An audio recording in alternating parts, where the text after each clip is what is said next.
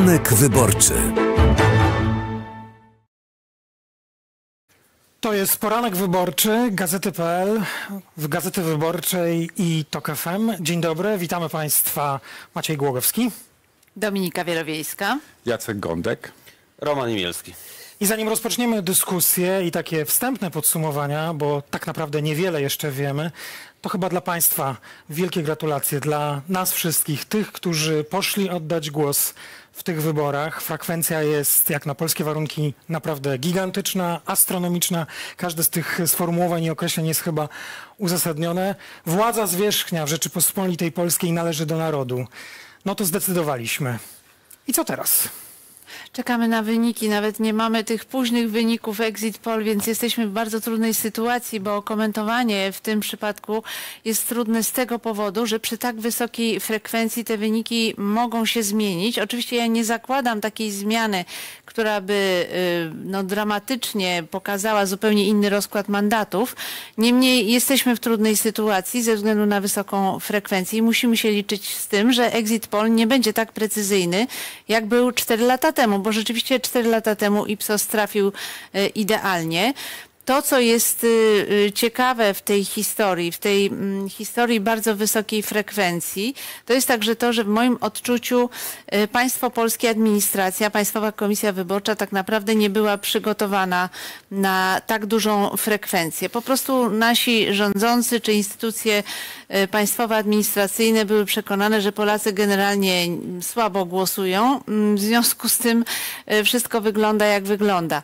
Natomiast warto też powiedzieć jedną rzecz, y, co też moim zdaniem ma wpływ na wynik Prawa i Sprawiedliwości, a mianowicie, że w tych wyborach mamy o milion, ponad milion mm, osób uprawnionych do głosowania mniej niż 4 lata temu.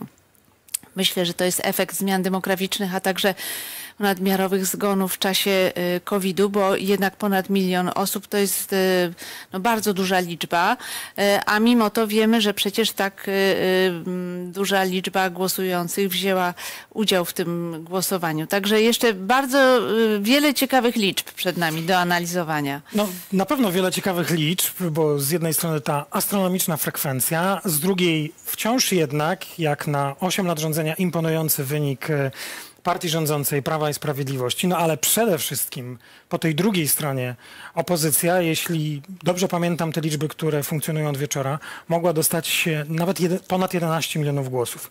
To też robi ogromne wrażenie. Roman? Na pewno robi ogromne wrażenie i chciałbym tutaj trochę z wami popolemizować, bo Dominika mówi, że jeszcze dużo nie wiemy. Ja uważam, że wiemy bardzo dużo już. Na pewno wiemy chociażby to, że największa mobilizacja, największy przyrost i to ogromny przyrost y, e, frekwencji jest w tych regionach, które są tradycyjnie antypisowskie i w dużych miastach. No, w niektórych miastach do drugiej w nocy e, głosowano, więc to raczej jest bardzo zła informacja dla PiS i gdybym miał dzisiaj o godzinie no, tuż po szóstej prognozować, co się stanie w late polu, to ja uważam, że PiS będzie spadał jeszcze i ta ostateczna e, będzie mniejsza różnica. Tutaj też w, powiedział Maciek, że ogromny sukces PiSu. Jasne, 7,5 miliona głosów, które prawdopodobnie padły według Exipo. To jest bardzo duża wciąż, e, wciąż... E, Ale mniej niż w 2019 roku. I to sporo, to jest około 600 tysięcy, mniej 500 tak. tysięcy tam z hakiem. I gdyby no, zobaczymy te ostateczne wyniki, to ja przypomnę, że jeszcze takiej kampanii w, w Polsce po 89 roku nie widzieliśmy, kiedy cały aparat państwa, całe państwo zostało totalnie skierowane jako wielka... Kupowali, kupowali, ale i tak nie kupili. Nie tylko, bo to nie chodzi tylko o kupowanie. To, to przecież też chodzi o to, że każda instytucja publiczna, która została która mm, została sprywatyzowana przez państwo. Ja zawsze używam tego, tego stwierdzenia, że nasze państwo dzisiaj nie jest upolityczne, jest prywatnym państwem de facto. I mimo tak ogromnego zaangażowania tych wszystkich instytucji, 7,5 miliona głosów. Znaczy, tuż przed wyborami e, spin taki był z, z, ze sztabu też Prawa i Sprawiedliwości. Powiedział, mamy mocną czwórkę z przodu. Taką naprawdę mocną. No i... No tak. Trochę się nie dziwię, jeżeli takie informacje się pojawiały. E, każdy chciał jakoś na swój sposób mobilizować o trochę już opisie powiedzieliśmy o frekwencji, no ale to, co jest najważniejsze o poranku i mam nadzieję, że w trakcie tego poranka wyborczego, który będzie trwał do godziny 12, będziemy mogli to potwierdzić, to opozycja, do wczoraj jeszcze opozycja, a teraz już po prostu demokratyczna większość. Wszystko na to wskazuje, stworzy rząd. To jest najważniejsza wiadomość tego wieczora i poranka. Znaczy, to jest rzecz absolutnie fundamentalna, bo y, owszem, y, czy to będzie 10 mandatów w jedną, w drugą stronę, to już nie powinno zmienić istoty rzeczy. Opozycja przejmuje władzę i tego w zasadzie możemy być pewni. Jak miałem okazję być wczoraj na tym bardzo krótkim wieczorze wyborczym Prawa i Sprawiedliwości, to tam od początku w zasadzie wszyscy wiedzieli, przechodzimy do opozycji. Co prawda... Ten... Ale był ten taki urzędowy optymizm. Znaczy jeszcze przed ogłoszeniem e, wyników e, sondażu, jeszcze przed godziną 21, Rafał Bochenek ćwiczył entuzjazm. E, ćwiczył z salą, żeby wszyscy krzyczeli zwyciężyliśmy, zwyciężymy. Więc ten entuzjazm był wyjątkowo wyreżyserowany, a mówię to, bo mam duże doświadczenie, bo akurat jeździłem za tym pisem w całej kampanii i wiem, jak to wygląda.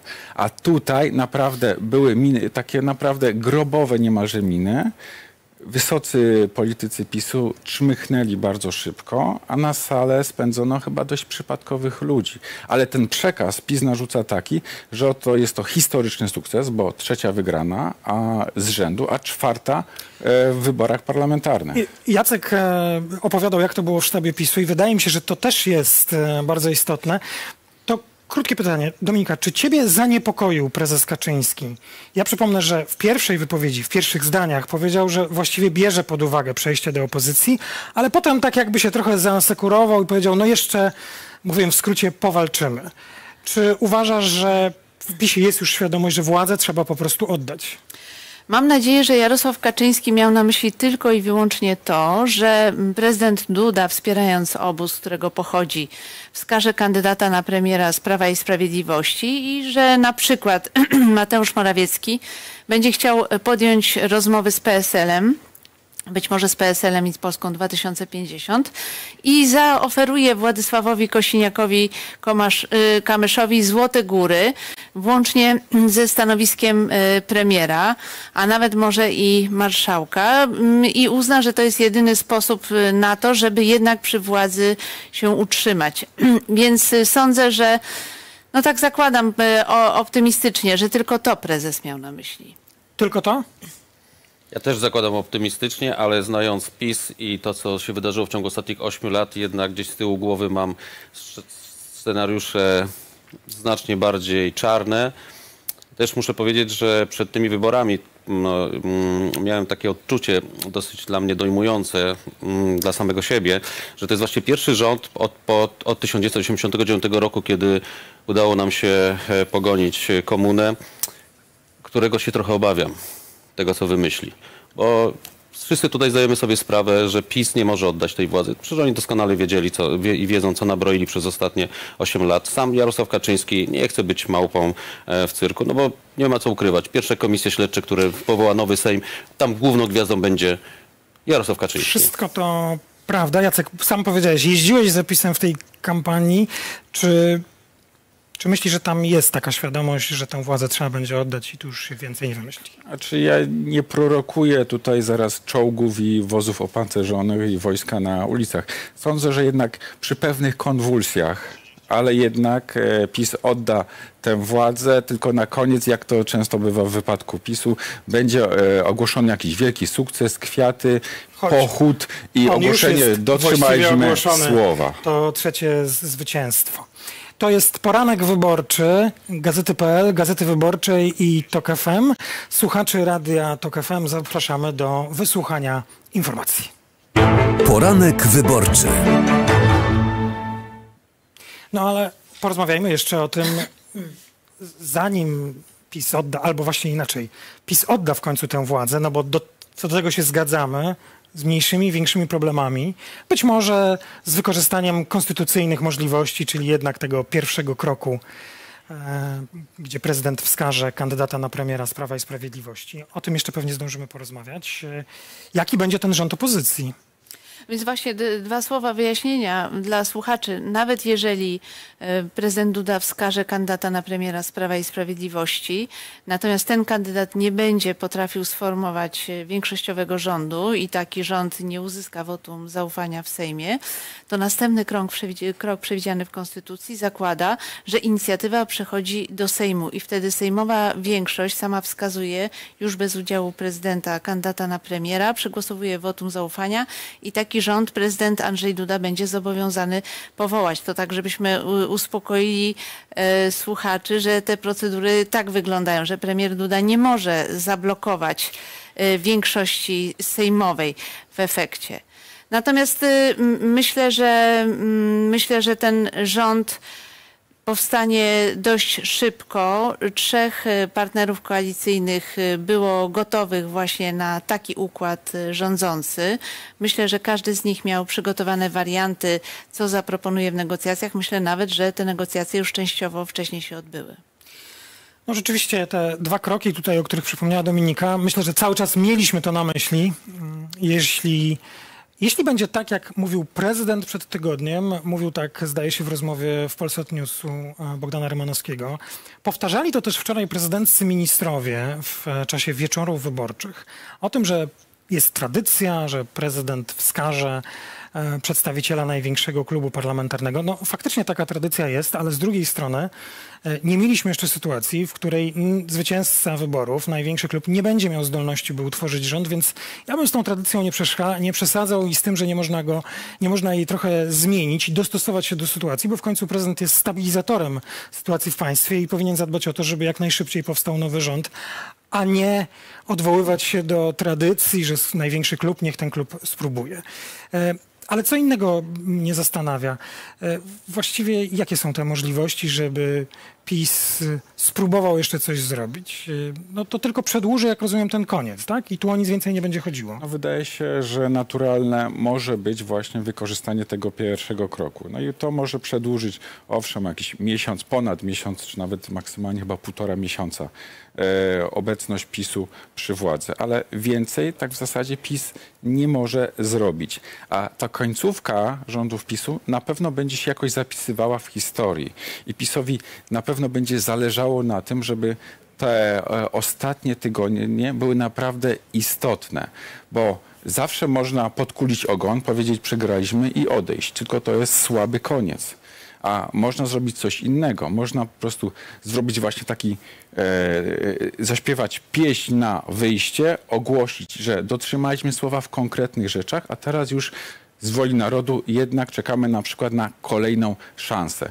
I nie sądzę, bo w polityce ważne jest to, żeby ustać, żeby ustać naj, nawet najtrudniejszą e, e, sytuację, jak e, w ringu bokserskim i PiS na pewno będzie chciało to zrobić. To jest dobre sformułowanie. Nie będzie teraz, e, być może do takiej dyskusji jeszcze powrócimy, ale mam wrażenie, że e, to było moje wczoraj skojarzenie wieczorem, jak e, o, o tym ustaniu, to że trzecia droga ustała wszystkie przeszkody, które miała na swojej drodze i ten wynik się udało.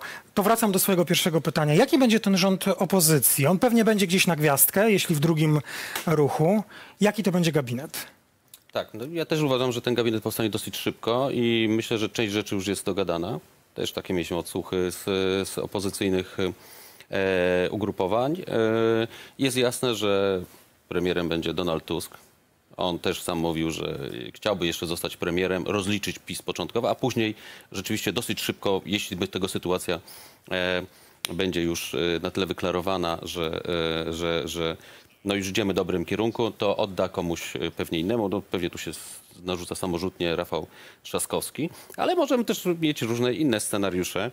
E, I teraz wracając jeszcze do tego, kiedy ten rząd powstanie. Rzeczywiście mm, prezydent i jego ministrowie bardzo podkreślali, że zawsze tą pierwszą misję potworzenia rządu dostaje, e, dostaje mm, e, ugrupowanie, które zdobyło najwięcej głosów w, e, w wyborach. Ale tutaj rzeczywiście mamy sytuację specyficzną. Mamy wojnę z- za naszą granicą. Czasy są bardzo niestabilne. Bliski, Bliski no Wschód się śmieje. się chwieje. Jest jasny sygnał od suwerena, którego uwielbia powoływać się Prawo i Sprawiedliwość i prezydent Duda. Suweren wysłał jasną, bardzo klarowną Zmiana. wiadomość. Zmiana. I my chcemy szybciutko tej zmiany dokonać. Więc y, nie wierzę za bardzo oczywiście tutaj w to, że prezydent stanie na wysokości zadania i e, od razu wskaże jednak temu, te, tej większości e, parlamentarnej, że ma tworzyć rząd, ale nie wykluczam jakoś tam gdzieś z tyłu głowy takiej możliwości. Zresztą prezydent sprytnie zrobił, wczoraj już poleciał do Rzymu na obchody Dnia Papieskiego. Nie Tak, wiadomo, tak. czy, czy wraca dzisiaj, czy jutro, żeby tutaj to nie składać jakichś życzeń. No, bardzo zadziwiające. E, I jeszcze co może zrobić e, tutaj Prawo i Sprawiedliwość? Yy, Ja uważam, że tutaj mm, Jacek użył takiego stwierdzenia, że musi ustać. Z PiSem dzisiaj sytuacja inna, moim zdaniem. On już nie musi ustać. On doskonale wie, że oddanie władzy to są gigantyczne rozliczenia.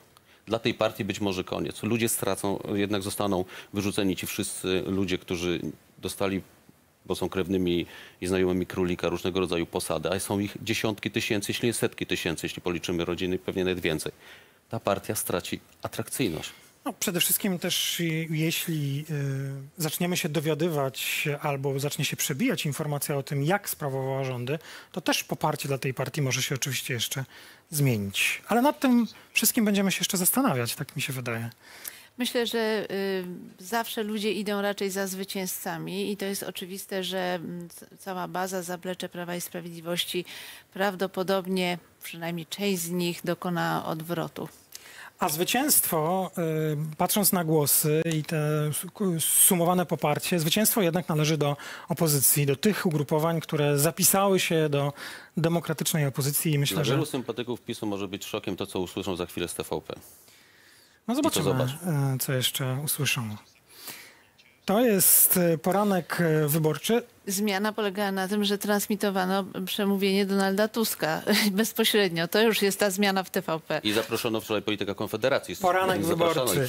Gazeta.pl, Gazeta Wyborcza i TOK FM to jest poranek wyborczy. Poranek wyborczy.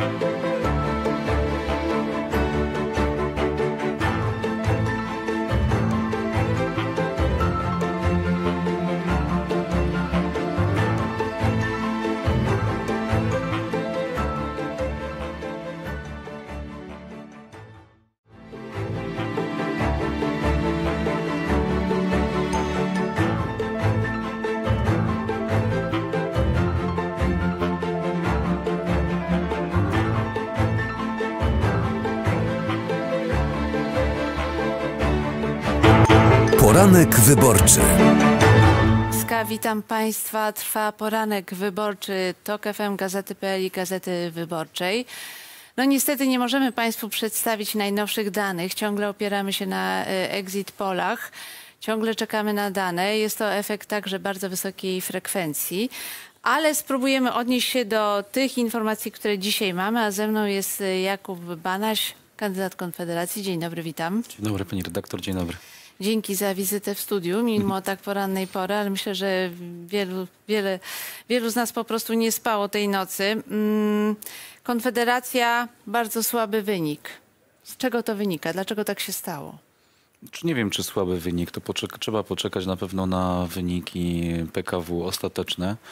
To był jednak, można powiedzieć, y, sondaż i wiemy, jakie są problemy już metodologiczne, więc, więc na pewno trzeba poczekać. Oczywiście nie jest to wynik, który oczekiwaliśmy, na który liczyliśmy, ale nie jest to też wynik y, zły. Natomiast, żeby coś komentować, no trzeba poczekać na ostateczne, na ostateczne ogłoszenie wyników przez PKW. Ale zgadzamy się chyba, że nie ma szans na wynik dwucyfrowy, a na taki, Tak, tak, tak. na taki rzeczywiście Konfederacja liczyła, więc to jest Wie Pani rektor, to zależy kto liczył. No, ja na pewno nie byłem w gronie tych hura-optymistów, którzy się podniecają wynikami czy jakimiś sondażami e, 13-14% wakacje, tak? E, Liczyliśmy na dwucyfrowy wynik, ale to przy pewnych założeniach. To jest matematyka, arytmetyka e, wyborcza. Mało kto przewidział, że będzie aż taka, tak silnie zadziała pompa sąc- sąca, tłocząca przez ostatnie dwa tygodnie, czyli po marszu tego miliona serc, gdzie następowała już ogromna polaryzacja. I moim zdaniem no, ta frekwencja nie wzięła się znikąd, ona się wzięła z ogromnej polaryzacji, więc nasz, jakby nasz wynik, który wcześniej był oparty o pewne założenia e, frekwencyjne, no można powiedzieć de facto matematycznie został utrzymany, natomiast sumarycznie przy tak dużej frekwencji no dał, dał wynik, czy da pewno wynik w granicach tam, nie wiem, A czy 7-7,5%. zaryzykowałby pan tezę, że wyborcy mogli przepłynąć do trzeciej drogi, właśnie z Konfederacji? No na pewno z tego odpływali. wyniku kilkunastu procent sprzed Tak, tygodni. tak, zgadzam się. No to był, my wiemy, że mamy elektorat, można powiedzieć, ele- eklektyczny, tak, że jest to takie twarde jądro e, konfederacyjne, które dawało właśnie, nie wiem, mniej więcej 6%. e, Natomiast późniejsze wzrosty notowań no, były efektem przepływów ten elektorat był labilny i ostatnie, tak jak mówię, ostatnie, ostatnie tygodnie e, w których następowała bardzo mocna polaryzacja i mobilizacja elektoratów przez te dwie główne, dwa główne bloki, no spowodowało na pewno jakiś odpływ elektoratu. I tak, to jesteśmy tego świadomi. Natomiast analizę będziemy dokonywać po tym, jak po pierwsze będą wyniki, a po drugie no, będą jednak dokładne dane, co się stało, jak to wyglądało, w sensie jak wyglądały te przepływy, jakie były motywacje też tych, y, tych przepływów, bo to Przy jest tym, bardzo Przy ciekawe. tym wyniku pańskie szanse na mandat są niewielkie. Tak, tak, tak, tak, tak, oczywiście. nie zostanie. Raczej, raczej, raczej nie ma szans, więc jest tutaj tak, tak, tak. Przy tym być może jeden mandat w Warszawie, ale nie, nie wiem, czy zobaczymy, jaki jest rozkład głosów. Ale tak jeszcze, wrócimy jeszcze do tej analizy, ale tak rozmawialiśmy przed anteną, mówił pan, że y, mm, z pańskich informacji wynika, że w części komisji w Stanach Zjednoczonych jednak głosy nie będą w całości policzone. Tak, no i to jest moim zdaniem duży problem, bo już zwracałem wcześniej na to uwagę, a mianowicie na uczciwość tych wyborów. Znaczy ja uważam, że ten wynik i tak fałszuje rzeczywistość, obojętnie jaki on będzie i jak będzie wyglądała walka o utworzenie rządu przez najbliższe tygodnie, dlatego że te wybory co do istoty swojej nie były uczciwe, w sensie równe. To PiS zaangażował cały aparat państwa, zaangażował spółki Skarbu Państwa, instytucje państwowe, telewizję. Przypomnę tylko, że wczoraj byłem w wieczorze wyborczym w TVP Info i to jest od półtora roku drugi przypadek, kiedy pojawił się ktoś z Konfederacji w TVP Info. Tak, W mówiliśmy o w tym w poprzedniej części, W telewizji że- za że nasze tak. pieniądze, tak? Więc pani W telewizji tutaj... rządowej nie tak. było Konfederacji, Tak, to tak, jest tak. prawda. No, myślę, że PiS blokował specjalnie wasze y, występy w telewizji rządowej, no bo uważał TVP za taki kanał komunikacji z elektoratem Oczywiście. y, konserwatywnym, prawicowym, często też radykalnym. Y, I dlatego was nie dopuszczał do tego, ale chciałam wrócić jeszcze do tego wątku, bo telewizja y, rządowa zaatakowała prezesa Mariana Tak. Banasia. I także pana pośrednio, ponieważ puszczono taśmy rozmowy prezesa Najwyższej Izby Kontroli Mariana Banasia z profesorem Markiem Chmajem i wynikało tutaj z tych taśm, że jakby Marian Banaś dogaduje się z koalicją e, obywatelską, że po to specjalnie pana posłał do Konfederacji, żeby pan pilnował, by Konfederacja nie zrobiła rządu z Prawem i Sprawiedliwością. Tak? Jakie pytanie? Czy mam skomentować? Czy... Bo y, rzeczywiście po tym y, programie odciął się pan niejako od y, własnego ojca, można by tak powiedzieć. Ale tutaj rozróżniam e, relacje rodzinne od e, jakby działań politycznych. Zawsze podkreślałem, że jestem niezależny. E, Mówiłem to wielokrotnie, że ojciec dowiedział się o moim kandydowaniu z mediów. To jak on później interpretuje, kim, o czym, z kim rozmawia, to nie jest moja sprawa, to jest jego odpowiedzialność, idzie to na jego konto. Jeżeli tworzy jakieś wrażenie, jakieś sprawczości, rozmawiając z różnymi osobami, to to jest kwestia tylko i wyłącznie tych osób, które rozmawiają, na pewno nie moja. Myśmy podkreślali w Konfederacji, podkreślili to również liderzy, także są niezależni, decyzje polityczne zapadają nie w gabinetach urzędników dotyczące Konfederacji oczywiście. Rozumiem, tak? tutaj wątpliwość może polegać na tym, że jednak ym, współpracuje pan blisko z ojcem, jest pan y, doradcą ojca niejako, więc y, byłoby dosyć naturalne, gdybyście omawiali wspólną strategię czy wspólne No plany właśnie polityczne. tak nie jest, pani redaktor. Ja żałuję bardzo, że e, ojciec w pewnym momencie e, pozbył się mnie, to znaczy zrezygnował z tych rekomendacji. To był początek wybuchu, właściwie od samego początku wybuchu wojny na Ukrainie, gdyby, gdyby właśnie ten, gdyby te, te moje rekomendacje tam brał sobie do serca, gdybym rzeczywiście był aktywnym e, doradcą społecznym, to przede wszystkim nie doszłoby do sytuacji, w której służby specjalne mogły rozwinąć de facto e, inwigilację wokół prezesa Najwyższej Izby A Kontroli. uważa pan, że te taśmy to jest Absolutnie. efekt inwigilacji Tak, znaczy ja mam- służb ja- ja nie- specjalnych? Ja nie uważam, tylko ja mam pewność. Ja mam pewność po prostu, bo wiem dokładnie nawet personalnie, kto, kto nagrywał. Ale telewizja rządowa twierdzi, że to nagrywali pracownicy Najwyższej Izby Oczywiście, że tak, dlatego że pracownicy poszli na współpracę ze służbami specjalnymi. Mówiłem i ojca ostrzegałem na jesień tamtego roku, że ludzie są zapraszani przez funkcjonariuszy Centralnego Biura Antykorupcyjnego na kawki, nie na zasadzie jakichś przesłuchań, tylko po prostu na rozmowy. Część osób o tym mi powiedziała, część osób nie. Część osób pewnie poszło na współpracę, część osób była wcześniej już współpracownikiem służb specjalnych, o czym wiedziałem. Więc mamy tu do czynienia no, jednak z poważną sprawą, jaką jest inwigilacja prezesa Najwyższej Izby Kontroli, pomijając moje relacje e, rodzinne z ojcem. Czy jak, Nie, no przyznam, że byłam zaskoczona, dlatego że wydawało mi się, że prezes Banaś y, wielokrotnie próbował sprawdzać, czy nie ma tak zwanych pluskw, to znaczy, czy nie ma podsłuchów y, w tak, jego dopóki gabinecie. byłem, dopóki, dopóki byłem aktywnym doradcą społecznym, bardzo dbałem o kwestie bezpieczeństwa, bo wiedziałem, w czym uczestniczymy i jak działa Prawo i Sprawiedliwość. Że Prawo i Sprawiedliwość to ma z Prawem i Sprawiedliwością wspólnego tyle, co nazwa. Także stosuję wszystkie metody, żeby no, zniszczyć tę niezależność. Dlatego ja też uważam, jak możemy, mogę skomentować wyniki wyborów, że ja uważam, że tutaj jeszcze czeka nas bardzo ciekawy okres teraz. Mówię tak bardzo ciekawy ironicznie, dlatego że dopiero teraz zaczną być używane wszystkie haki i wszystkie metody. To znaczy, No że Prawo i Sprawiedliwość będzie próbowało storpedować powstanie tak, ja nie wierzę. rządu? No, Mateusz Morawiecki powiedział wczoraj, że jest otwarty na rozmowy z każdym. E, Włodzimierz Czerzasty też powiedział, że będzie współrządził, ale nie powiedział, z kim będzie współrządził.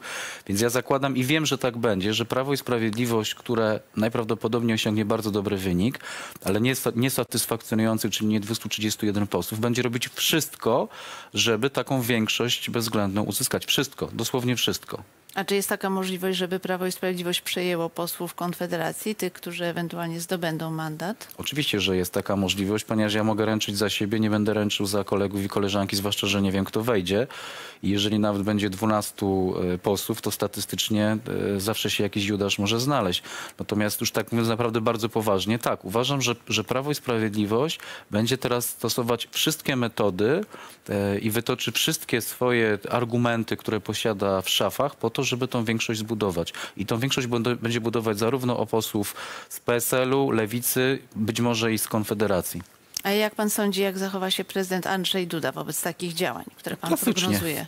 Klasycznie znaczy- się zachowa. No jak, jak się zachowuje prezydent Andrzej Duda, to już pokazywał. Nie widzę tutaj powodu, dla którego miałby się zmienić i nagle zachować inaczej. To znaczy on będzie bronił y, y, interesów swojego środowiska politycznego, bo to już wielokrotnie udowodnił, że nie jest prezydent wszystkich Polaków i nie traktuje, nie jest prezydentem propaństwowcem, tylko jest prezydentem po prostu określonej partii politycznej, środowiska politycznego, bardzo stri- sensu stricte. Politycy PiS mówią, że chcieliby zaproponować współpracę PSL-owi, a być może także Polsce 2050. O, Uważa pan, że to za tym stoją właśnie, mogłyby stać jakieś próby szantażu, nacisku właśnie z udziałem służb specjalnych? Pani redaktor, no, zna, znam się trochę na tej, na tej robocie politycznej kuluarowej. Może w tej polityce jako frontman jestem od niedawna, czyli od momentu, kiedy e, Sławomir Mencen ogłosił moją kandydaturę. Natomiast wcześniej naprawdę pracowałem bardzo intensywnie w kulisach politycznych, żeby bronić niezależności Najwyższej Izby Kontroli poprzez e, budowanie tej większości, która miała gwarantować e, immunitet prezesowi, bo to była główna przeszkoda. I wiem, jak to wygląda. I wiem, jakie są naciski, jak się, jak się tą robotę robi z tyłu. Ona jest naprawdę bardzo brutalna. Naprawdę bardzo brutalna. Sam tego doświadczyłem w piątek. No. No to był chyba najlepszy, najlepszy przykład, jak działa Prawo i Dziękuję. Sprawiedliwość. Dziękuję bardzo Dziękuję za bardzo. wizytę w studiu. Jakub Banaś, Konfederacja. Trwa poranek wyborczy Gazety Wyborczej TOK FM i Czwarte zwycięstwo w dziejach naszej partii. Czwarte zwycięstwo.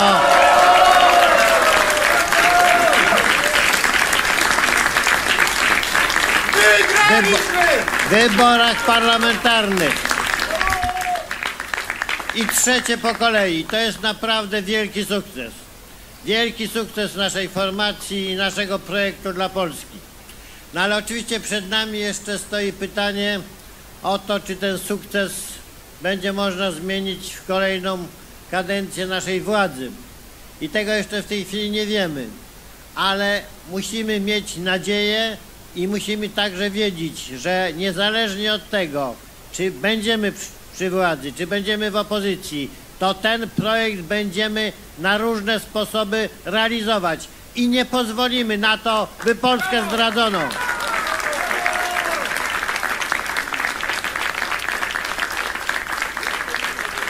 Nie pozwolimy na to, by Polska utraciła to, co jest najcenniejsze w dziejach naszego narodu, najcenniejsze ze względu na jego doświadczenia, to znaczy niepodległość, prawo do decydowania o własnym losie.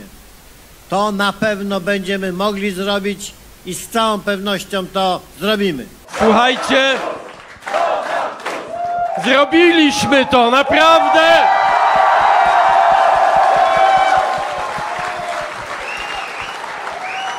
Ja wiem, że nasze marzenia może były jeszcze ambitniejsze, ale powiem wam, jestem od wielu lat politykiem, jestem sportowcem. Nigdy w życiu nie byłem tak szczęśliwy z tego niby drugiego miejsca. Wygrała Polska, wygrała demokracja. Odsunęliśmy ich od władzy.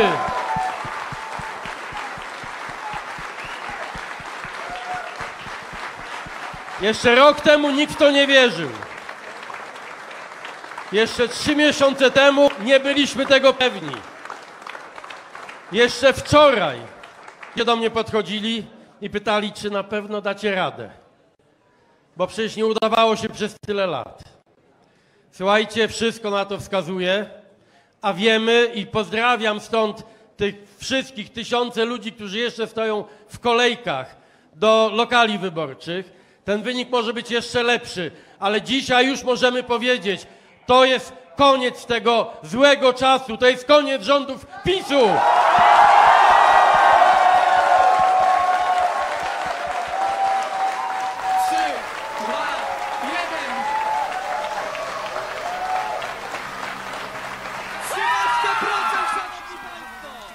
Parlament 2023 demokratyczna opozycja ma szansę na przejęcie władzy. Dziękujemy, dziękujemy Polsko, dziękujemy bardzo. Ludzie są dobrzy! 3% Polska jest piękna! Będzie dobrze!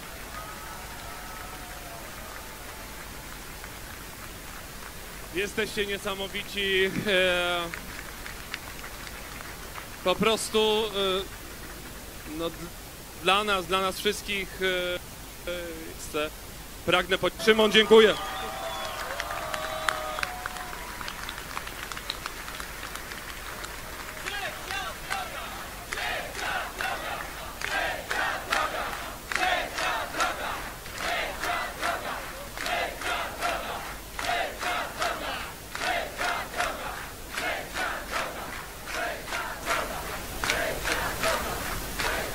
Trzecia droga chciała i wiele na to wskazuje, że będzie kotwicą demokracji przez następne lata w Polsce.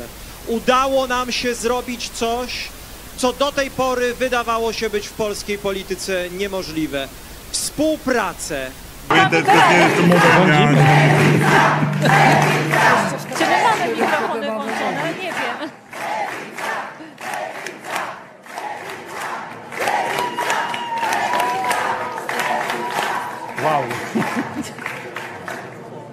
Ile to, To jest? oni prowadzili was do tego dnia, do tego finału. Przed wami, nie wiem, czy chcecie posłuchać Tuska? Włodku, Włodku, A czas na ciebie. PiSie? Włodku, czas na ciebie. Proszę Państwa, Mogę.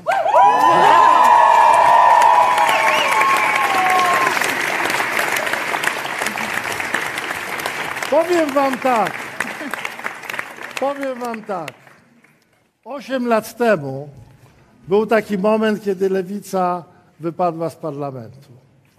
Mam. Mo- mogę osobiście? Je, Musisz. jedziesz, jedziesz.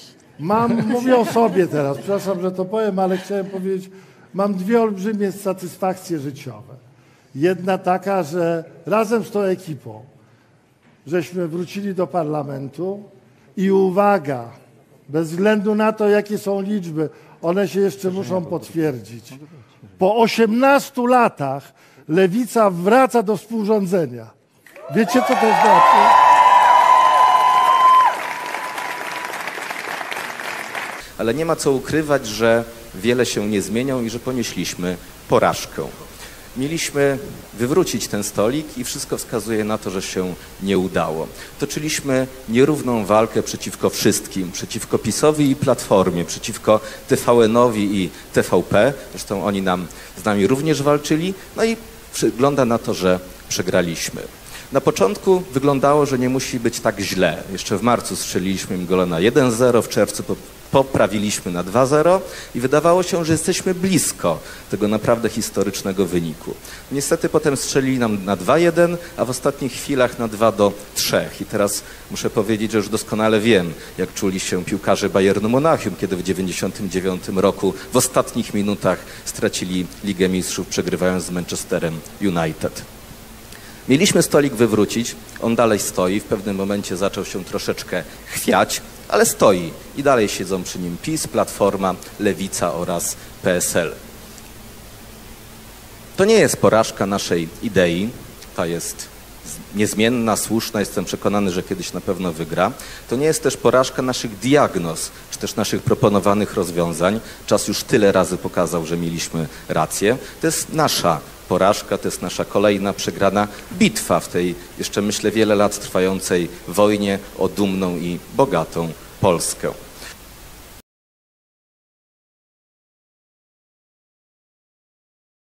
Poranek wyborczy.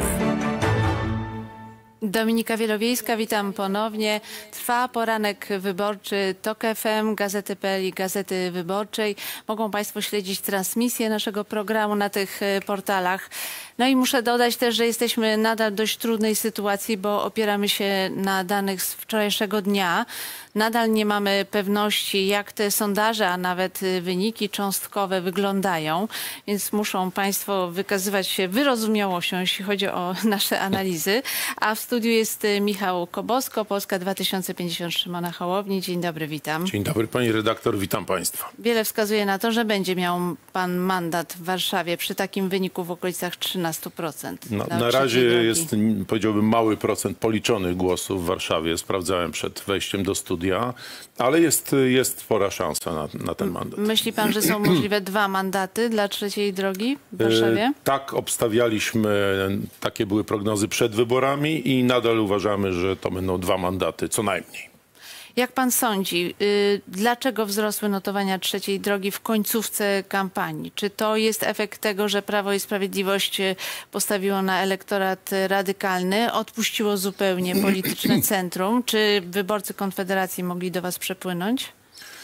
No, pani redaktor, to zastrzeżenie, o czym pani wspomniała, że ciągle się poruszamy i opieramy się na, na jednym exit polu, czy nawet może na dwóch exit polach, które były robione równolegle, ale nie znamy jeszcze wyników e, finalnych, nie znamy jeszcze wyników wynikających z policzenia głosów, więc ja dlatego jestem trochę ostrożny z e, komentowaniem tej sytuacji. Ja myślę, że to było połączenie wielu, wielu czynników. To na pewno była, była ciężka praca nasza związana z docieraniem do wyborców, w tym wyborców e, niezdecydowanych i wyborców e, rozczarowanych pisem. I wiedzieliśmy na ostatnim etapie, że wyborcy, którzy mają dosyć PiSu, któremu do tej pory byli wierni, zastanawiają się wcześniej nie widzieli dla siebie innej opcji, a zastanawiali się na tym ostatnim etapie między nami a Konfederacją. Myślę, że z tego wyniku, który znamy w tej chwili exit polowy, można zaryzykować tezę na tej podstawie, że wybrali nas, a nie Konfederację. Ale to było, tak jak powiedziałem, wielu różnych czynników. A Był... myśli pan, że pomogła ta debata w TVP, w której Szymon Hołownia wypadł dobrze, zdaniem wielu komentatorów? Myślę, że zdecydowanie tak. To było ważne w tym dokładnie momencie, na tydzień mniej więcej przed wyborami. Oczywiście nie była to żadna debata i co do tego jesteśmy przekonani. Natomiast dla nas była to okazja i Szymon Hołownia ją wykorzystał bardzo dobrze, żeby dotrzeć do tych odbiorców, którzy wcześniej nie zdawali sobie sprawy, że my w ogóle istniejemy, że istnieje trzecia droga, że jest Hołownia w sojuszu z PSL-em. Wyborcy, e, widzowie telewizji polskiej, no dla nich to było pewne odkrycie. No ale myślę, że nie tylko, nie tylko wyborcy PiSu zobaczyli w akcji lidera trzeciej drogi i zaczęli się zastanawiać na tym ostatnim etapie, czy nie dać nam szansy. Więc e, myślę, że ten przekaz z naszej strony to rozczarowanie pisem, ale i brak wiary w Konfederację, czy też rosnące rozczarowanie Konfederacją tych wyborców, którzy przez chwilę Konfederacją się zachwycili, no to wszystko dało ten efekt, ale musimy poczekać na wyniki, żeby, żeby móc na poważnie analizować także przepływy. Y, Wedle tych danych, które posiadamy, opozycja demokratyczna może liczyć na około 250 mandatów w Sejmie, który ma y, 460 miejsc. W związku z tym moglibyście mieć większość. Natomiast pytanie jest takie, co zrobi prezydent Andrzej Duda? Czego by się pan spodziewał po prezydencie? No, co zrobi, to wie tylko on. Zresztą nie wie, czy, nie wiem, czy już wie, czy, czy raczej będzie czekać na wyniki oficjalne, bo zdaje się, że w Pałacu Prezydenckim było takie obstawianie, że exit poll, exit polem, ale w- realnych wynikach no to jest wynik oczywiste. PiSu będzie lepszy. Tak. I, I tak e, Czekamy, prezydent czekamy na wynik, ale ja mogę tylko powiedzieć, że my liczymy, mamy nadzieję, że pan prezydent zachowa się, postąpi w pełni odpowiedzialnie, z poczuciem pełnej odpowiedzialności za losy kraju i za losy narodu i nie będzie zwlekał z um, przeprowadzeniem procedury związanej z powołaniem rządu. Widać, że przy takiej matematyce, przy takich liczbach, jakie dzisiaj mamy, nie jest i nie będzie możliwe powołanie rządu przez Prawo i Sprawiedliwość i tak zwaną Zjednoczoną Prawicę. Więc mamy nadzieję, że e, pan prezydent no, Ale czy były jakieś sygnały z Pałacu Prezydenckiego? Dotarły do Was jakieś sygnały, że prezydent na przykład chce spotkać się z liderami wszystkich ugrupowań Na parlamentarnych? z razie nie było takich sygnałów. Na razie ewidentnie obóz prezydencki czekał na te wyniki. Chyba liczyli na to, że wynik PiSu będzie lepszy. Także Ale na- spodziewa się pan takiej sekwencji tak. zdarzeń, że prezydent zaprosi y, wszystkich liderów, każdego jakby z osobna, odbędzie z nimi rozmowy, żeby zobaczyć, jaka jest No to możliwa byłoby większość. dość naturalne, żeby nie powiedzieć oczywiste. W takiej sytuacji, jaka się wyłoni po podaniu oficjalnych e, wyników wyborów, na co pewnie wszyscy czekamy. Ale y, pytanie też jest takie, bo politycy Prawa i Sprawiedliwości mm, suflują, że oni chcieliby podjąć rozmowy z PSL-em, a także przede wszystkim z PSL-em, ale także z Polską 2050 o stworzeniu wspólnego rządu. Czy to jest możliwe? Te, Nie, możliwe to nie jest możliwe. rozmowy? Jesteśmy konsekwentni, to co mówiliśmy przed wyborami i my, Polska 2050 Szymona Hołowni i Polskie Stronnictwo Ludowe. Zresztą oni bardzo szybko zareagowali na te, na te nocne, powiedziałbym, prowokacje ze strony PiSu. Nie będzie żadnych rozmów o wchodzeniu w Jest pan koalicję. stuprocentowo pewny, że te trzy ugrupowania, Koalicja Obywatelska, Trzecia Droga i Lewica siądą do stołu i nie ma innej opcji, żeby któryś z tych graczy siadł do stołu z PiSem, by negocjować nowy rząd? W imieniu trzeciej drogi oczywiście mogę mówić w pierwszej kolejności, ale nie widzę żadnej, żadnego tego typu ryzyka, czy też z punktu widzenia PiSu szansy na to. Nie. Kończą się rządy PiSu, to są ostatnie dni ich rządów i bardzo dobrze dla Polski. No tak, ale słyszeliśmy niegdyś wypowiedzi polityków y, Polskiego Stronnictwa Ludowego, że nie wykluczali takiej koalicji z PiSem. Była to wypowiedź Marka Sawickiego, co prawda sprzed jakiegoś czasu. Właśnie, pani redaktor, to była wypowiedź sprzed jakiegoś czasu, potem już takich głosów nie było w PSL-u. My mieliśmy bardzo wiele rozmów, rzecz jasna, i tego dotyczących. E, W ogóle punktem wyjścia do naszych rozmów o zawiązaniu sojuszu z Polskim Stronnictwem Ludowym było to, że nie wchodzi w grę koalicja z PiSem i oni bardzo twardo, bardzo jasno to powiedzieli. W PSL-u liderem jest, e, jest Władysław Kosiniak-Kamysz, mm, jest premier Waldemar Pawlak jako szef Rady Naczelnej. To byli i są nasi partnerzy do rozmowy. Z ich strony był bardzo jasny sygnał. Nie będzie żadnych rozmów z PiSem. Z naszej strony jest to tym bardziej oczywiste. Żadnych rozmów z PiSem. Czy spodziewa się pan takiego scenariusza, że prezydent Andrzej Duda może w pierwszym kroku wskazać kandydata z Prawa i Sprawiedliwości? Temu kandydatowi nie uda się rządu i potem inicjatywa przejdzie do Sejmu i wtedy większość sejmowa sama będzie decydować, kto będzie kandydatem na premiera? No, pan prezydent Duda ma swobodę ruchu w tej sprawie i może rzeczywiście pójść takim scenariuszem, o którym pani powiedziała. Uważam, że z perspektywy Polski, nas wszystkich, byłaby to czysta strata czasu, ponieważ PiSowi nie uda się mm, stworzyć większości i powołać rządu. No ale pan prezydent tutaj jest y, nieskrępowany w tym w możliwości wykonania takiego ruchu. Ale oczekiwałby pan od prezydenta, żeby jednak e, po rozmowach z liderami e, frakcji parlamentarnych podjął decyzję, że e, wskazuje kandydata na premiera tych ugrupowań, które mogą stworzyć większość. Wolałby pan, żeby w pierwszym kroku to już nastąpiło? Uważam, że Polska potrzebuje nowego rządu, rządu demokratycznego, że potrzebuje go jak najszybciej i że nie należy robić nic, co by odw- odwlekało czy wydłużało ten proces. Więc y, myślę, że taki apel, ale nie tylko apel, ze strony liderów partii opozycyjnych trafi do pana prezydenta. A czy był pan zaniepokojony słowami Jarosława Kaczyńskiego, który powiedział tak dosyć niejasno, że nadal będą realizować swoje plany, swoje programy, tak jakby m, w pierwszej chwili uznał, że być może Prawo i Sprawiedliwość będzie musiało oddać władzę, ale potem można było odnieść wrażenie, jakby sądził, że to jest e, niepewne i że PiS będzie jeszcze walczył. Co to może oznaczać? To nie jest czas na zapowiadanie jakiejś realizacji planów przez Prawo i Sprawiedliwość. To jest czas dla tłustych kotów PiSu do, na pakowanie swoich kuwet i mówię to bardzo, bardzo poważnie.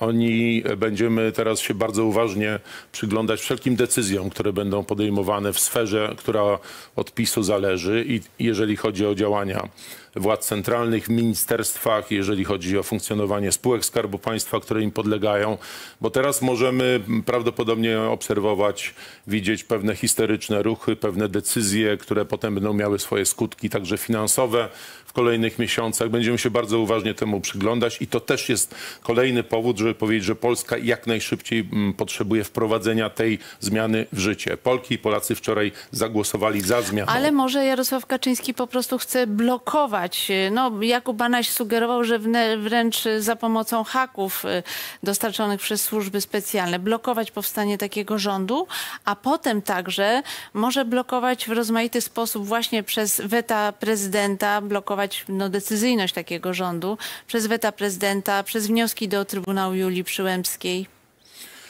No, trudno byłoby mi występować tutaj w obronie pana prezydenta Andrzeja Dudy. Znamy go z tych dwóch kadencji, z e, powiedziałbym postępowania, które było niestety konsekwentne z kilkoma wyjątkami, kiedy wetował na przykład Lex TVN czy Lex Czarnek. My mamy nadzieję i będziemy o tym oczywiście rozmawiali z panem prezydentem, z obozem prezydenckim, że pan prezydent będzie się zachowywał w sposób pełni, postępował w pe- w sposób pełni odpowiedzialny, kierując się interesem całego kraju, a nie swojego obozu politycznego. Pani redaktor powiedziała, że Jarosław Kaczyński będzie jego rękami coś blokował.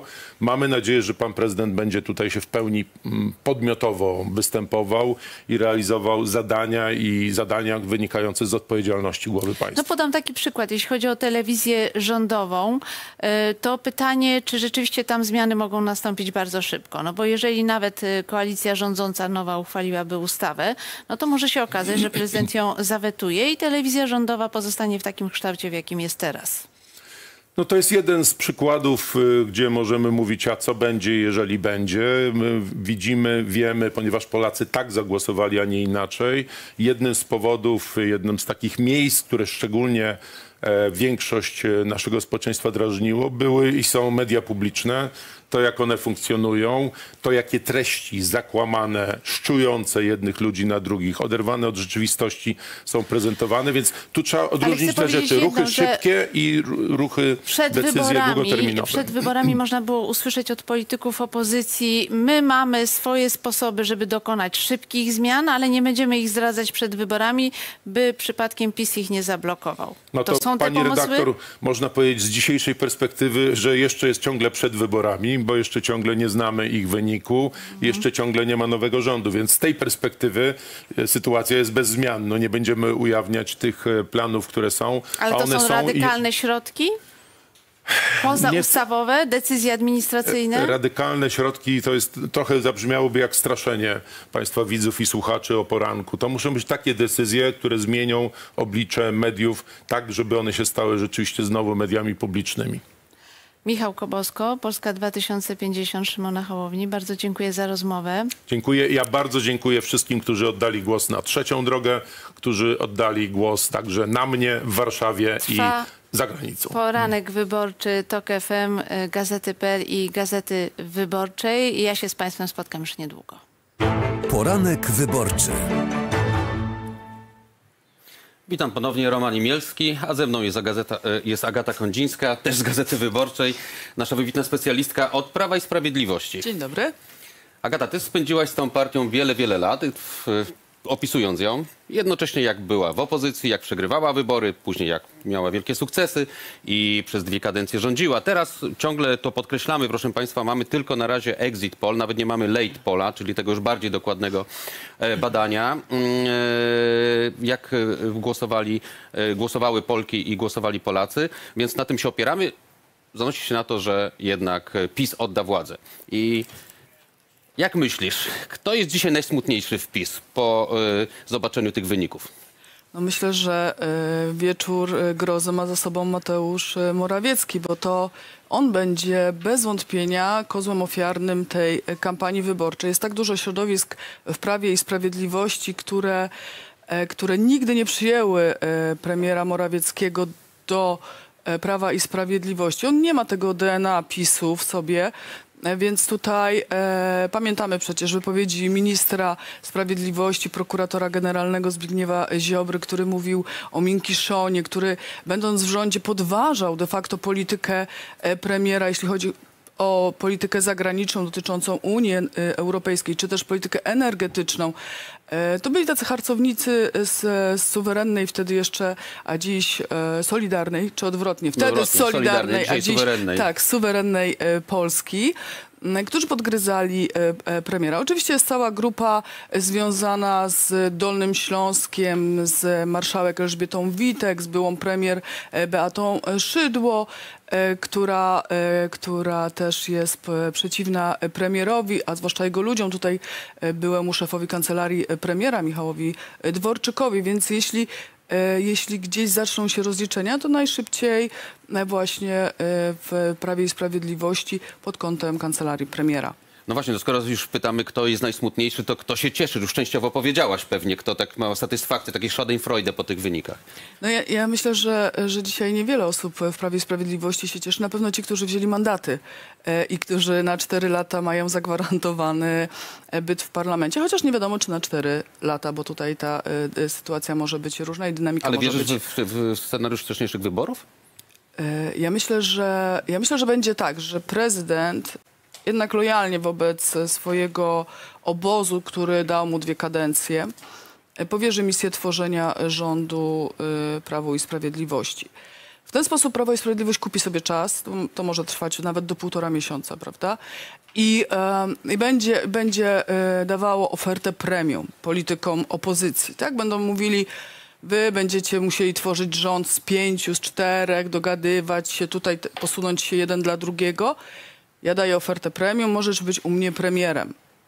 I e, Prawo i Sprawiedliwość to zrobi, Jarosław Kaczyński rzuci wszystkie siły, żeby tak się stało i żeby tej władzy e, zdobytej przed ośmioma laty nie oddać. To ja nie mam co do tego żadnych wątpliwości. Jeśli jednak nie uda się, to e, Kaczyński i ja nie sądzę, że się, ta partia się rozpadnie. Dopóki będzie Jarosław Kaczyński, ta partia będzie trwała, ale oni się przyczają. Przyczają się i będą czekali, kiedy, kiedy w opozycji dojdzie do tarć. A dojdzie do tarć zapewne przy układaniu budżetu.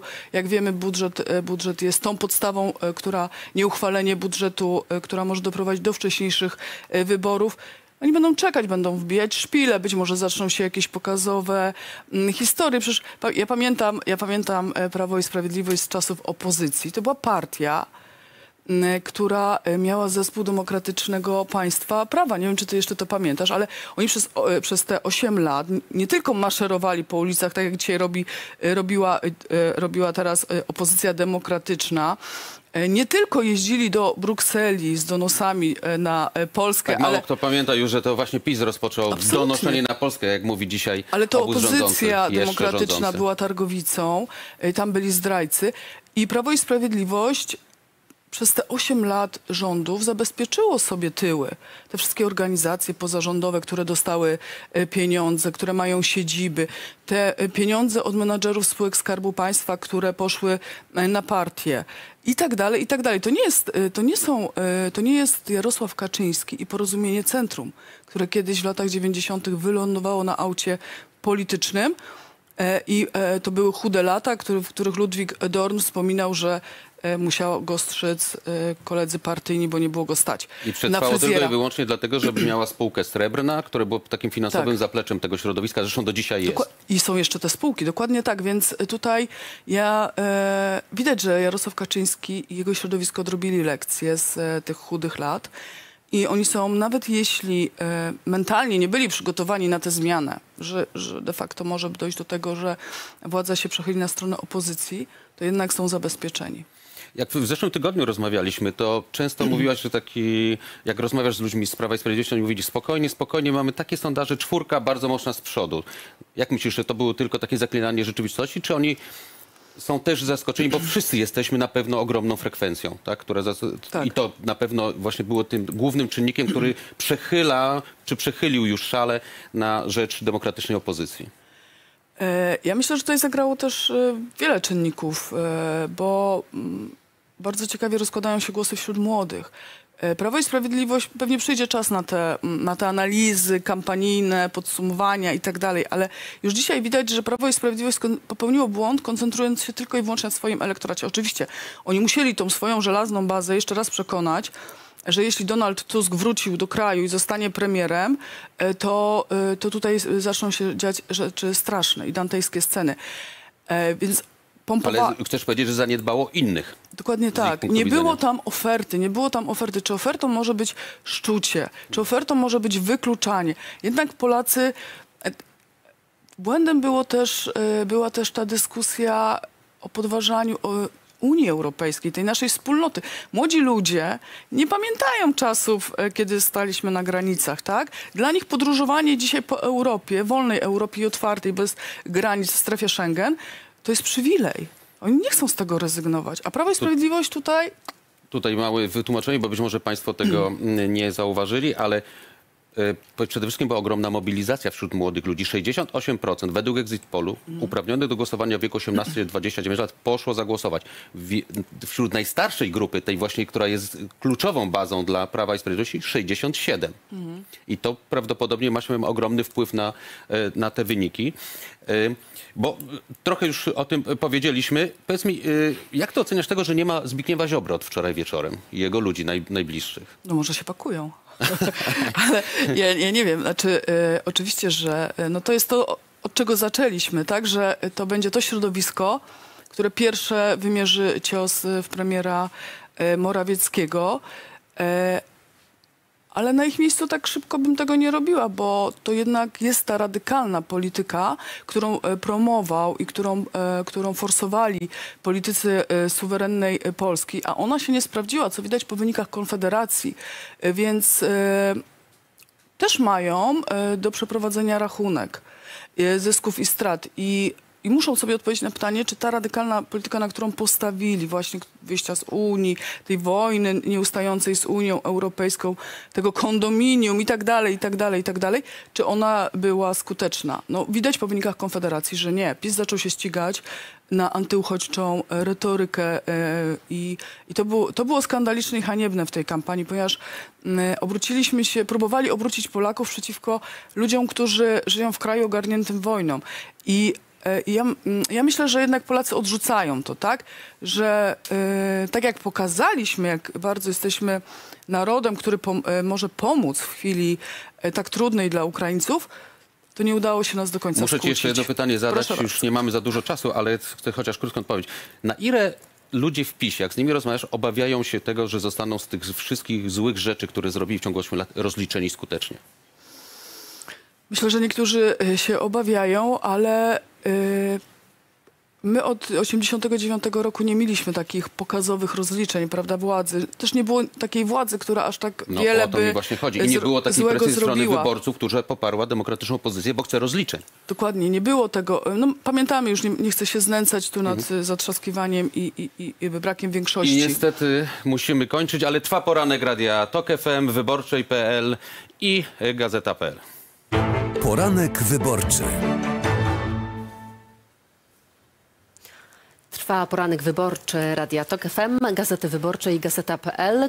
Karolina Lewicka, dzień dobry, witam Państwa. Nasz kolejny gość Tomasz Trela, Nowa Lewica. Mandat poselski pewny, panie pośle? Dzień Dla dobry pana? pani, dzień dobry państwu. No, pewny będzie, jak zobaczymy ostateczne e, wyniki z Państwowej Czyli Komisji prawdopodobnie Wyborczej. dopiero jutro Państwowa Pewnie Komisja tak, ale w Łodzi, w Łodzi są niezłe notowania dla lewicy, więc powinno być dobrze. Ale nastroje, jeżeli chodzi o Komitet Lewicowy, jak rozumiem, słodko-gorzkie. Ja nie wiem. 8,6% Na ten, na, exit poll. na ten moment tak, natomiast ja myślę, że wszystko e, przysłoniło to zwycięstwo opozycji demokratycznej, bo jednak to był główny cel. Oczywiście ja bym wolał, żeby było e, 12,6, a nie 8,6. Tak jak ale- cztery lata temu. Tak, ale jak mam do e, wyboru e, wynik sprzed czterech lat i bycie w opozycji, a wynik aktualny i bycie w koalicji rządzącej, to w ciemno biorę to, co jest teraz na stole, bo bez tych 30, prawdopodobnie 30 mandatów nie ma większości parlamentarnej i myślę, że to, co sobie założyliśmy kilka miesięcy temu, trzecia droga, Koalicja Obywatelska Lewica, wykonaliśmy. No tak, ale Państwo na tej ostatniej prostej notowali już e, wyniki dwucyfrowe. Teraz jednak wszystko wskazuje na to, że będzie to wynik jednocyfrowy, gorszy niż 4 lata temu. Wprawdzie podczas wieczoru wyborczego Włodzimierz Czarzasty odwoływał się do tej sytuacji sprzed 8 lat, kiedy Lewica w ogóle nie dostała się do parlamentu, nie dostała się na wiejską, ale tak czy owak e, nie jest to wynik, który byłby dla Państwa, jak rozumiem, satysfakcjonujący, bez względu na to, że Państwo będą tworzyć koalicję rządową. Czy zatem czekają nas w Lewicy e, rozliczenia, najpierw pokampanijne, a potem zmiana przywództwa politycznego? W Lewicy czeka nas ciężka praca i będą rozliczenia, ale tych wszystkich złoczyńców spod znaku Prawa i Sprawiedliwości. My nie będziemy mówić o żadnych rozliczeniach, bo byłbym nieodpowiedzialny i niepoważny, gdybym powiedział o rozliczeniach e, po ogłoszeniu wyniku, który daje nam współrządzenie i daje nam większość parlamentarną. Natomiast na pewno będzie trzeba wyciągać wnioski, bo to jest dość naturalne po każdej kampanii wyborczej. Tak takie jak- wnioski na pierwszy rzut oka, jakie pan wyciąga? I ja uważam, że ta końcówka y, kampanii była y, korekt, wszystko było ok. Natomiast ja dostawałem takie sygnały stojąc na ulicach y, Łodzi, rozmawiając. Wy wejdziecie, ale może trzeba trochę pomóc tej trzeciej drodze. Ja mam trochę takie poczucie, że ludzie chcieli dobrze zrobić każdemu. I trochę odpuścili lewicy, zrobili dobrze trzeciej drodze. Bo u do- państwa nie było zagrożenia tak, i- przekroczenia i progu, dobrze, tak? I dobrze, że tak zrobili, tylko że my dzisiaj jesteśmy troszeczkę taką ofiarą tego. Czyli ofiarą z jednej strony polaryzacji między Platformą a PiSem, a z drugiej a z strony, drugiej strony pomocy chęci tego. pomocy Ale jeszcze raz drodze. bardzo wyraźnie podkreślę, jakbym miał do wyboru y, wziąć y, wyższy wynik, ale na przykład stracić trzecią drogę i żeby być y, w opozycji, to biorę w ciemno to, co jest na stole, bo to 250 i myślę, że to się utrzyma albo powiększy. Te 250 mandatów daje je- jednoznaczny werdykt wyborczy y, 15 października. Jest e, siódma osiem na wszystkich zegarach w Polsce, jest bardzo wcześnie. E, Ten wieczór niedzielny wyborczy zakończył się bardzo późno, ale moje pytanie dotyczy tego, kiedy pierwsze spotkanie tych, którzy będą w przyszłości tworzyć e, rząd.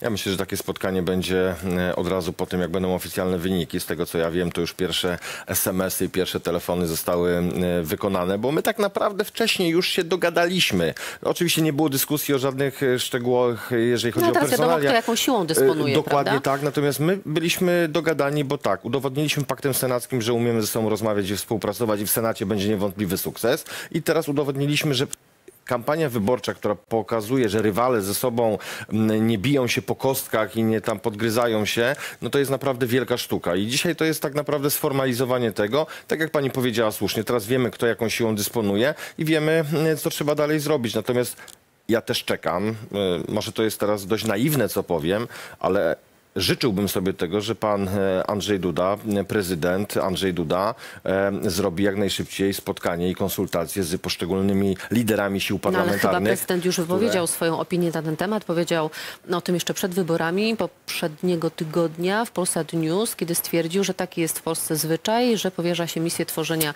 rządu liderowi zwycięskiego No tak, ugrupowania. Zwycięski jest zwy- PiS. Zwyczaj zwyczajem, ale jednak trzeba mierzyć siły na zamiary. To, że Prawo i Sprawiedliwość może wygrać te wybory, to nie znaczy, że będzie miało zdolność koalicyjną. I myślę... No na razie jej nie ma, i nawet myślę, z Konfederacją, Powołując się chcieli. na słowa mm, wczoraj pana prezydenta Aleksandra Kwaśniewskiego, który tak realnie powiedział, co prezydent powinien w takiej sytuacji zrobić, to od dzisiaj powinny pójść zaproszenia do liderów wszystkich partii, które wejdą do parlamentu i powinny odbyć się konsultacje i prezydent No na ale bazie tego... realistycznie, a nie kto jakie No, nadzieje mógłby ale- pokładać ale- panu Tak, prezydencie, ale wie pani, prawda? dlaczego o tym mówię? Dlatego o tym mówię, bo e, chciałbym, żeby od dzisiaj już była taka narracja, jak my będziemy chcieli tę władzę sprawować. Że wszystko będzie będzie właśnie konsultowane, że wszystko będzie dyskutowane, że będziemy trzymać się tych standardów, które opisuje konstytucja, która jest pewnym wyznacznikiem działań i tak byśmy chcieli sprawować tę władzę. I trzeba to mówić, że ta zmiana to nie tylko zmiana, że jedni wsiądą w si- siedzenia drugich, tylko będzie jakość inna, styl inny i generalnie będziemy no, inaczej komunikować się ze społeczeństwem i inaczej komunikować rząd, się ze sobą. panie pośle, chyba dopiero za półtora miesiąca, bo jeżeli pan prezydent będzie chciał wykorzystać maksymalnie te Mhm. terminy, które są mu dostępne, to przecież pierwsze posiedzenie Sejmu może zwołać w ciągu 30 dni od ogłoszenia wyników, czyli to będzie nawet połowa e, listopada, tak? Potem jeszcze 14 dni na stworzenie rządu w początek, pierwszym może kroku początek, konstytucyjnym. e, Nieudana próba, tak. załóżmy, Morawieckiego i dopiero potem inicjatywa przychodzi po, na stronę opozycji. Tak, tylko że jeżeli pan prezydent będzie chciał wykorzystać e, te wszystkie terminy i wszystkie kroki, wszystkie ruchy, biorąc pod uwagę arytmetykę sejmową, to wpisze się po raz kolejny bardzo jednoznacznie jako ten pomagier Jarosława Kaczyńskiego.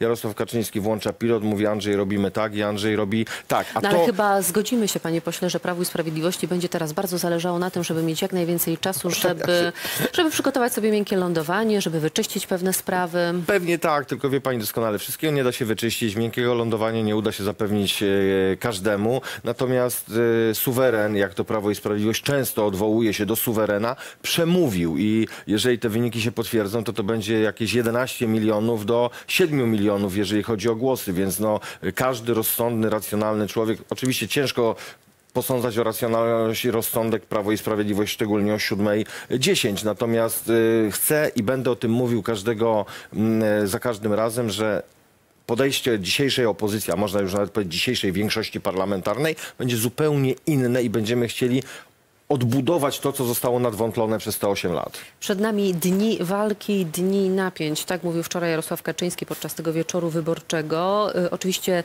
mówił także o wielkim sukcesie, naprawdę wielkim sukcesie, gdyby ktoś miał wątpliwości. Y, Czy pan y, czuje jakieś obawy związane z tymi słowami Jarosława Kaczyńskiego? Czy Prawo i Sprawiedliwość nie wygląda teraz na partię, która miałaby ochotę w jakiś niekonstytucyjny sposób zachować władzę, którą odebrali im wyborcy?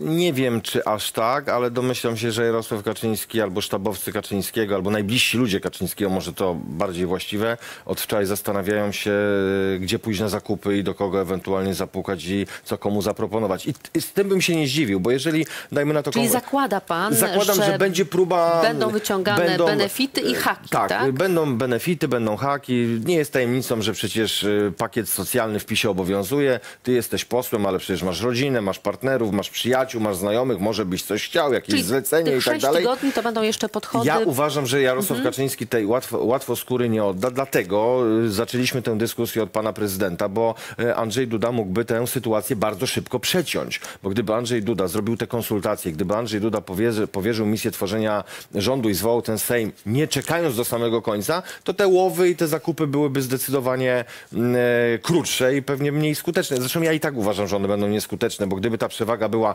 232 do 228, ale jeżeli ona jest 250 do, 200, do, do 210 i w tym 210 jest jeszcze brunatny e, Sławek w krótkich spodenkach, bo został obnażony tak wczoraj bardzo e, demonstracyjnie, że to jednak krótkie Mieliśmy spodenki. wywrócić stolik, ale się nie udało, mówił Sławomir Mencen. Bo, bo jak się wie pani, za dużo piwa wypije, to się o ten stolik potknął chłopak i padł po prostu. No taki, taki niestety jest e, efekt, stety dla mnie oczywiście pana Mencena, bo mam wrażenie, że Lewica też dołożyła dużą cegiełkę do tego, żeby ta konfederacja została obnażona i odarta z tego programu, tego te, To jeszcze o premiera jakości. Morawieckiego zapytam, bo nagle premier Morawiecki uznał, że Prawo i Sprawiedliwość jest gotowe rozmawiać z każdym i że będzie chciało rozmawiać z PSL-em, z trzecią drogą o takiej koalicji, bo ona byłaby oczywiście, jeżeli chodzi o arytmetykę, możliwa. Oczywiście Władysław Kośniak, Kamil Szymon Hołownia odcinają się od takiego pomysłu. Jak rozumiem, opozycja będzie stała z rękoma założonymi do tyłu, kiedy Prawo i Sprawiedliwość będzie do was tę rękę wyciągało, To tak? znaczy, y, znaczy, jeżeli chodzi o lewicę, to w ogóle nie ma żadnego sporu i to jest kwestia oczywista. Myślę, że o koalicję obywatelską też. Nie wyobrażam sobie w ogóle, żeby ktokolwiek pomyślał w trzeciej drodze. Nie wiem, kto tam jeszcze z tej trzeciej drogi, nie mówię o stronie PSL-u, tylko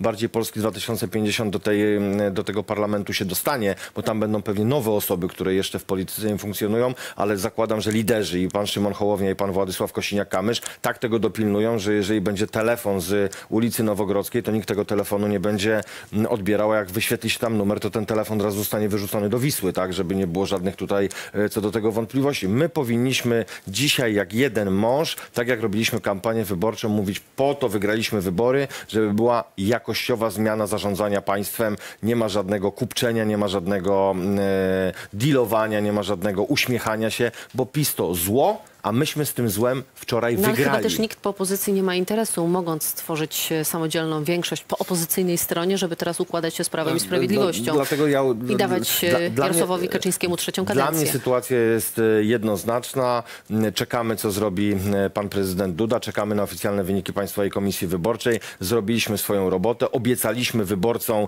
którzy, którym PiS się nie podoba, że wygramy wybory. Wygraliśmy te wybory. Pokazaliśmy, że mimo tego, że nie ma jednej listy, były trzy komitety, umiemy ze sobą współpracować I tu i to jest kropka. najważniejsze. Tomasz Trela, Nowa Lewica. Bardzo dziękuję panie Dziękuję pośle. bardzo. Trwa poranek wyborczy. Radio TOG FM, Gazety Wyborcze i Gazeta.pl. Zostańcie państwo z nami. Teraz informacja. Poranek wyborczy.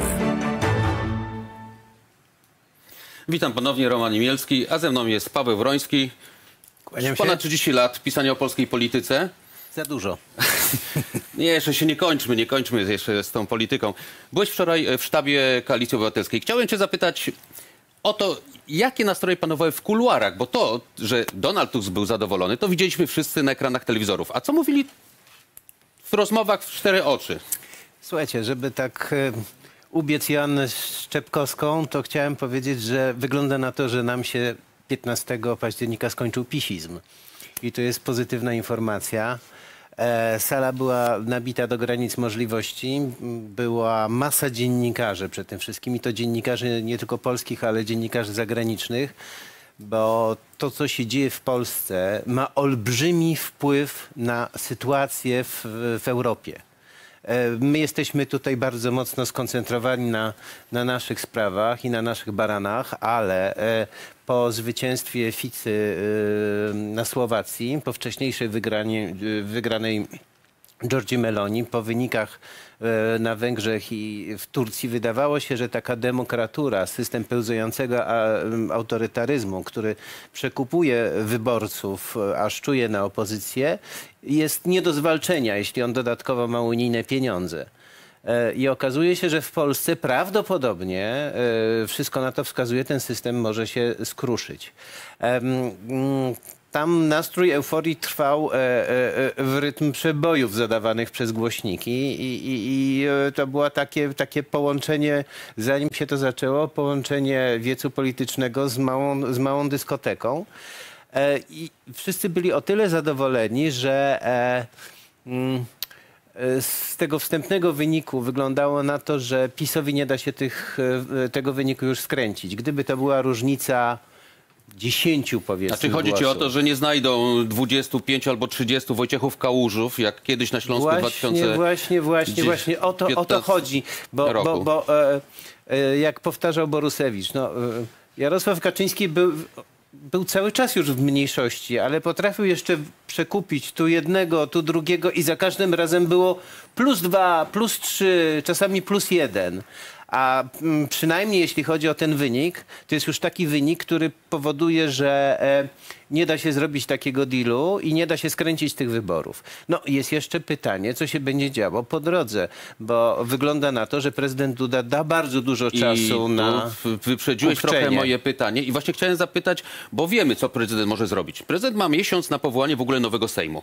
Mhm. Później powierzy komuś jeszcze y, misję tworzenia 14 rządu dni. i 14 dni ta osoba będzie miała na to, żeby kupczyć, próbować kombinować. No, żeby opozycję. stworzyć gabinet i Tak. uzyskać wotum I zaufania. dopiero później jest ten drugi krok, kiedy rzeczywiście Sejmowy. większość sejmowa przejmuje inicjatywę. Ale co do tego czasu powinna zrobić opozycja? Ona ma siedzieć za, z założonymi rękoma, czy ma na przykład dzisiaj wyjść i powiedzieć Wszyscy liderzy spotykają się dzisiaj publicznie, mówią tak, tworzymy rząd, y, naszym kandydatem jest, nie wiem, Donald Tusk. Nie, myślę, że opozycja przede wszystkim teraz powinna pilnować wyników wyborów, powinna e, siedzieć w komisjach wyborczych, powinna siedzieć przy PKW i patrzeć, jaki będzie wynik ostateczny. I to jest jej psi obowiązek, bo masa ludzi pracuje nad tym i tym ludziom się należy również szacunek, ale warto, żeby swoją pracę wykonali do końca.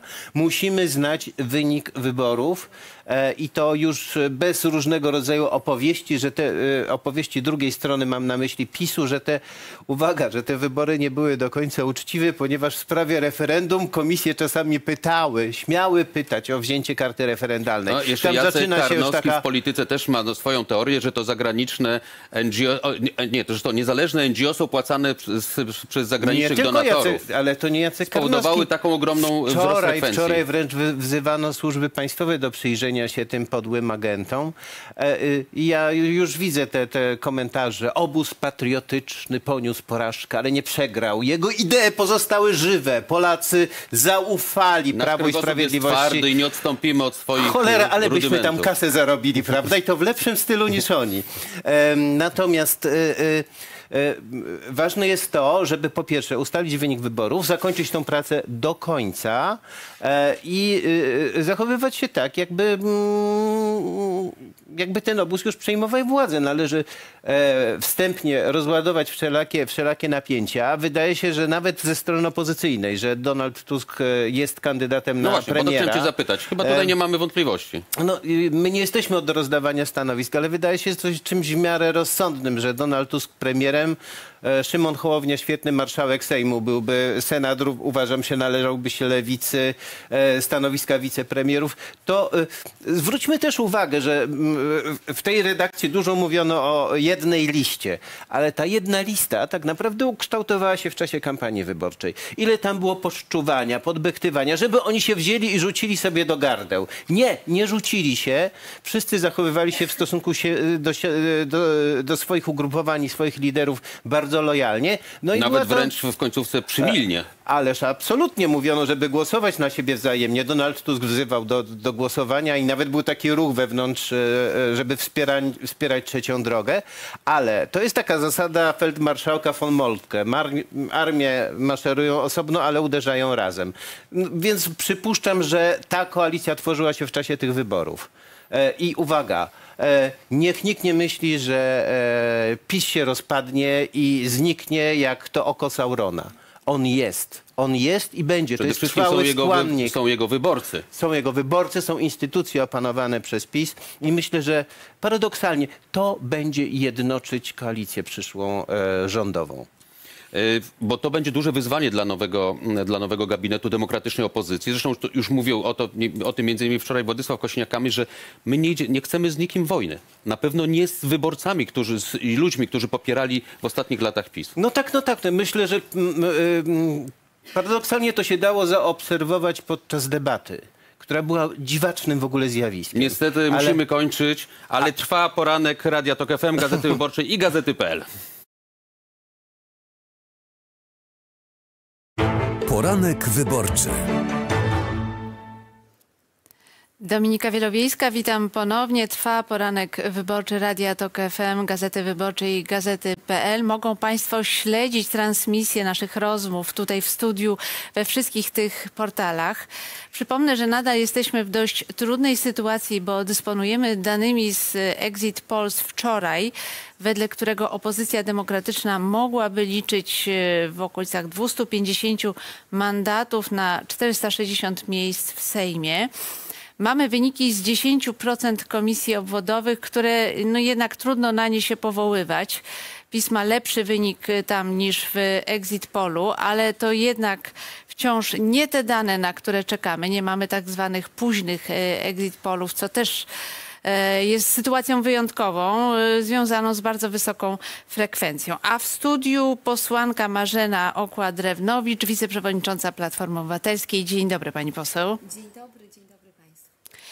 Czy y, opozycja demokratyczna wskaże jako kandydata na premiera, jako całość włącznie z trzecią drogą i lewicą, wskaże na kandydata na premiera Donalda Tuska?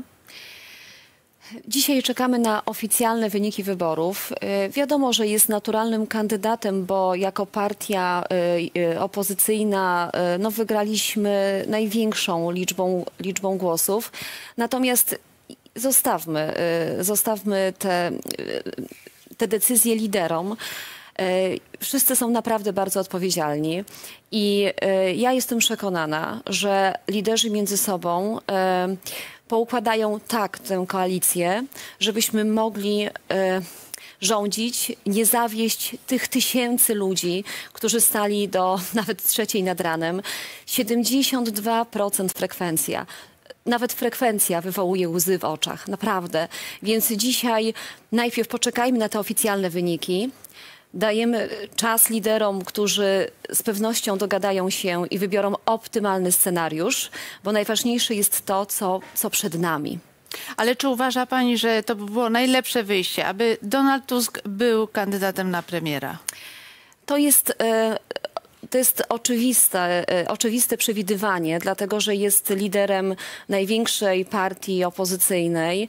E, Mieliśmy, będziemy mieć największą liczbę głosów, natomiast e, tu nie o funkcję chodzi w tym momencie jeszcze. No jednak funkcje na tym etapie też są ważne e, i też oczywiście się pojawia pytanie, czy w tym e, układzie dyskusji wewnątrz opozycji demokratycznej na przykład stanowisko marszałka Sejmu przypadnie trzeciej drodze, na przykład Szymonowi Hołowni albo Władysławowi Kosiniakowi-Kamyszowi.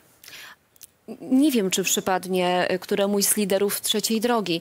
Naprawdę, to, kto będzie premierem, kto będzie marszałkiem, y, to te, te rozmowy dopiero są przed nami. I to jest y, odpowiedzialność liderów i to jest między nimi decyzja, która będzie podjęta.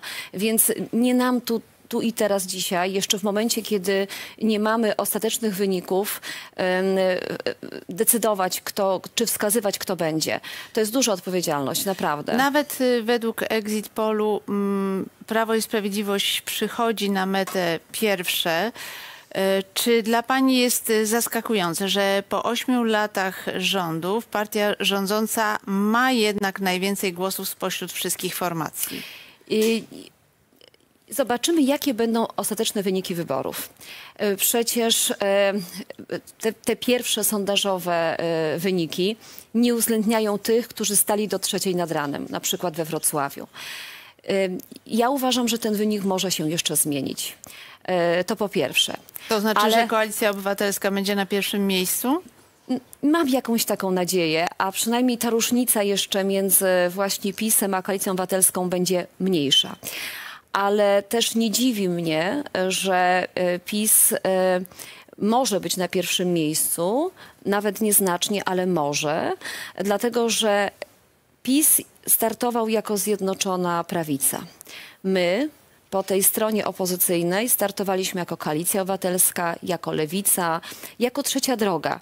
I ważny jest oczywiście ten wynik sumaryczny nas, wszystkich partii opozycyjnych, który daje nam zwycięstwo. To jest oczywiście najważniejsze, ale y, nas było kilka partii y, po tej stronie, a PiS był jeden. A nie ma Pani żadnych wątpliwości, że mm, PSL w szczególności Trzecia Droga generalnie siądzie do stołu właśnie z y, Koalicją Obywatelską i z Lewicą, no bo PiS sufluje, że chciałby jednak podjąć rozmowy z PSL-em o wspólnej koalicji. Nie wierzę w to. Znaczy, wierzę w to, że wszyscy liderzy partii opozycyjnych mają dzisiaj świadomość, że wygraliśmy też wszyscy razem dlatego, że społeczeństwo, młodzi ludzie wzięli sprawy w swoje ręce i zaufali nam właśnie dlatego, że pogonimy PiS, że będziemy wolnym, bezpiecznym, demokratycznym krajem.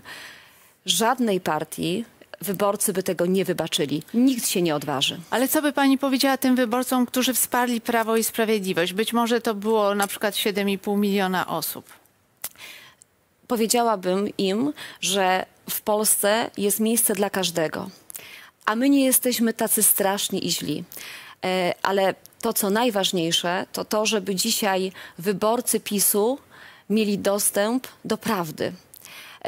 Oni przez lata e, byli, e, byli zaszczepiani e, tylko złymi informacjami o nas, o opozycji, że jesteśmy, e, szczególnie Donald Tusk, Niemiec, złodziej, że będzie, e, że, że, że my nie działamy na, na korzyść Polski, jest, że jest inaczej i trzeba tym ludziom otworzyć oczy. Oni nie wiedzą o tym, jak oni kradli ze spółek Skarbu Państwa.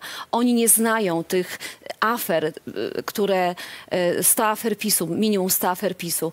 Wyborcy PiSu o tym nie wiedzą. Czego Pani oczekuje od prezydenta Andrzeja Dudy? No bo jednak mówi się, że prawdopodobnie wskaże w pierwszym kroku kandydata z Prawa i Sprawiedliwości? E, oczekuję od niego uszanowania woli wyborców. Wyborcy zdecydowali o tym, żeby PiS odsunąć od władzy i żeby e, partie opozycyjne e, przejęły stery rządu w Polsce. Tego oczekuję od prezydenta. Czyli pani spodziewa się, że prezydent Andrzej Duda po konsultacjach z liderami frakcji parlamentarnych y, zobaczy, że ta większość może być wykreowana przez opozycję demokratyczną i zgłosi Donalda Tuska jako kandydata na premiera. Tak, ja tego oczekuję. Ja, y, ja tego oczekuję oczywiście od prezydenta. Myślę, że przede wszystkim oczekują tego, y, Polacy oczekują tego. To jest najważniejsze. No, prezydent może powiedzieć, skoro Prawo i Sprawiedliwość, o ile te wyniki się potwierdzą, jest na pierwszym miejscu, no to jednak PiSowi da najpierw szansę. Wie pani, nie wykluczam tego, bo już nieraz y, pokazywał, będąc prezydentem, że tak naprawdę jest funkcjonariuszem PiSu, więc nie wykluczam oczywiście takiego scenariusza. Natomiast e, nawet jak spróbuję tak zrobić, to nasza siła jest ogromna. To, to nie jest siła partii opozycyjnych w sensie członków, działaczy, liderów. To jest siła ludzi, naprawdę. Ludzie wygrali te wybory. Pani poseł, jak pani ocenia przygotowanie administracji Państwowej Komisji Wyborczej do tych wyborów? No była nieprzygotowana. Te dowożone urny, e, karty, to, że do trzeciej nad ranem ludzie stali. E, więc to pokazuje, że no, nie, nie, ich wyobraźnia e, nie sięgała rzeczywistości. E, faktem jest, że ta rzeczywistość przerosła wyobraźnię, mogła przerosnąć wyobraźnię, ale nie aż tak. E, nikt się nie spodziewał aż tak dużej frekwencji. Natomiast no, wiemy, że komisje liczą jeszcze cały czas głosy. I będą jeszcze liczyć. Chciałam zapytać y, o wyniki w okręgu świętokrzyskim, w którym pani startowała. Rozumiem, że zdobyła pani mandat, raczej jest to pewne. Jest to, e, no, jest to logiczne z uwagi na to, że byłam jedynką i ta liczba głosów e, na pewno jest, e, jest, może być największa na tej liście naszej. I, ale ja w tym momencie pozwolę sobie podziękować e, wszystkim wyborcom w regionie świętokrzyskim, którzy oddali głos na mnie, na Koalicję Obywatelską. Ale też I dziękuję, dziękuję również pani tym, którzy głosowali na Romana Giertycha, E, Wszystkim rozumiem. dziękuję, naprawdę, ale również dziękuję tym, którzy specjalnie z innych regionów Polski przyjechali do regionu świętokrzyskiego, żeby ta świętokrzyska baba, uśmiecham się, pokonała Kaczyńskiego, więc naprawdę Pani poseł, ale jak dzięki. pani sądzi? I przypomnijmy, ile mandatów y, Koalicja Obywatelska miała w poprzednich wyborach, Tak. a na ile mandatów teraz liczy? W poprzednich wyborach mieliśmy trzy mandaty, PiS miał aż dziesięć. No teraz te trzy wydają się oczywiste. E, Mówiliśmy, że mówiłam, że, że walczymy o czwarty mandat. Uważam, że ten czwarty jest bardzo realny teraz, ale poczekajmy. E, Nasz okręg jest Dlaczego jest taki specyficzny? Ano dlatego, że tam jest 102 gminy i tylko 5 gmin to są gminy miejskie. A więc gminy, w których my naturalnie powinniśmy wygrać, e, czy też mamy tam naturalnie swój elektorat. E, Aż 97 gmin to gminy albo wiejskie, albo miejsko-wiejskie, więc nam jest dlatego trudniej. Ale muszę powiedzieć, że determinacja i wsparcie ludzi i aktywność ich w kampanii, mieszkańców regionu No, ale świętokrzyskiego Jarosław była Kaczyński wyjątkowo będzie duża. pewnie miał dobry wynik. Na to pewno. lider Zjednoczonej Prawicy. E, Na pewno. Czy u nas jedynki w poprzednich wyborach miały w granicach 30 paru tysięcy głosów. Ja też kiedyś byłam jedynką i też miałam 30 parę tysięcy głosów. Najwięcej em, miał głosów Grzegorz Schetyna, ponieważ stamtąd też startował i też miał jedynkę, miał ponad 40 tysięcy głosów. Czy ja będę miała więcej?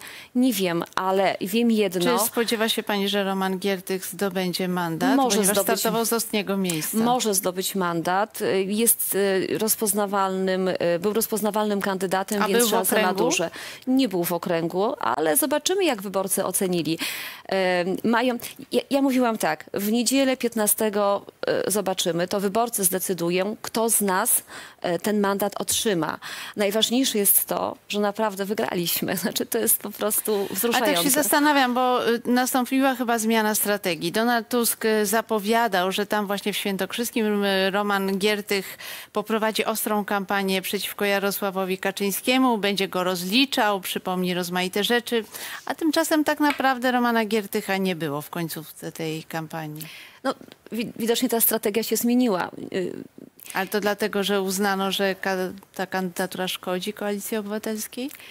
E, Wie pani, każdy e, z nas ma swoich wyborców. E, I jeśli Roman Giertych zdobędzie ten mandat, to znaczy, że było zapotrzebowanie na jego obecność na listę i nie ma co oceniać. Ja wiem... Nie, chodzi mi o to, że Mhm. nie było tej zapowiedzi, znaczy nie było tej y, realizacji tej zapowiedzi, że ta kampania Ciężko mi powiedzieć, przeciwko. jaka była strategia i czy została zmieniona. Ja wiem jedno, że Roman Giertych, że ludzie pytali też o Romana Giertycha, że pytali o jego banery, też oddawali, wiem, na niego głosy, bo mam informacje z poszczególnych komisji. Więc każdy głos wniesiony na Musimy listę kończyć. to jest e, krok do zwycięstwa e, Marzena- demokracji i wolności. Co Marzena dziękuję. Okład-Drewnowicz, Koalicja Obywatelska. Trwa poranek wyborczy Radia Tok FM, Gazety.pl i Gazety Wyborczej. I ja zapraszam Państwa na informacje Radia Tok FM. Poranek wyborczy.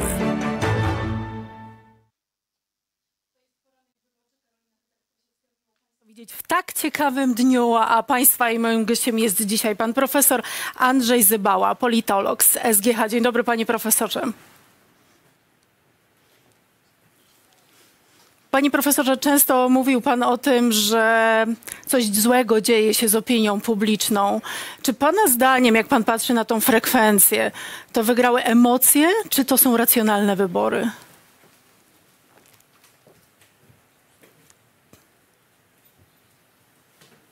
Panie profesorze, panie profesorze, mam nadzieję, że, że wrócimy już za chwilkę do pana, bo rzeczywiście to jest taki poranek pełen emocji, drodzy państwo.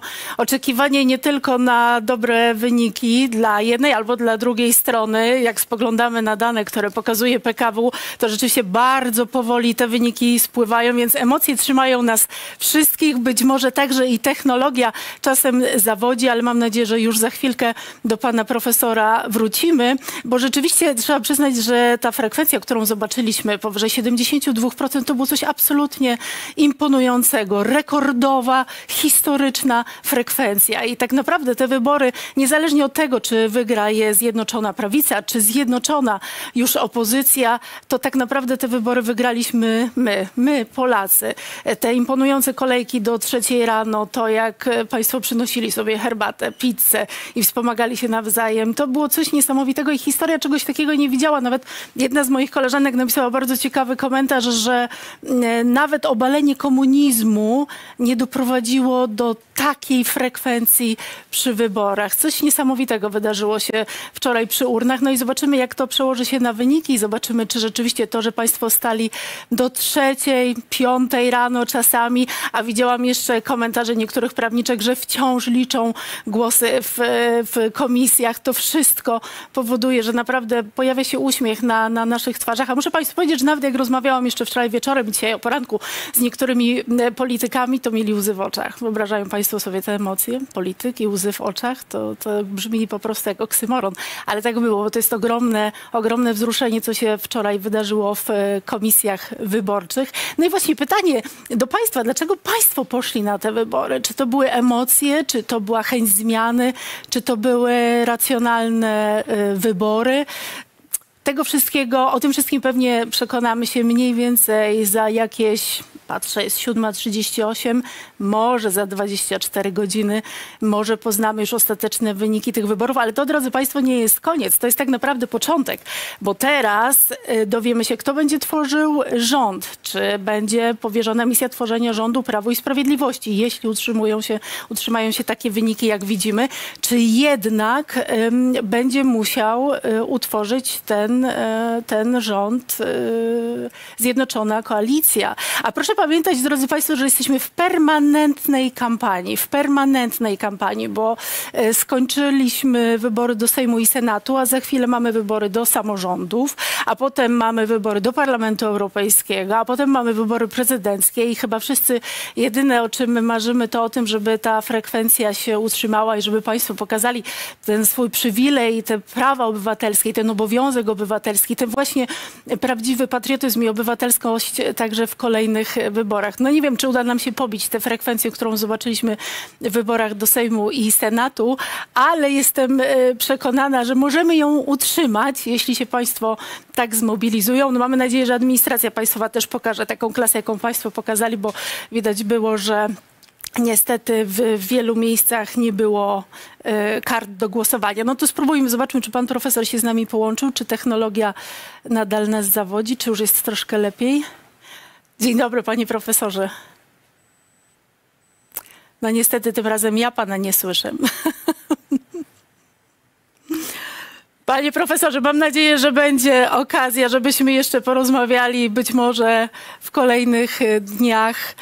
No cóż, drodzy Państwo, czasami tak, e, tak bywa, a pytań pojawia się obecnie znacznie więcej e, niż, e, niż odpowiedzi, bo, bo duży znak zapytania pojawia się po tych wyborach, zarówno jeśli chodzi o kształtowanie rządu, tak jak Państwu powiedziałam, ale to jest także kwestia stosunków z Unią Europejską, to jest kwestia też oczywiście tego, co, jaki program będzie realizowany w kolejnych miesiącach. No i te 73 blisko procent imponujące y, i to jest, no, to jest, to jest państwa sukces, nasz sukces, nasz, nas wszystkich sukces. Także drodzy Państwo, taki mamy dzisiaj poranek. Dawno już nie było takiego poranka w, w porannej rozmowie, żeby było tyle emocji, żeby było tyle nowych danych i tyle oczekiwań, bo z tego co kojarzę, to late poll jeszcze nie poznaliśmy. E, widać, że te dane cały czas spływają z komisji. Ja myślę, że frekwencja zaskoczyła wszystkich i nie tylko dlatego, że zabrakło e, kart, ale i także członków komisji wyborczych, którzy nie spodziewali się pewnie, że do bladego świtu będą musieli liczyć głosy. Wszyscy spodziewaliśmy się tego, że koło pierwszej, drugiej w nocy mniej więcej wszystko było jasne, a jak ja sobie spoglądam i odświeżę, mogą Państwo zresztą spoglądać też na strony PKW, bo tam spływają wyniki ze wszystkich okręgów e, wyborczych i jak sobie spoglądam e, na bieżąco na te wyniki, to proszę mi wierzyć, że tam jest roller coaster absolutny. E, szale, te, te niższe partie, które zajmują trzecie, czwarte, piąte miejsce, mniej więcej ta walka jest na tym samym poziomie, natomiast absolutnie Platforma Obywatelska i Prawo i Sprawiedliwość biją się o pozycję lidera. Poranek wyborczy. Czwarte zwycięstwo w dziejach naszej partii. Czwarte zwycięstwo.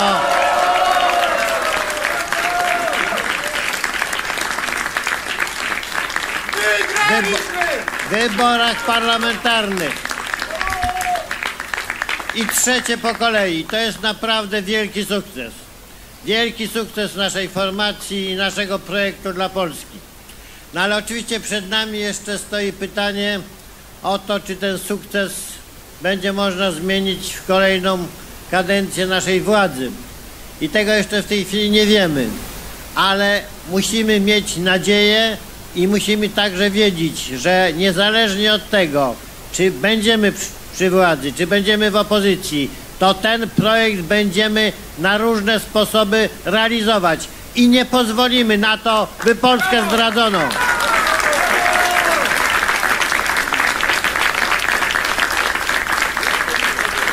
Nie pozwolimy na to, by Polska utraciła to, co jest najcenniejsze w dziejach naszego narodu, najcenniejsze ze względu na jego doświadczenia, to znaczy niepodległość, prawo do decydowania o własnym losie.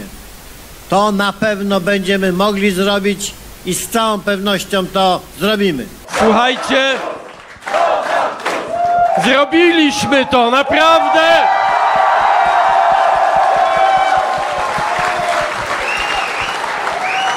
Ja wiem, że nasze marzenia może były jeszcze ambitniejsze, ale powiem wam, jestem od wielu lat politykiem, jestem sportowcem. Nigdy w życiu nie byłem tak szczęśliwy z tego niby drugiego miejsca. Wygrała Polska, wygrała demokracja. Odsunęliśmy ich od władzy.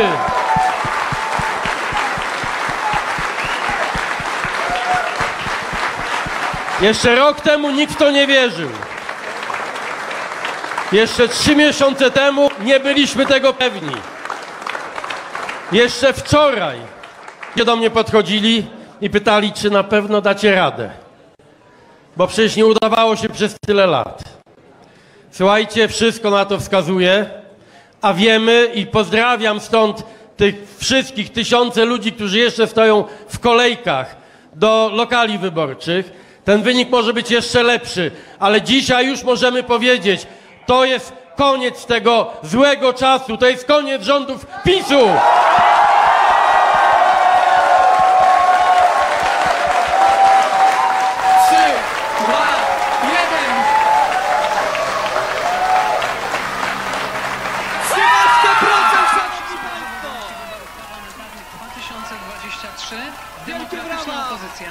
Szansę na przejęcie władzy. Dziękujemy, dziękujemy Polsko, dziękujemy bardzo.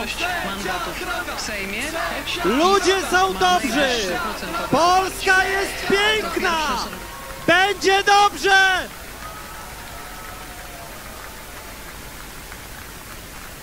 Jesteście niesamowici. E,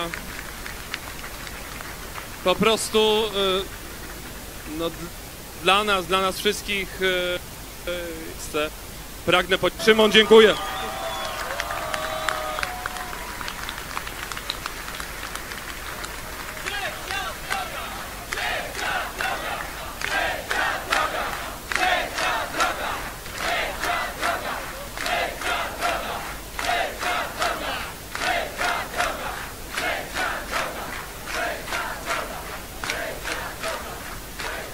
Trzecia droga chciała i wiele na to wskazuje, że będzie kotwicą demokracji przez następne lata w Polsce. Udało nam się zrobić coś, co do tej pory wydawało się być w polskiej polityce niemożliwe. Współpracę. Czy my mamy mikrofony włączone? Nie wiem.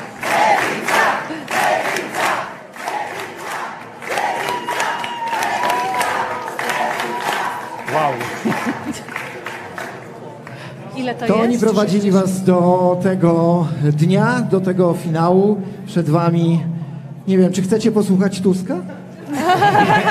Włodku, Włodku, A czas na ciebie. spisie? Włodku, czas na ciebie. Proszę Państwa, Mogę.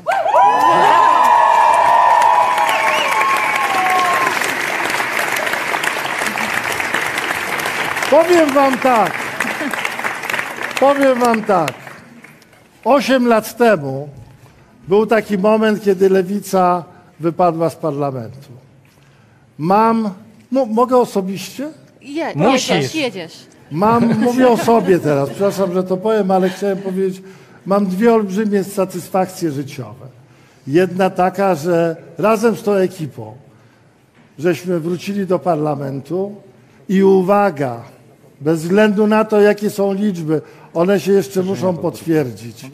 Po 18 latach lewica wraca do współrządzenia. Wiecie, co to znaczy? ale nie ma co ukrywać, że wiele się nie zmienią i że ponieśliśmy porażkę. Mieliśmy wywrócić ten stolik i wszystko wskazuje na to, że się nie udało. Toczyliśmy nierówną walkę przeciwko wszystkim, przeciwko PiSowi i Platformie, przeciwko TVN-owi i TVP. Zresztą oni nam z nami również walczyli. No i wygląda na to, że przegraliśmy. Na początku wyglądało, że nie musi być tak źle. Jeszcze w marcu strzeliliśmy im gola na 1-0, w czerwcu poprawiliśmy na 2-0 i wydawało się, że jesteśmy blisko tego naprawdę historycznego wyniku. Niestety potem strzelili nam na 2-1, a w ostatnich chwilach na 2 do 3. I teraz muszę powiedzieć, że już doskonale wiem, jak czuli się piłkarze Bayernu Monachium, kiedy w 1999 roku w ostatnich minutach stracili Ligę Mistrzów, przegrywając z Manchesterem United. Mieliśmy stolik wywrócić, on dalej stoi, w pewnym momencie zaczął się troszeczkę chwiać, ale stoi i dalej siedzą przy nim PiS, Platforma, Lewica oraz PSL. To nie jest porażka naszej idei, ta jest niezmienna, słuszna, jestem przekonany, że kiedyś na pewno wygra. To nie jest też porażka naszych diagnoz, czy też naszych proponowanych rozwiązań. Czas już tyle razy pokazał, że mieliśmy rację. To jest nasza porażka, to jest nasza kolejna przegrana bitwa w tej jeszcze myślę wiele lat trwającej wojnie o dumną i bogatą Polskę.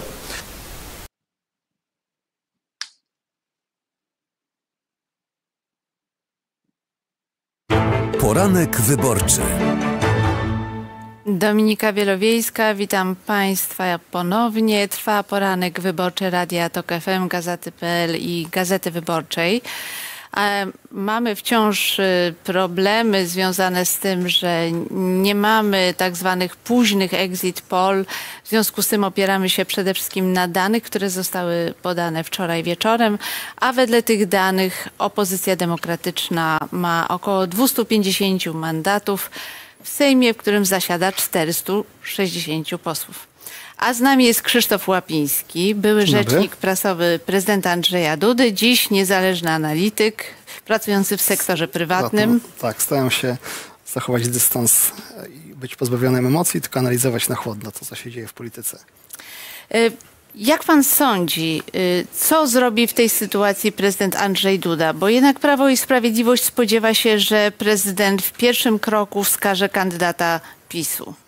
Poczekajmy też na, nie tyle na late pole, nawet na ostateczne wyniki wyborów. One ciut mogą się różnić od tych exit poli. Nie sądzę, żeby jakoś mocno, e, ale jednak trzeba, trzeba poczekać. Ja myślę, że e, no i oczekiwanie jest takie, wczoraj też słyszeliśmy to na wieczorze wyborczym Prawa i Sprawiedliwości, że e, skoro to jest ugrupowanie, które zdobyło najwięcej mandatów czy najwięcej e, głosów, e, no to, e, to prezydent da szansę e, formowania rządu. Czy, czy, ta, czy, czy, czy się uda, to już jest inna rzecz, ale e, przewiduję jednak, że w pierwszym kroku tym tak, tak zwanym pierwszym kroku konstytucyjnym prezydent powierzy, e, powierzy misję tworzenia rządu politykowi Prawa i Sprawiedliwości, y- tłumacząc to, że właśnie e, taka, Mhm. jest, taka jest trochę tradycja, że ugrupowanie zwycięskie Jest ma najpierw tradycja. szansę. No właśnie, wyjaśnijmy, że to jest tradycja, Dokładnie. natomiast prezydent ma pełną swobodę. Prawo nie obliguje go do wskazania kandydatów najsilniejszej Pełna, partii. pełna zgoda, natomiast też pamiętajmy, że konstytucja przewiduje e, później też inne działania, jeśli e, to ugrupowanie, które wskaże pan prezydent e, e, jako pierwsze do tworzenia rządu nie uzyska jej kandydat e, kandydat tego ugrupowania nie uzyska wotum zaufania w Sejmie, no to później, e, później partie, które e, będą miały większość, czy mają większość, mogą e, w drugim kroku utworzyć rząd. Więc no, tu- tutaj konstytucja przewiduje e, różnego rodzaju możliwości. E, oczywiście to, to pewnie wydłuży proces e, tworzenia rządu o kilka tygodni, no bo kolejne kroki to kolejne dwa tygodnie, dwa tygodnie, to się przedłuża, ale ja bym, e, nie, nie mam pewności oczywiście, bo, bo Wiedzy nie mam, ale, ale skłaniam się ku temu, że e, misję tworzenia rządu uzyska e, kandydat Prawa i Sprawiedliwości właśnie jako tego ugrupowania, które wygrało. Czy ten rząd się uda stworzyć, to już jest inna rzecz, no bo arytmetyka, chcia- arytmetyka pana- parlamentarna będzie taka, a nie inna. Chciałam zapytać pana o prognozę, y, bo wielu komentatorów mówi, prezydent Andrzej Duda będzie wiernym żołnierzem Prawa i Sprawiedliwości i jednak będzie blokował rząd opozycji demokratycznej niemal w każdej sprawie, ale są i tacy, którzy twierdzą, że prezydent y, będzie współpracował z taką większością, że nie można zakładać, że tutaj będzie taka całkowita blokada. No, ja bym zakładał, że całkowitej blokady nie będzie, no ale e, pamiętajmy, że to jeśli e, będzie taki e, podział władzy wykonawczej, czyli prezydent z, który pochodzi z jednego ugrupowania, a większość rządowa e, z dzisiejszych e, partii opozycyjnych, no to jednak te programy często się różniły do tej pory. Przecież wiemy, że prezydent też szedł do wyborów ze swoim programem i e, ileś e, rzeczy, które zostały zrealizowane w poprzednich kadencjach, prezydent się Rozumiem, jeśli zgadzał. chodzi o sprawy więc- programowe, to nie mam wątpliwości, ale proszę spojrzeć na przykład na sprawę telewizji rządowej. No to nie jest kwestia programu, to jest kwestia standardów. Zresztą prezydent Duda kiedyś No to sam też- chciał wymienić władzę tej To też będzie telewizji. zależało też od ogólnej atmosfery, na ile na przykład, e, e, jeśli tak jak mówię, powstanie rząd dzisiejszej opozycji, na ile ten rząd będzie e, no, w takim kursie kolizyjnym z prezydentem, na ile będzie zgłaszał ustawy, które w jakiś sposób odwracają e, to, co wydarzyło się w ostatnich latach. No, pamiętajmy, że to, że wchodzi, że e, być może, czy praktycznie to, to jest bardzo prawdopodobne, czeka nas tak zwany okres koabitacji prezydent z jednej opcji, większość rządowa z drugiej. No, wszystko na to wskazuje, że, że e, nawet e, ugrupowania opozycyjne, jeśli, jeśli utworzą rząd, to one nie będą miały możliwości odrzucenia prezydenckiego weta. Więc to też prezydent będzie miał mocne narzędzia do tego, żeby e, tam, gdzie, gdzie będzie uważał, że no, nowy, nowy rząd jakoś wywraca, czy odwraca reformy, czy, czy sprawy, które on, za którymi on stał, które on podpisał, którymi on się zgadza, no, no to należy pewnie się spodziewać, że będzie to wetował, więc nie twierdzę, że to będzie jakaś totalna... Ale stoi, e, stoimy to będzie przed zależało od problemem dwóch od, odblokowania pieniędzy z kwestie, KPO kwestie jakieś przykład. europejskie, kwestie bezpieczeństwa międzynarodowego czy inne będą Będą to do gadania, no ale pamiętajmy, że tu będzie, że wszystko na to wskazuje, czy jest duże prawdopodobieństwo, że e, e, jedna noga władzy wykonawczej będzie, e, będzie składała się z ugrupowań opozycyjnych, a druga z prezydenta, no, który jednak wodzi się z obozu Prawa i Sprawiedliwości, więc też no, nie oczekujmy tego, że, że za prezydent zapomni skąd, skąd się wodzi, czy jaki, z jakim programem szedł do wyborów. Ale pytanie jest takie, czy prezydent będzie otwarty na takie propozycje, aby wypracować jakiś kompromis odblokowujący pieniądze z Krajowego Do, Planu do tanka Odbudowy? trzeba dwojga. Więc też pytanie z, z jaką agendą polityczną, czy, czy z jaką atmosferą, czy w jakiej atmosferze e, po- powstanie ten rząd i, i po drugiej stronie, czy, czy też będzie e, chęć współpracy, no czy będzie jednak na zasadzie takiej, że prezydent jest z innej opcji, to, to idziemy na zdarzenie. No tego nie wiemy. To musi być tak, że z jednej strony i prezydent e, będzie musiał, e, znaczy czy prezydent będzie chciał współpracy Zaraz- i czy druga strona będzie chciała współpracy. To, e, to, to, to nie jest tak, że tylko jedna, jedna strona Z nami jest- musi być e, koncyliacyjna, druga mo, może być Z nami e, jest. Krzysztof Łapiński, były rzecznik prasowy prezydenta Dudy. Trwa poranek wyborczy Radia Tok FM, Gazety.pl, Gazety Wyborczej. Poranek wyborczy. Kontynuujemy naszą rozmowę. Krzysztof Łapiński jest e, z nami. E, Pytanie też jest takie o otoczenie prezydenta Andrzeja Dudy. No bo jednak tam postacią, którą się uważa za bardzo znaczącą, to jest Marcin Mastalerek. I on zawsze był dosyć konfrontacyj- konfrontacyjnie e, Jest- nastawiony do jest doradcą spo, opozycji. społecznym prezydenta, na pewno bliski współpracownik prezydenta. E, Ale nie- może nie- nie zostać wiem. szefem gabinetu. E, to, no, to jest tak, że w kancelarii też mogą dojść, e, dojść, e, do- dojść do pewnych zmian, e, bo kandydowało dwóch ministrów, jeśli dobrze pamiętam. No właśnie, pewnie Paweł zagranicznych, Szrot, y, e, zdobył gabinetu, mandat. I z dużymi szansami na mandat, więc być może okaże się za chwilę dzisiaj dzisiaj po południu czy wieczorem, że dwóch ministrów zostało posłami, więc też trzeba będzie e, inaczej ustawić kancelarię. E, Maciej Mastek, o którym e, pani mówi, jest e, bliskim współpracownikiem prezydenta, doradcą społecznym. E, też chodziły różne tak, pogłoski czy plotki, że, że wejdzie do kancelarii, ale póki to się nie, sta, nie stało czy nie stanie, no to na razie obracamy się w sferze przypuszczeń. Nie, nie wiem, jaka, e, ja- jak prezydent e, e, będzie chciał ułożyć sobie współpracę z rządem. Czy, czy, będzie to bardziej na zasadzie takiej, że, że, że będzie, na, znaczy na pewno będzie pilnował tych spraw, na których mu zależało w poprzednich kadencjach i pod którymi się podpisywał i, i, i tutaj pewnie przestrzeń do tego, żeby, żeby się z pewnych rzeczy wycofać jest niewielka. Widzę tutaj nasi wydawcy napisali mi o wynikach late poll, czyli nadal jest to sondaż Ipsosu, m, bo No coś więcej niż sondaż, bo jednak Tak, ale nie ma- na, na, ludziach, którzy wyszli z lokalu, czyli zagłosowali. tak, nie ma, nie ma zbyt dużych różnic tutaj. Prawo i Sprawiedliwość 36,6%, Platforma, czyli Koalicja Obywatelska 31%, Trzecia Droga 13,5%, Lewica 8,6% i Konfederacja 6,4%, czyli ta nie, nie, niewielki spadek Prawa i Sprawiedliwości. Te- Te wyniki jakoś nie zaskakują, bo e, znaczy w większości nie zaskakują partii, bo jeśli spojrzymy na te wyniki Koalicji Obywatelskiej i PiSu, to one są podobne do ostatnich sondaży przedwyborczych. E, jakoś nie odbiegają. No, odbiegają dwie partie. Na, na, na plus odbie, odbiega trzecia droga, e, no, która jeszcze kilka tygodni temu balansowała czasami nad progiem, czasami pod, więc ten wynik jest tutaj imponujący. No i Konfederacja, która w drugą stronę poszła. No, pamiętamy takie sondaże jeszcze sprzed kilkunastu dni, gdzie ten wynik był dwucyfrowy i to taki mocno dwucyfrowy, po 12%. E, No spadek jest, e, znaczy spadek, wynik jest dużo, e, dużo niższy niż pewnie oczekiwania.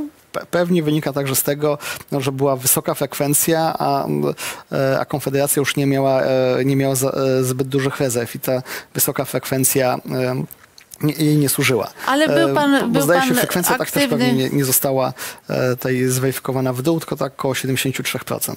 Był pan aktywny w kampanii wyborczej sprzed ośmiu lat także.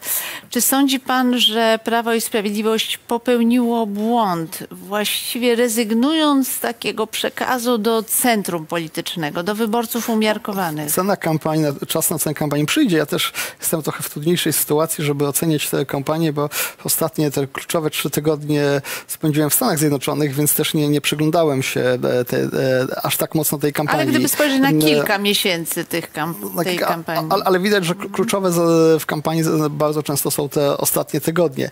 E, No, no pytanie, pytanie jest takie, czy popełniłem jakiś błąd, czy po prostu e, no, bo mobilizacja opozycji była tak duża, że tutaj niewiele dało się zrobić, bo ta frekwencja no, jest imponująca. E, Być może jest też tak, że to sztab musi, musi sobie wyciągnąć później zawsze wnioski. No, post factum, czy wszystkie działania kampanijne były, były na tyle na, na tyle skuteczne, czy na przykład nie było tak, że jakieś działania kampanijne wręcz wywołały mobilizację elektoratu opozycji. A No jakie na jednak- przykład mogło wywołać tę mobilizację no, tak- tak elektoratu drugiej mówię, strony? Nie wiem, czy, czy, czy duża, e, czy granie na mocną polaryzację, bo z jednej strony mówiło się, że to się opłaca, czy tutaj, czy tutaj się opłaciło, czyli taka, e, no, no jednak wydaje się, że e, trzeba zawsze pozyskiwać takich wyborców, niektórzy mówią centrum, ja raczej mówię o wyborcach mniej zainteresowanych polityką, a najczęściej to wyborcy, którzy no, raczej e, oczekują spokoju w polityce, nie, nie lubią jakichś takich mo- mocnego zwarcia czy mocnych wojen, ale tak jak mówię, no, nie, nie, tutaj jest za wcześnie, żeby to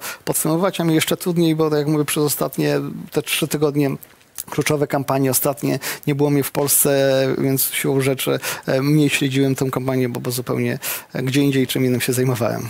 No tak, ale też y, pytanie jest takie, czy ten y, radykalny przekaz, y, to obrażanie Donalda Tuska nieustająco, ten y, atak, że to jest agent Niemiec, no taki poniżający y, premiera RP bądź co bądź, że to jednak przyniosło efekt mobilizacyjny zamiast tego osłabienia y, elektoratu opozycji, zamiast tej mobilizacji elektoratu Prawa i No, no, Sprawiedliwości. Wydaje się, że jednak kluczowa, kluczowa rzecz to było, e, to jest wynik e, na tę chwilę, jeśli na to patrzymy trzeciej drogi, no bo spojrzymy na wynik e, Platformy Obywatelskiej, te 31%, no to, to No jest właśnie, to, ale czy to nie, ten to- wynik trzeciej drogi to nie jest efekt tego, że y, Prawo i Sprawiedliwość odpuściło by- polityczne centrum? By, być może właśnie tak, bo, bo z, jeśli patrzymy na wynik e, Platformy Obywatelskiej, to jest 31%.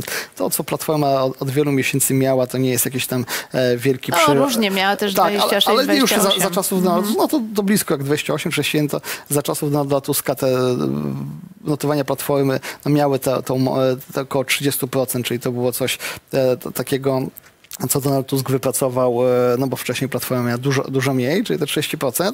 No wszystko wskazuje na to, że jednak te, e, ten e, podział na trzy bloki opozycyjne miał sens, bo, bo, bo trzecia droga być może na trzecią drogę zagłosowali jak coś wyborcy, którzy kiedyś głosowali na PiS. Pewnie na Platformę trudniej byłoby im od razu zagłosować, bo, bo to, te, te przejście pomiędzy PiSem a Platformą psychologicznie dla wielu ludzi jest trudne.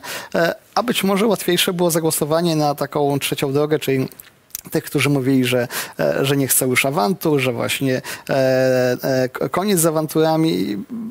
A Trzeba będzie jakby znaczenie- poczekać jeszcze na dane, ale ja bym, ja bym się skłaniał ku temu, że być może właśnie ten wynik trzeciej drogi to jest także efekt tego, że, że część wyborców, która kiedyś głosowała na PiS, uznała, że no, na Platformę to nie zagłosują, bo to zbyt daleko, no ale trzecia droga to jest ta, ta formacja, która, która nie, nie jest je- jakoś mocno antypisowska, e, więc e, tam możemy ulokować swoje głosy. Jakie znaczenie referendum mogło mieć, jeśli chodzi o wynik tych wyborów?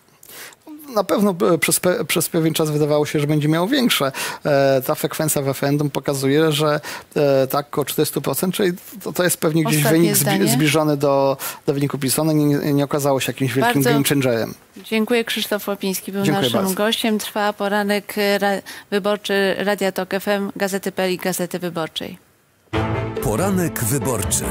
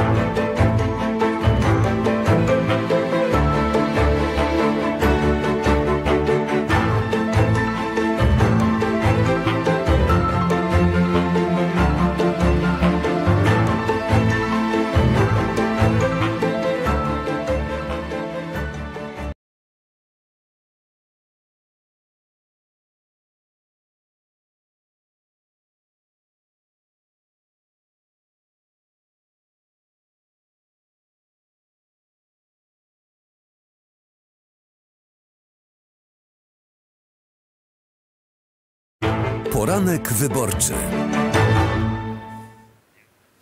Poranek wyborczy Radia Tok FM, Gazety Wyborcze i portalu gazeta.pl. Karolina Lewicka, raz jeszcze witam Państwa. Nasz kolejny gość, profesor Adam Bodnar, były rzecznik praw obywatelskich, kandydat Paktu Senackiego do Senatu i najprawdopodobniej wszystko na to wskazuje także senator kolejnej kadencji. Dzień dobry panie profesorze. Dzień dobry pani redaktor, dzień dobry państwu. No to jakie emocje polityczne?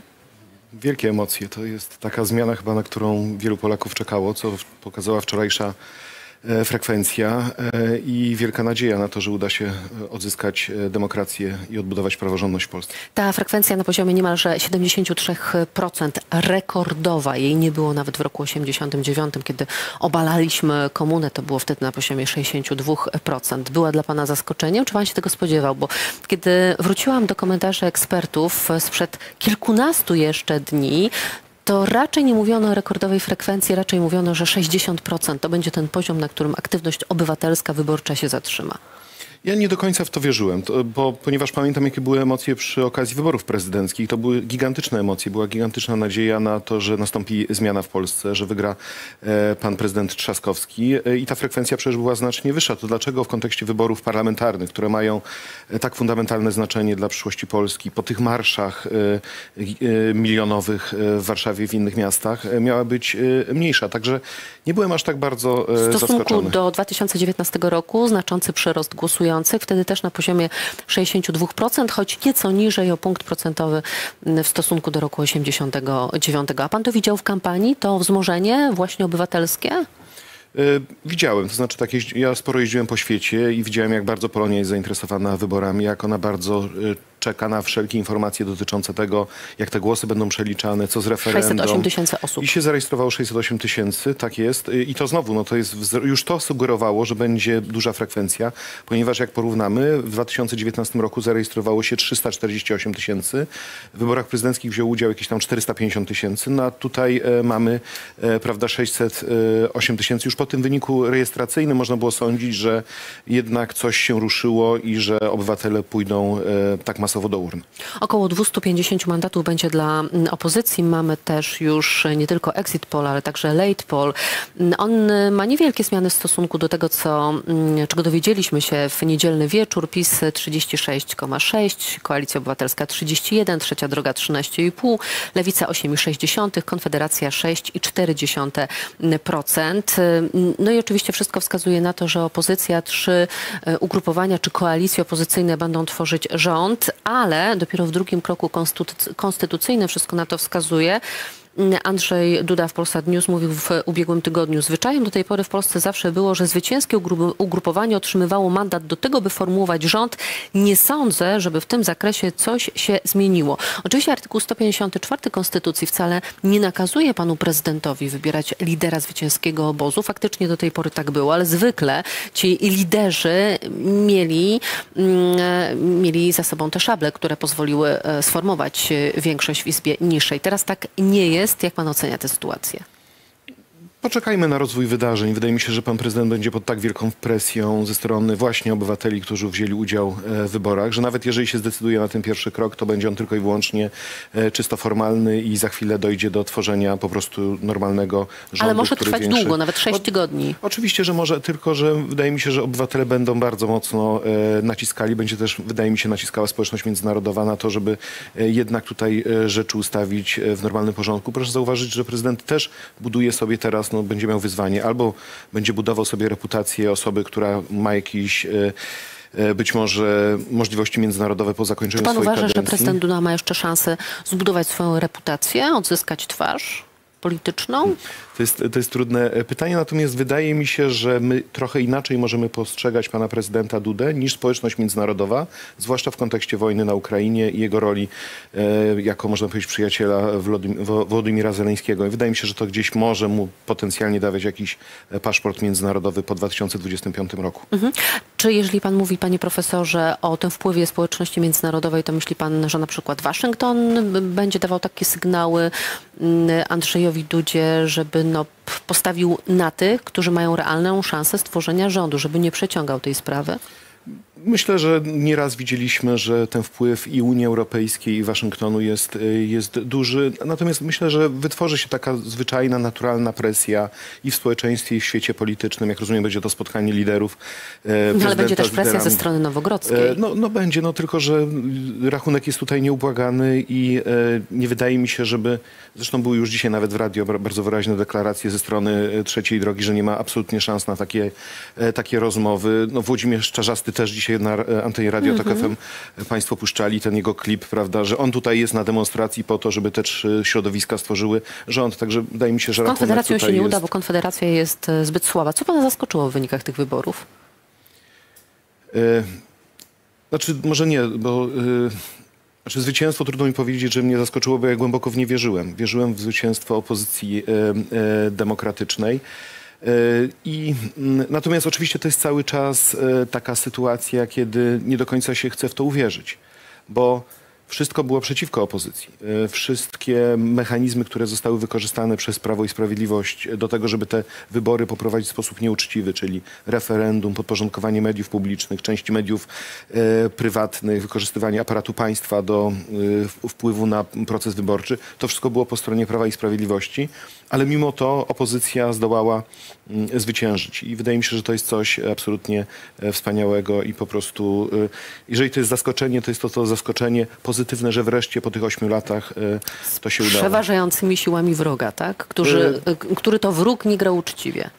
E, Ja nie lubię tej terminologii takiej e, Ale Prawo i e, Sprawiedliwość bardzo ją wojennej. lubi. Oni, tak, tak, ale ja właśnie uważam, że na tym to musi też trochę polegać, tak? To znaczy, że my zejdziemy z tego języka ciągłej wojny i ciągłej potyczki, wygrywanych bitew na rzecz po prostu dialogu, na rzecz porozumienia, na rzecz... Czyli najpierw rozliczenia, jeżeli chodzi o urzędników i polityków obozu władzy obecnego, a potem pojednanie, tak jak mówił Donald Tusk, pojednanie z wyborcami Prawa i Sprawiedliwości. Mm, Znaczy pojednanie wydaje mi się będzie się odbywało poprzez to, że będą sprawowane rządy, które będą proponowały zupełnie inną Polskę, Polskę obywatelską, tak jak to mówił pan profesor Wiktor Osiatyński, Rzeczpospolitą e, obywatelską, że obywatele na różne sposoby będą angażowani do procesu rządzenia państwem, że politycy będą się e, samoograniczali w różnych kontekstach e, i nadzoru nad spółkami Skarbu Państwa i nad mediami publicznymi, nad prokuraturą, że będzie większy udział obywateli w, wymiarze sprawiedliwości i wydaje mi się, że w ten sposób będzie budowane to pojednanie. Natomiast jeżeli chodzi o rozliczanie,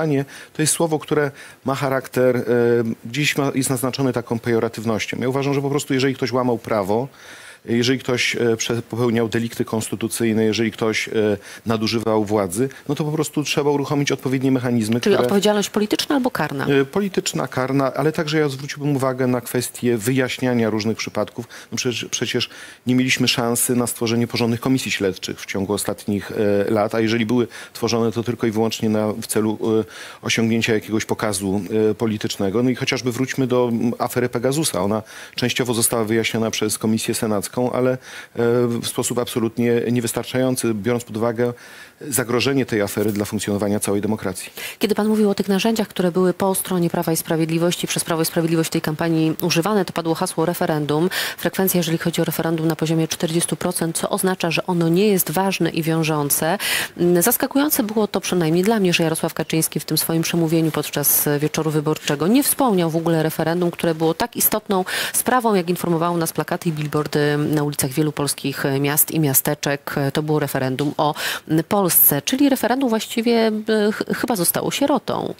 Bo tu nie chodziło o referendum i o pytania referendalne, tylko chodziło o stworzenie mechanizmu finansowania e, kampanii wyborczej i ten mechanizm działał. Okazuje się, że niewystarczająco, że nie przyniósł tego rezultatu. Co więcej, e, okazało się, że pytania, które są zadane w czasie referendum, mogą być odbite dość sprawnie przez e, opozycję. No to pytanie o spółki Skarbu Państwa e, zostało odbite w kontekście Lotosu i, i sprzedaży Lotosu.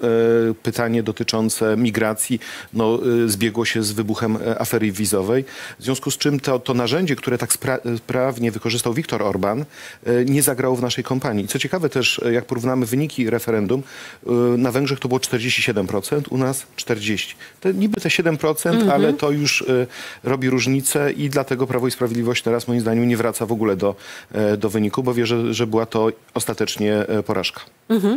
A Aleksander Kwaśniewski wczoraj przestrzegał przed e, Prawem i Sprawiedliwością w opozycji, bo to będzie bardzo potężna partia, jeżeli już przejdzie do opozycji, oczywiście z mniejszym znacząco zapleczem, bez dostępu do środków chociażby państwowych, ale z pewnością próbująca wkładać kij w szprychy nowemu e, rządowi. PiS straszył przez ostatnie tygodnie, że jeżeli władzę weźmie opozycja, to będzie chaos. Jak państwo chcą się obronić przed taką narracją?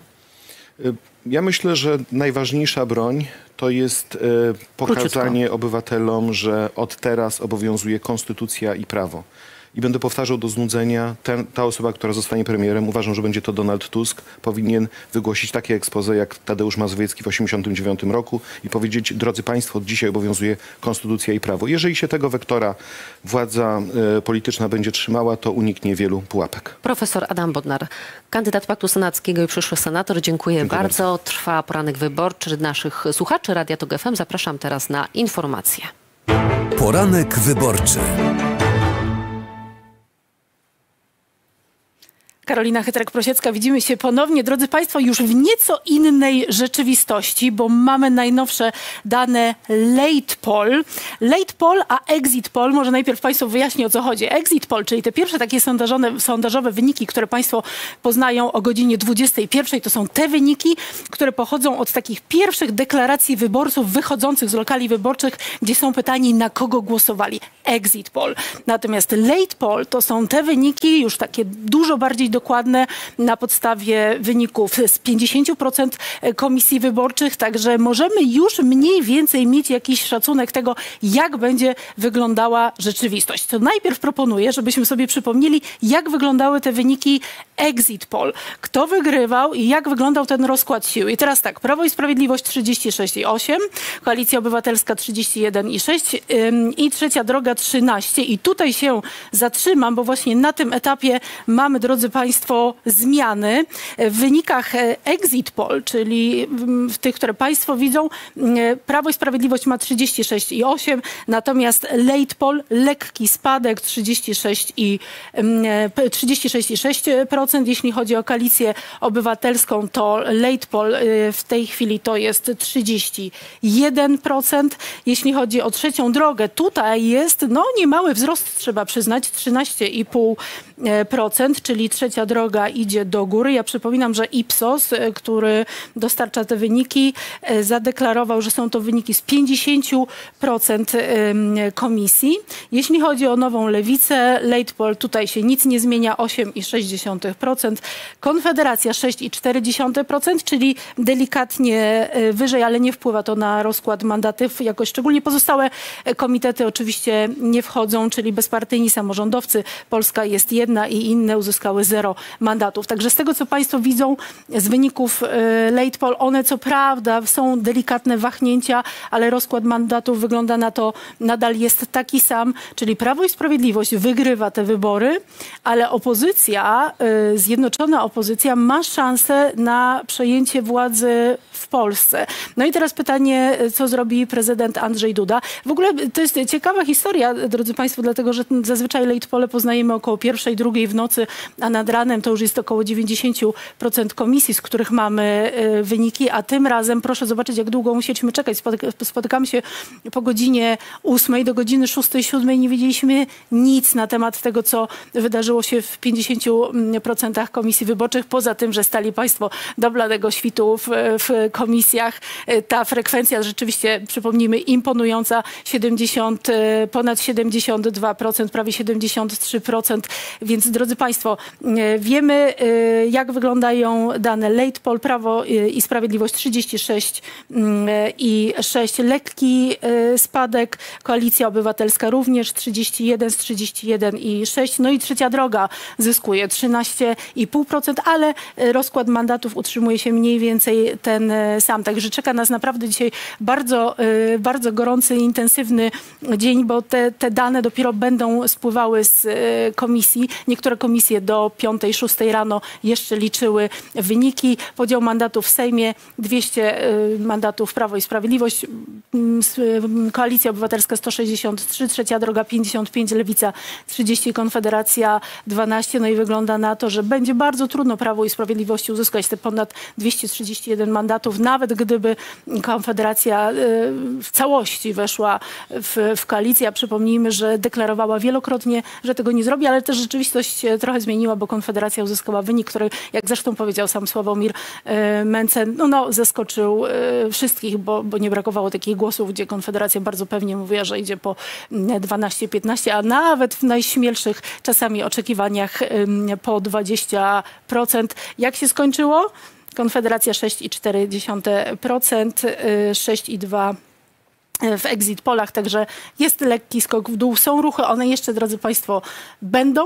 Tego oczywiście się można spodziewać, ale y, z ekspertami, z którymi tutaj rozmawiam, wygląda na to, że nie będą to jakieś mocne y, odchylenia. No i teraz dopiero zaczyna się polowanie i chaos, drodzy Państwo, bo mm, będziemy czekać na to, co zrobi prezydent Andrzej Duda. Komu powierzy formowanie rządu? Czy będzie to Prawo i Sprawiedliwość jako partia zwycięska? Czy będzie to zjednoczona opozycja, która dzisiaj e, konstruując rząd e, z partii takich jak Koalicja Obywatelska, Trzecia Droga i Lewica ma szansę skonstruować stabilny rząd. Ten dzisiejszy dzień jest także super istotny dla gospodarki, dla złotego. Widać było już delikatne umocnienie na rynkach, bo mm, co prawda wchodzimy w taki okres niepewności co do tego, kto e, rząd utworzy, ale gdyby utworzyła zjednoczona opozycja, która dzisiaj ma e, no, największe na to szanse, mm, to oczywiście jest to automatyczne prawdopodobnie odblokowanie pieniędzy z KPO, co spowoduje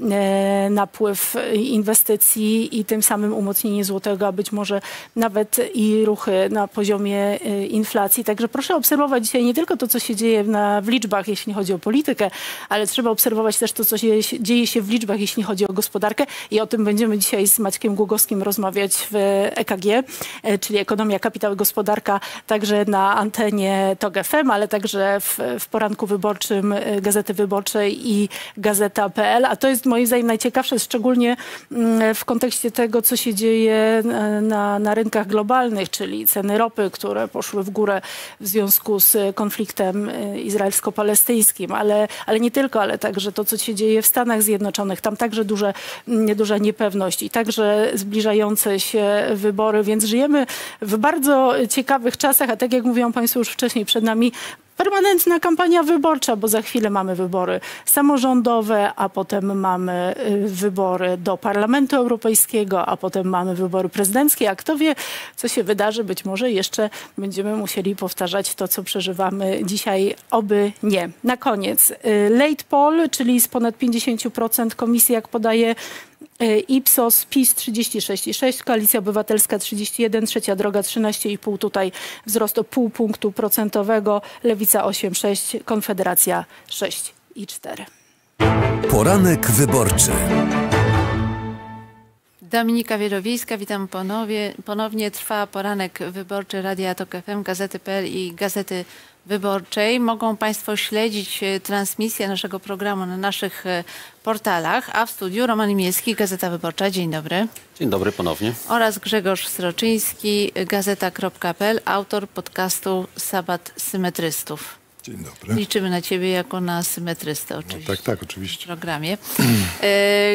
Mamy wyniki late poll, które nie zmieniają jakoś fundamentalnie rozkładu mandatów. Najprawdopodobniej nadal sytuacja wygląda w ten sposób, że opozycja demokratyczna ma około 248-250 mandatów w Sejmie, w którym zasiada 460 posłów. E, Pytanie, co zrobi Mateusz, co zrobi prezydent Andrzej Duda? Czy desygnuje Mateusza Morawieckiego na premiera, czy PiS będzie próbował przeciągnąć Polskie Stronnictwo Ludowe. Mm, Nie mamy oczywiście ostatecznych wyników. Te wyniki z, cząstkowe z komisji obwodowych nadal niewiele nam mówią, ponieważ to tylko nie, nie, nieliczne komisje obwodowe przesłały y, już y, rezultaty.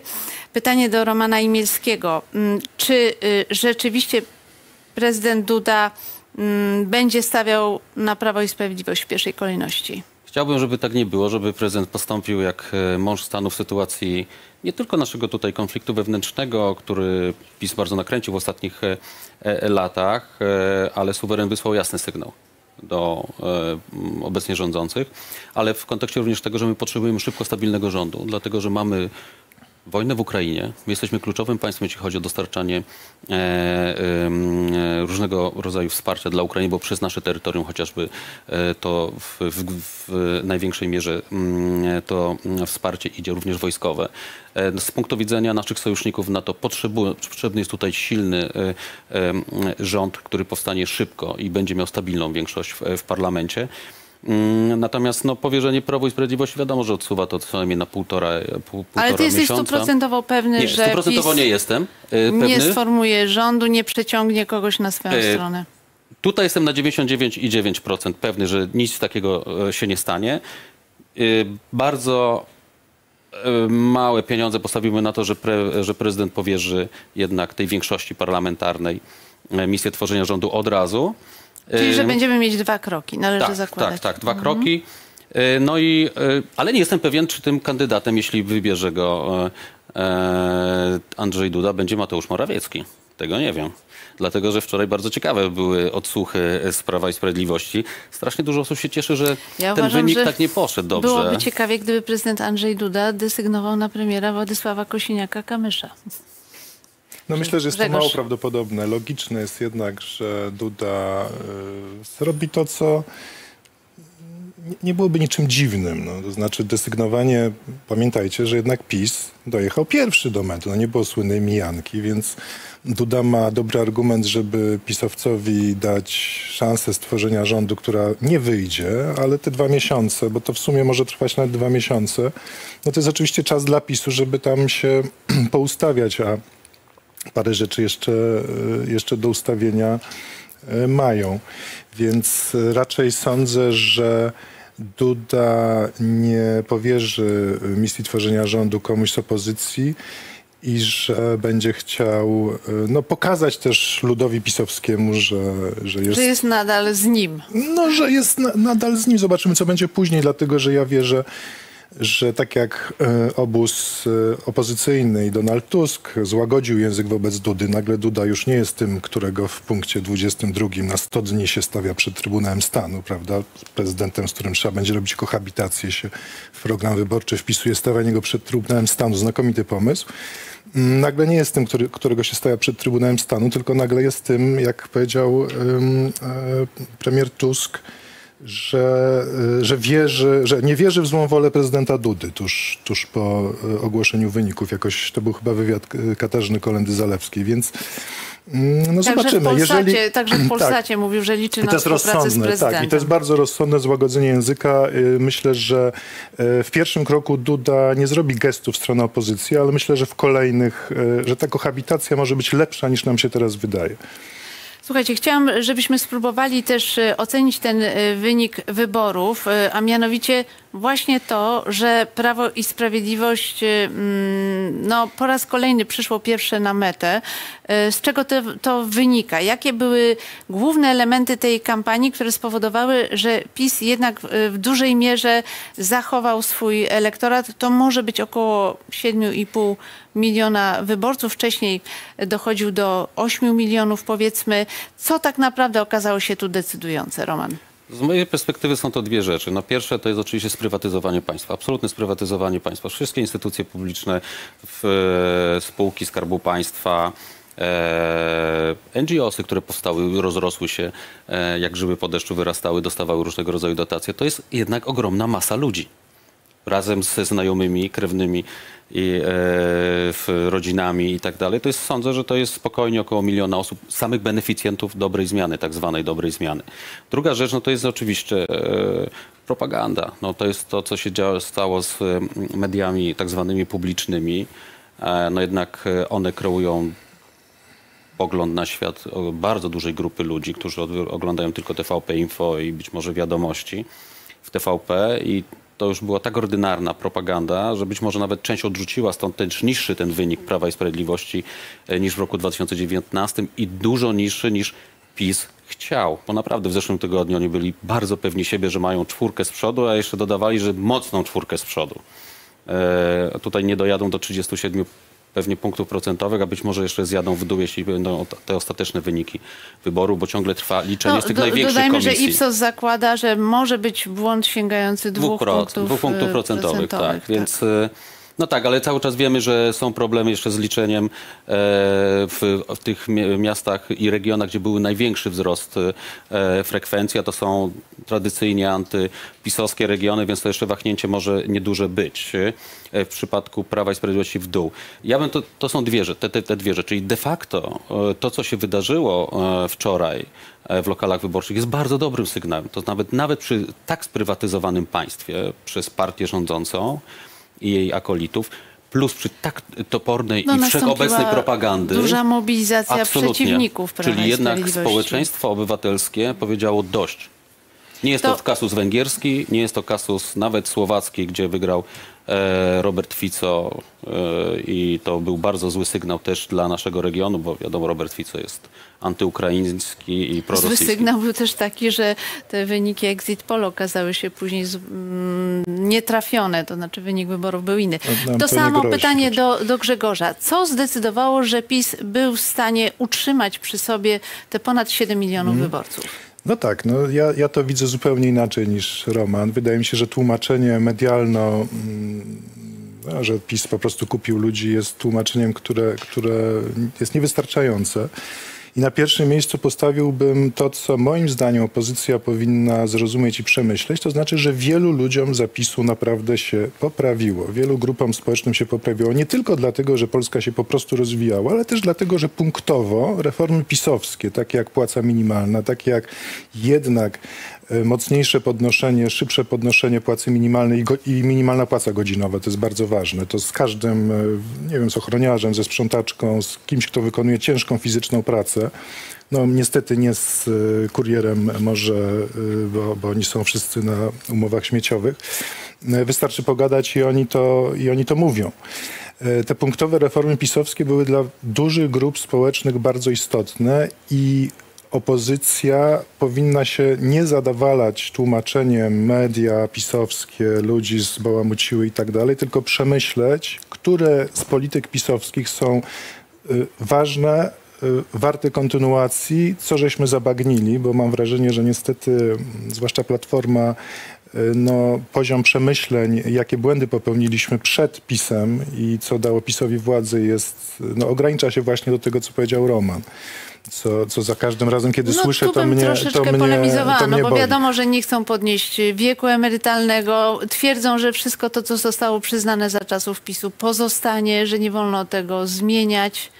Ta- e, to, troszeczkę nawet, wykracza nie, poza nie, to nawet nie chodzi rozważania o... o telewizji to, to rządowej. Nawet, tak, to Mhm. trochę wykracza, ale to nawet nie chodzi o to, że, żeby nic nie zmieniać i że punktowo elektorat liberalny chce, żeby, nie wiem, wprowadzać jakieś progi dochodowe i tak dalej. Platforma prawdopodobnie razem z trzecią drogą będą próbować takie ruchy robić.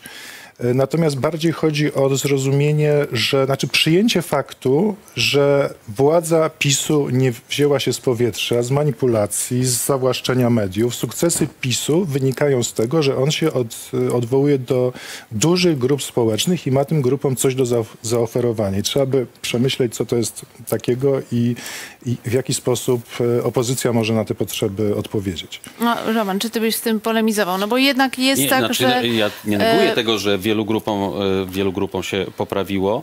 e, W, Szczególnie w ostatnim okresie, przypomnę, 13, 14 Tak, emerytura, to- a- wypłacane nagrody wielu grupom. No, E, nie podniesienie przykład- pensji, ale nagrody wypłacane we wrześniu, tak? Znaczy to, w ta, to by w ogóle jakiś w, no, wodospad w ogóle nagród, jeśli chodzi No o ale właśnie wy od razu robicie z tego tak żarty, wodospad Nie, nie, nagród. nie, nie. który Nie, ale nikt z tego nie robi Nie o to chodzi.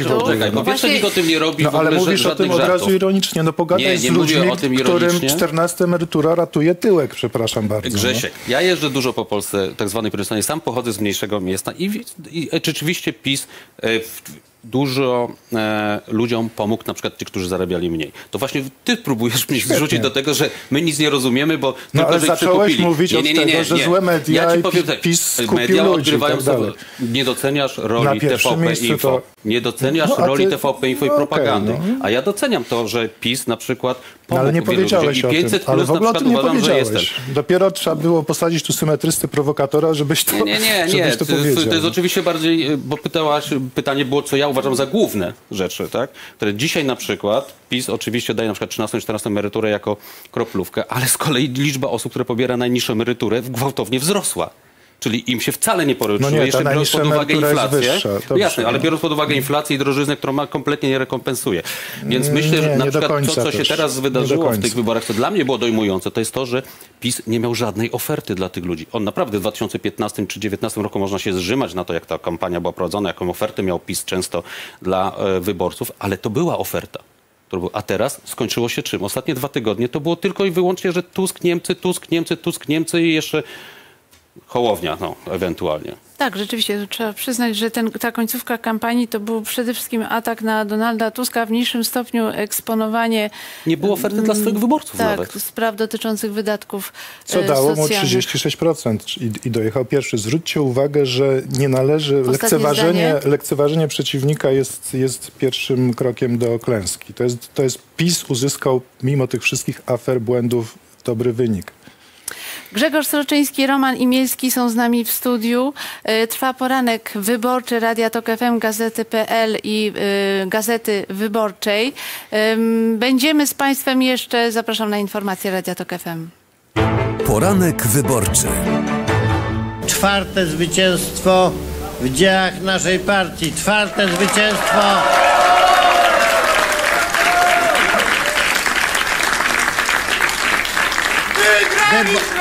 Wyborach parlamentarnych. I trzecie po kolei. To jest naprawdę wielki sukces. Wielki sukces naszej formacji i naszego projektu dla Polski. No ale oczywiście przed nami jeszcze stoi pytanie o to, czy ten sukces będzie można zmienić w kolejną kadencję naszej władzy. I tego jeszcze w tej chwili nie wiemy.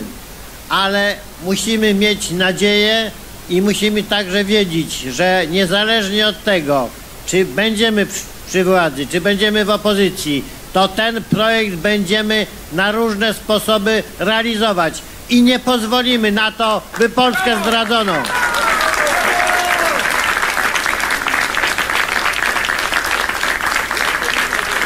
Nie pozwolimy na to, by Polska utraciła to, co jest najcenniejsze. Słuchajcie, zrobiliśmy to, naprawdę!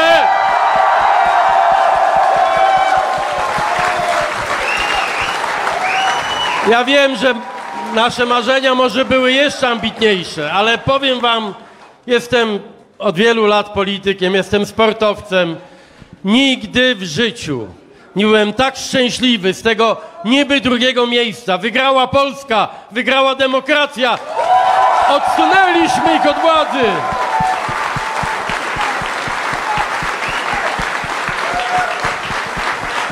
Jeszcze rok temu nikt w to nie wierzył.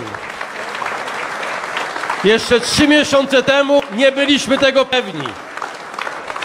Jeszcze wczoraj do mnie podchodzili i pytali, czy na pewno dacie radę. Bo przecież nie udawało się przez tyle lat. Słuchajcie, wszystko na to wskazuje, a wiemy i pozdrawiam stąd tych wszystkich tysiące ludzi, którzy jeszcze stoją w kolejkach do lokali wyborczych. Ten wynik może być jeszcze lepszy. Dziękujemy, dziękujemy Polsko, dziękujemy bardzo.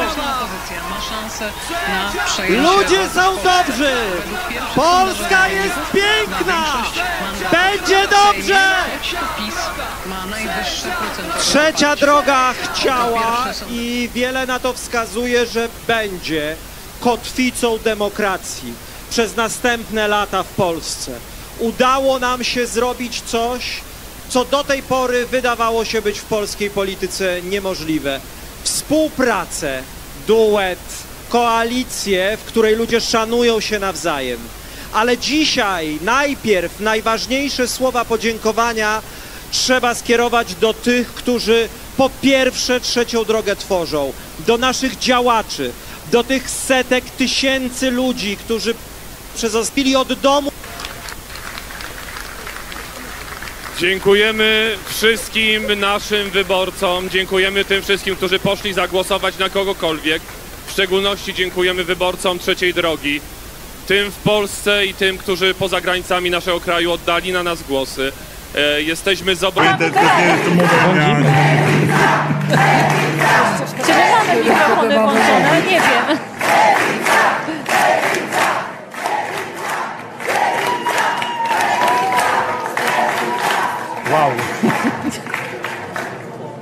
Ile to, To jest? oni prowadzili was do tego dnia, do tego finału. Przed wami, nie wiem, czy chcecie posłuchać Tuska? Włodku, Włodku, A czas na ciebie. Włodku, czas na ciebie. Mam dwie olbrzymie satysfakcje życiowe. Jedna taka, że razem z tą ekipą żeśmy wrócili do parlamentu i uwaga, bez względu na to, jakie są liczby, one się jeszcze muszą potwierdzić. Po 18 latach lewica wraca do współrządzenia. Wiecie, co to znaczy?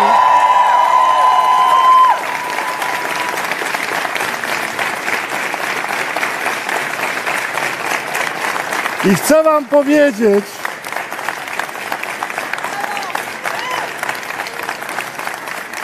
Mieliśmy wywrócić ten stolik i wszystko wskazuje na to, że się nie udało. Toczyliśmy nierówną walkę przeciwko wszystkim, przeciwko PiSowi i Platformie, przeciwko TVN-owi i TVP. Zresztą oni nam z nami również walczyli. No i wygląda na to, że przegraliśmy. Na początku wyglądało, że nie musi być tak źle. Jeszcze w marcu strzeliliśmy im gola na 1-0, w czerwcu poprawiliśmy na 2-0 i wydawało się, że jesteśmy blisko tego naprawdę historycznego wyniku. Niestety potem strzelili nam na 2-1, a w ostatnich chwilach na 2-3. I teraz muszę powiedzieć, że już doskonale wiem, jak czuli się piłkarze Bayernu Monachium, kiedy w 1999 roku w ostatnich minutach stracili Ligę Mistrzów, przegrywając z Manchesterem United. To nie jest też porażka naszych diagnoz, czy też naszych proponowanych rozwiązań. Czas już tyle razy pokazał, że mieliśmy rację. To jest nasza porażka, to jest nasza kolejna przegrana bitwa w tej jeszcze myślę wiele lat trwającej wojnie o dumną i bogatą Polskę.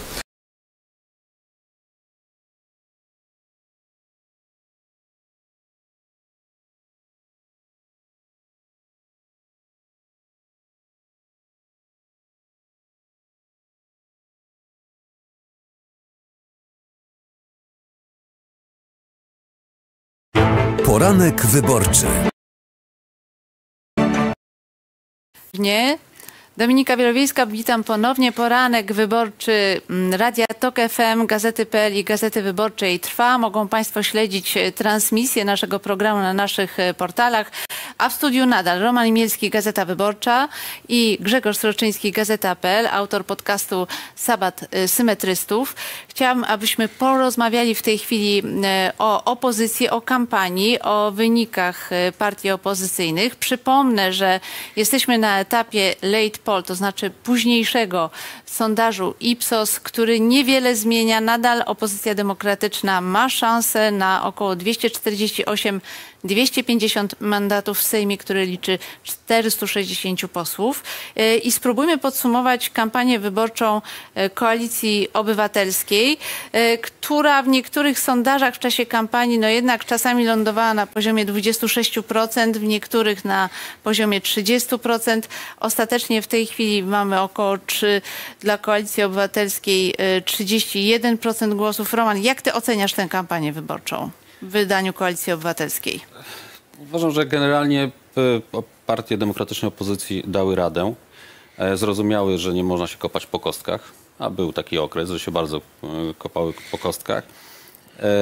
No wiem, że było też wielu zwolenników tak jednej listy. Ja nie wiem, czy ta jedna lista dałaby dzisiaj aż tak dobry rezultat, te 250 mandatów.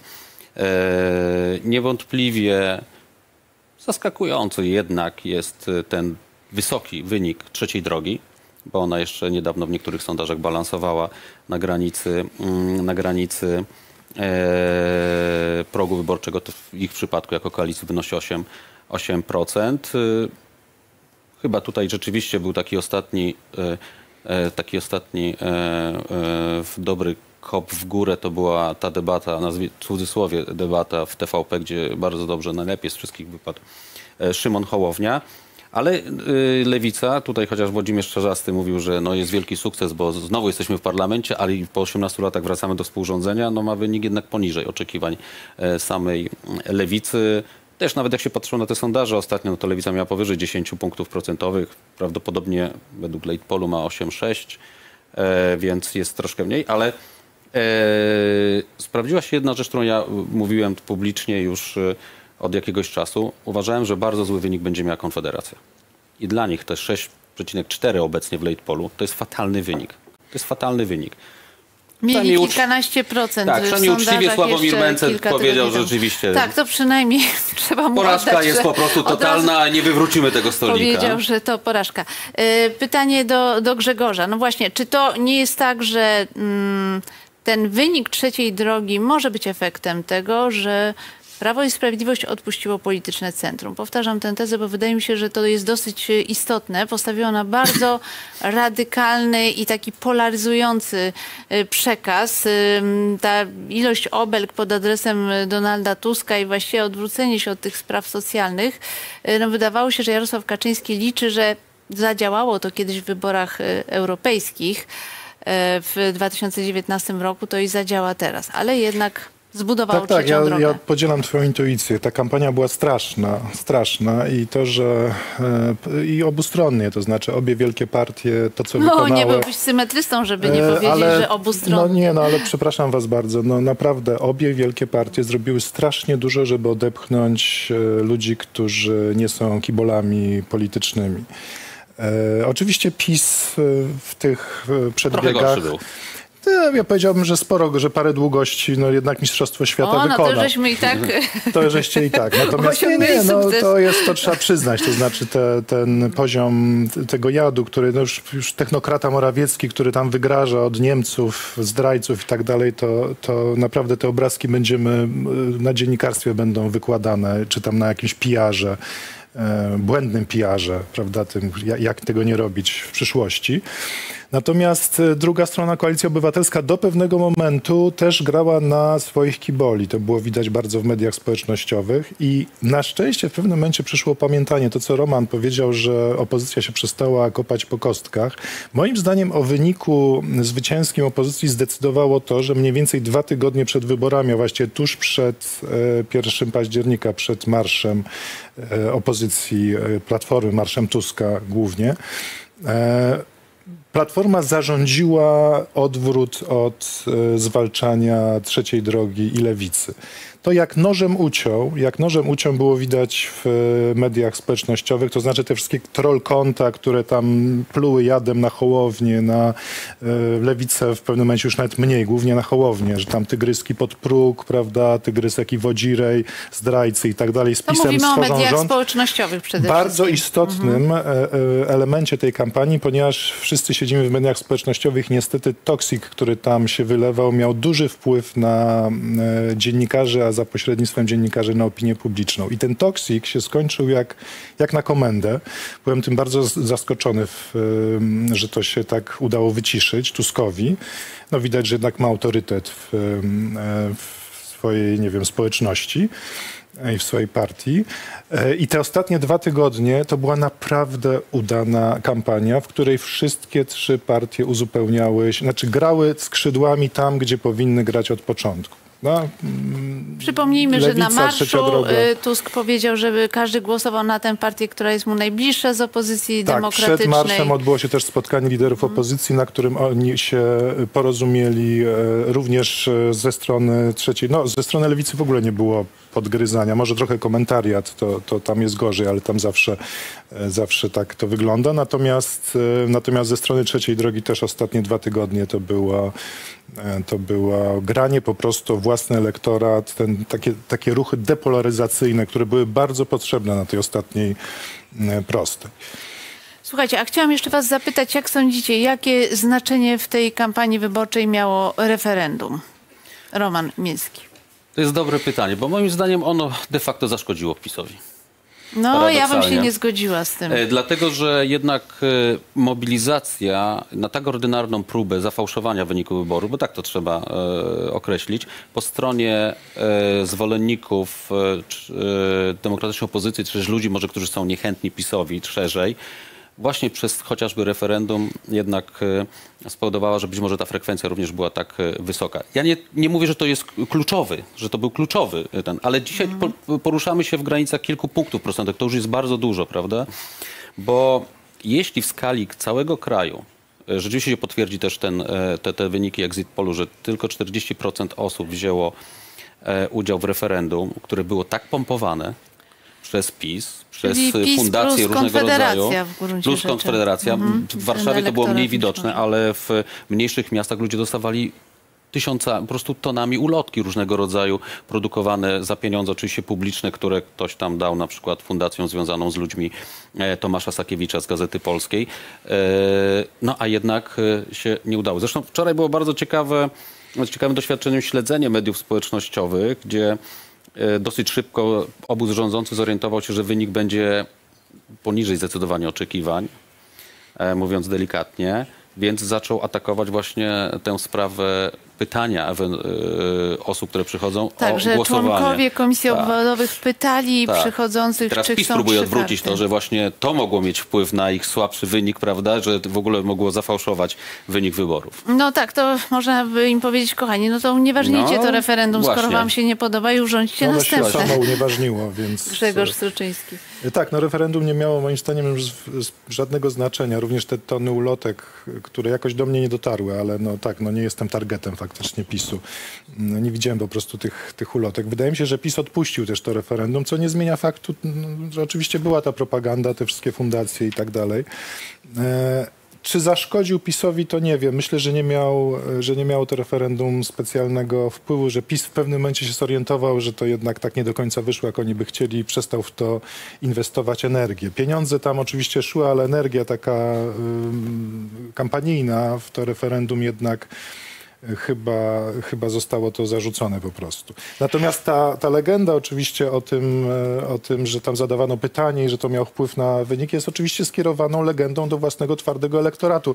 Przypominam jako symetryczna, to samo robił siły. Tusk, opowiadając, że Trzaskowski wygrał wybory i tak dalej. To nie było żadne tam metafora, tylko twardo mówił Tusk w kampanii, że Trzaskowski wygrał wygrał wybory, więc e, przekaz niestety o sfałszowaniu wyborów jakby skierowany do tych najbardziej nagrzanych marginesów płynie z obu stron, co jest No, Ja bym się tutaj z Tobą nie dla debaty zgodziła, dlatego że uważam, że ten przekaz y, opozycji był raczej taki, że wybory są nieuczciwe Nie, z tego nie, powodu, Nie, to jest jedna rzecz. To, że to jest... zaangażowano gigantyczne środki, o wiele większe niż te, którymi dysponowała konkurencja polityczna, Tak, no bo jest- nie tylko referendum, nie tylko spółki Skarbu Państwa prowadziły kampanię i referendalną, i po prostu partyjną. Ale E, ja chcę tylko przypomnieć, że pierwsi o, fałsz- o fałszowaniu wyborów publicznie mówili politycy Prawa i Sprawiedliwości mniej więcej od roku. Pamiętacie te absurdalne zarzuty, że skoro samorządy organizują wybory, te największe Mhm. samorządy, które są oczywiście antypisowskie i tak dalej, to tam trzeba uważać na fałszowanie wyborów. No pierwszy Słuchajcie, raz nie be- słyszałem o pr- próbie fałszowania wyborów przez rządzących. No, de facto. Słuchajcie, y, wrócę jeszcze do krótkiej prognozy. Jak sądzicie, czy ten układ zmierza do tego, że mamy większość y, opozycji demokratycznej, Donald Tusk jest premierem, a któryś z liderów trzeciej drogi marszałkiem Sejmu, czy to ku temu zmierza, czy y, uznajecie, że jakiś inny układ jest możliwy? Roman. Nie, ja, ja zmierzam ku temu scenariuszowi, który ty mówisz. Znaczy nie wyobrażam sobie innego kandydata dzisiaj na premiera demokratycznej opozycji niż Donald Tusk. No i ten układ musi być jakiś, prawda? Nie wiem, marszałek Sejmu dla trzeciej drogi, e, marszałek Senatu na przykład dla, e, dla mm, lewicy. Myślę, że zresztą te spotkania trwały y, cały czas, y, n- więc myślę, że to już w miarę jest wykrystalizowane. Natomiast niewątpliwie demokratyczna opozycja czeka na, na to, co powie pan prezydent, który Prezydent, jak wiemy oczywiście. po angielsku uciekł na razie do Rzymu na obchody Dnia Papieskiego. Pytanie do Grzegorza. Czy uważasz, że taki układ jest prawdopodobny, czy przewidujesz jakiś inny? E, Nie wiem, czy na pewno Tusk będzie premierem. Być może ostatnia prosta kampanii, która jednak pokazała mocno, że taki ruch depolaryzacyjny bardzo dobrze działa, wskazywałby, że być może opozycja będzie rozważała wariant typu premierem zostaje Kośniak-Kamysz. E, To nie byłoby złe rozwiązanie, chociaż ono oczywiście ma wady, bo źle, jeżeli lider obozu zwycięskiego z tyłu kieruje i, i to zawsze rodzi jakieś kwasy, ale ma też taki układ, miałby masę, masę zalet, głównie takich, że jednak ten obóz e, zwycięski musi odkleić się od e, polaryzacji. To znaczy, jeżeli opozycja chce rządzić skutecznie nie narażać się na tą ziejącą chęcią zemsty i obalenia tego rządu 200, 200 mandatową opozycję, która będzie opozycją totalną. To będzie totalna opozycja. Wreszcie będziemy mieli totalną opozycję y, w Polsce i naprawdę tak będzie można o opis- opisie w opozycji powiedzieć. To myślę, że y, jedynym dobrym ruchem jest schodzenie z, y, z jakby z tego polaryzo- polaryzującego pola strzału. Y, I twarz Tuska będzie tutaj dolewać oliwy do ognia, a nie, a nie, a nie pomagać. Ale oczywiście logiczne jest i byłoby też to całkiem dla mnie naturalne, że Rom- Tusk zostaje premierem. No to jest najbardziej prawdopodobny scenariusz. Roman Imielski, Ja myślę, Gazeta przede wszystkim Wyborcza, ale już chce być bardzo kończymy. premierem. Grzegorz Straczyński, Gazeta.pl. Trwa poranek wyborczy Radia Tok FM, Gazety.pl i Gazety Wyborczej. Proszę zostać z nami. Dominika Wielowiejska. Poranek wyborczy. Czwarte zwycięstwo w dziejach naszej partii. Czwarte zwycięstwo.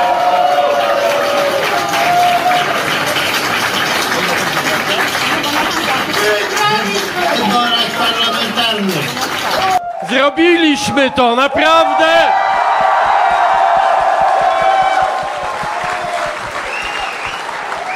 Nigdy w życiu nie byłem tak szczęśliwy z tego niby drugiego miejsca. Wygrała Polska, wygrała demokracja. Odsunęliśmy ich od władzy. Ludzie są dobrzy! Polska jest piękna! Będzie dobrze! razem z tą ekipą, żeśmy wrócili do parlamentu i uwaga, bez względu na to, jakie są liczby, one się jeszcze muszą potwierdzić. Po 18 latach lewica wraca do współrządzenia. Wiecie, co to znaczy? Ten wynik to jest exit poll, sondaż, przeprowadzony na dużej próbie w dniu wyborów, ale dalej tylko sondaż. Ostateczne wyniki mogą się jeszcze trochę zmienić. Ale nie ma co ukrywać, że wiele się nie zmienią i że ponieśliśmy porażkę.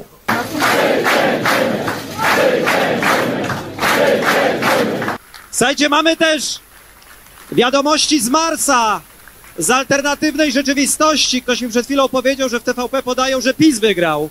E, I bardzo się z tego cieszą. Serdecznie pozdrawiamy naszych przyjaciół na Czerwonej Planecie. Już możemy powiedzieć, to jest koniec tego złego czasu, to jest koniec rządów PiSu.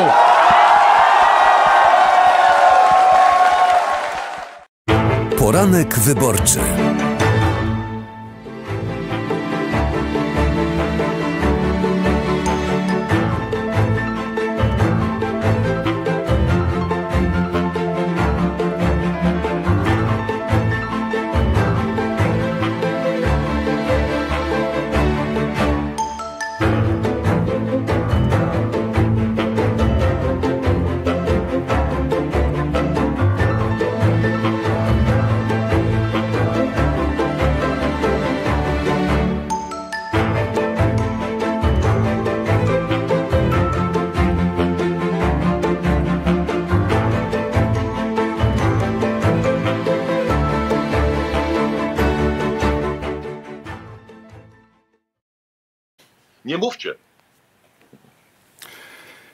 Trwa poranek wyborczy Gazety.pl, Gazety Wyborczej, Radia Tok Dzień dobry, ale ja przepraszam najmocniej, nic nie słyszę.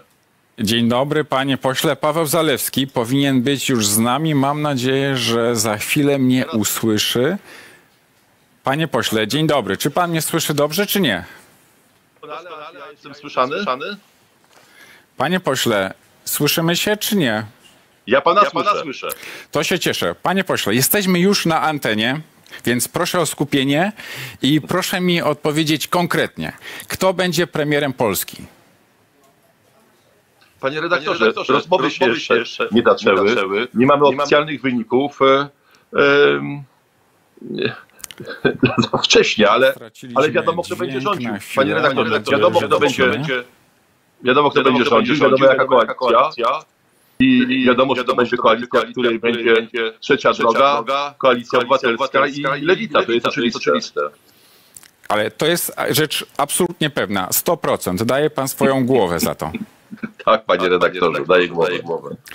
Jeśli wierzyć e, zapowiedziom i tym e, minionym wypowiedziom Donalda Tuska, to Donald Tusk bardzo chce być premierem. Więc wydaje się to naturalne, jeśli Donald Tusk chce dotrzymać słowa, no to powinien przejąć odpowiedzialność za rząd. Panie redaktorze, ja jestem, e, członkiem Polskiej 2053 na Hołowni. E, e, To nie do mnie to pytanie.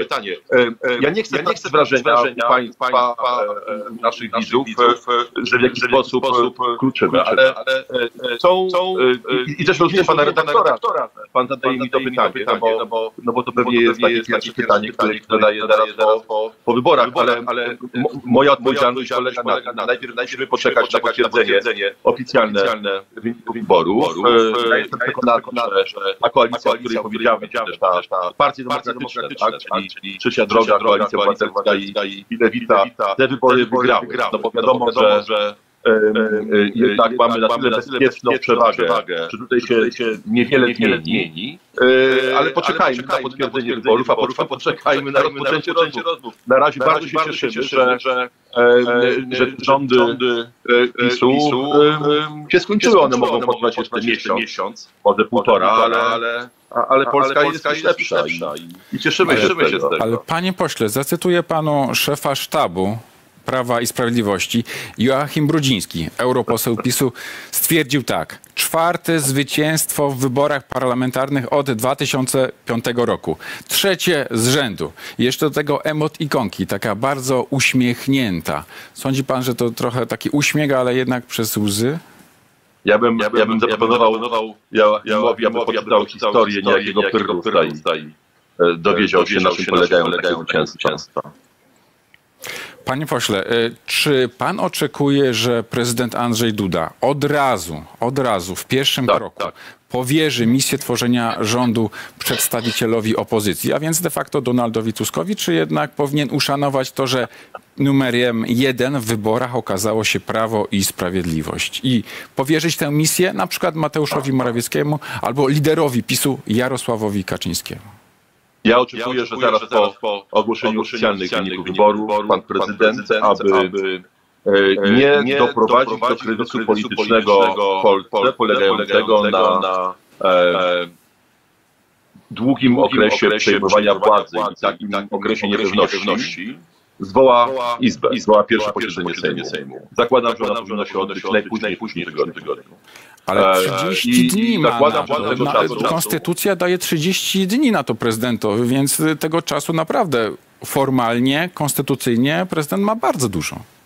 Dlatego powiedziałem, że oczekuję od prezydenta, a nie, że jest do tego zmuszony. E, Oczekuję od prezydenta postawy odpowiedzialnej za Polskę. Postawa odpowiedzialna za Polskę polega na tym, aby e, ze strony prezydenta zrobić wszystko, aby, aby to przejęcie władzy przez opozycję, dzisiejszą opozycję, a już za chwilę po ogłoszeniu wyborów zakładam, że rządzącą demokratyczną koalicję, żeby nastąpiło jak najszybciej i jak najsprawniej. To jest także interes prezydenta, ale przede wszystkim wielka odpowiedzialność, która to ciąży na prezydencie. I są dwie kwestie. Pierwsza to zwołanie jak najszybsze posiedzenia Sejmu.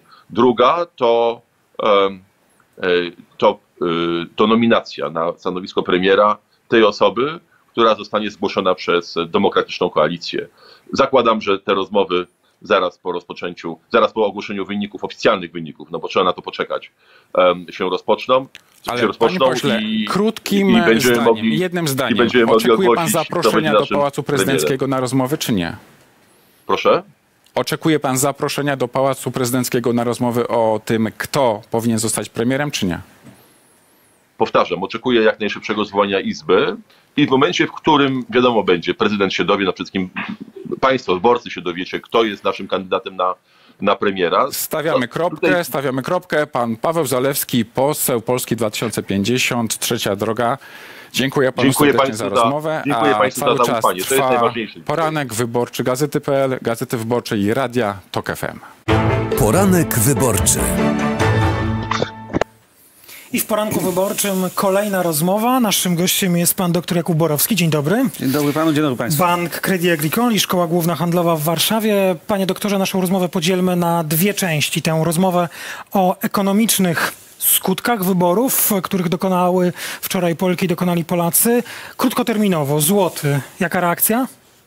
No najprawdopodobniej mocniejszy kurs złotego, zresztą to już widzimy w tych takich notowaniach, które mają miejsce trochę poza krajowym rynkiem i ten rynek jeszcze nie ruszył, ale, e, ale kurs, ku- mocniejszy kurs złotego jest naturalną konsekwencją tego, tego wyniku wyborów. Tu są moim zdaniem dwa mechanizmy. Pierwszy niższa premia za ryzyko, czyli to, czego inwestorzy wymagają, inwestując w aktywa nominowane w złotych.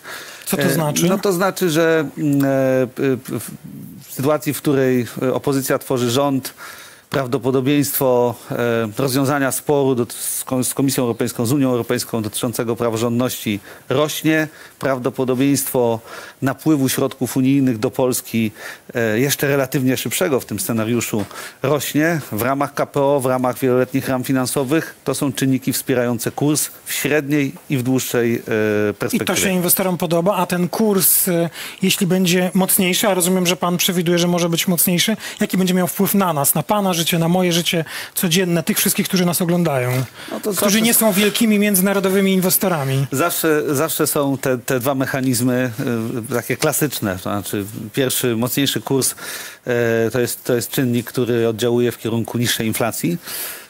Niższe ceny dóbr importowanych, Tego towarów importowanych, tak. Mocniejszy kurs e, zawsze też troszkę hamuje wzrost gospodarczy, ale to są zmiany nieznaczne, podkreślmy.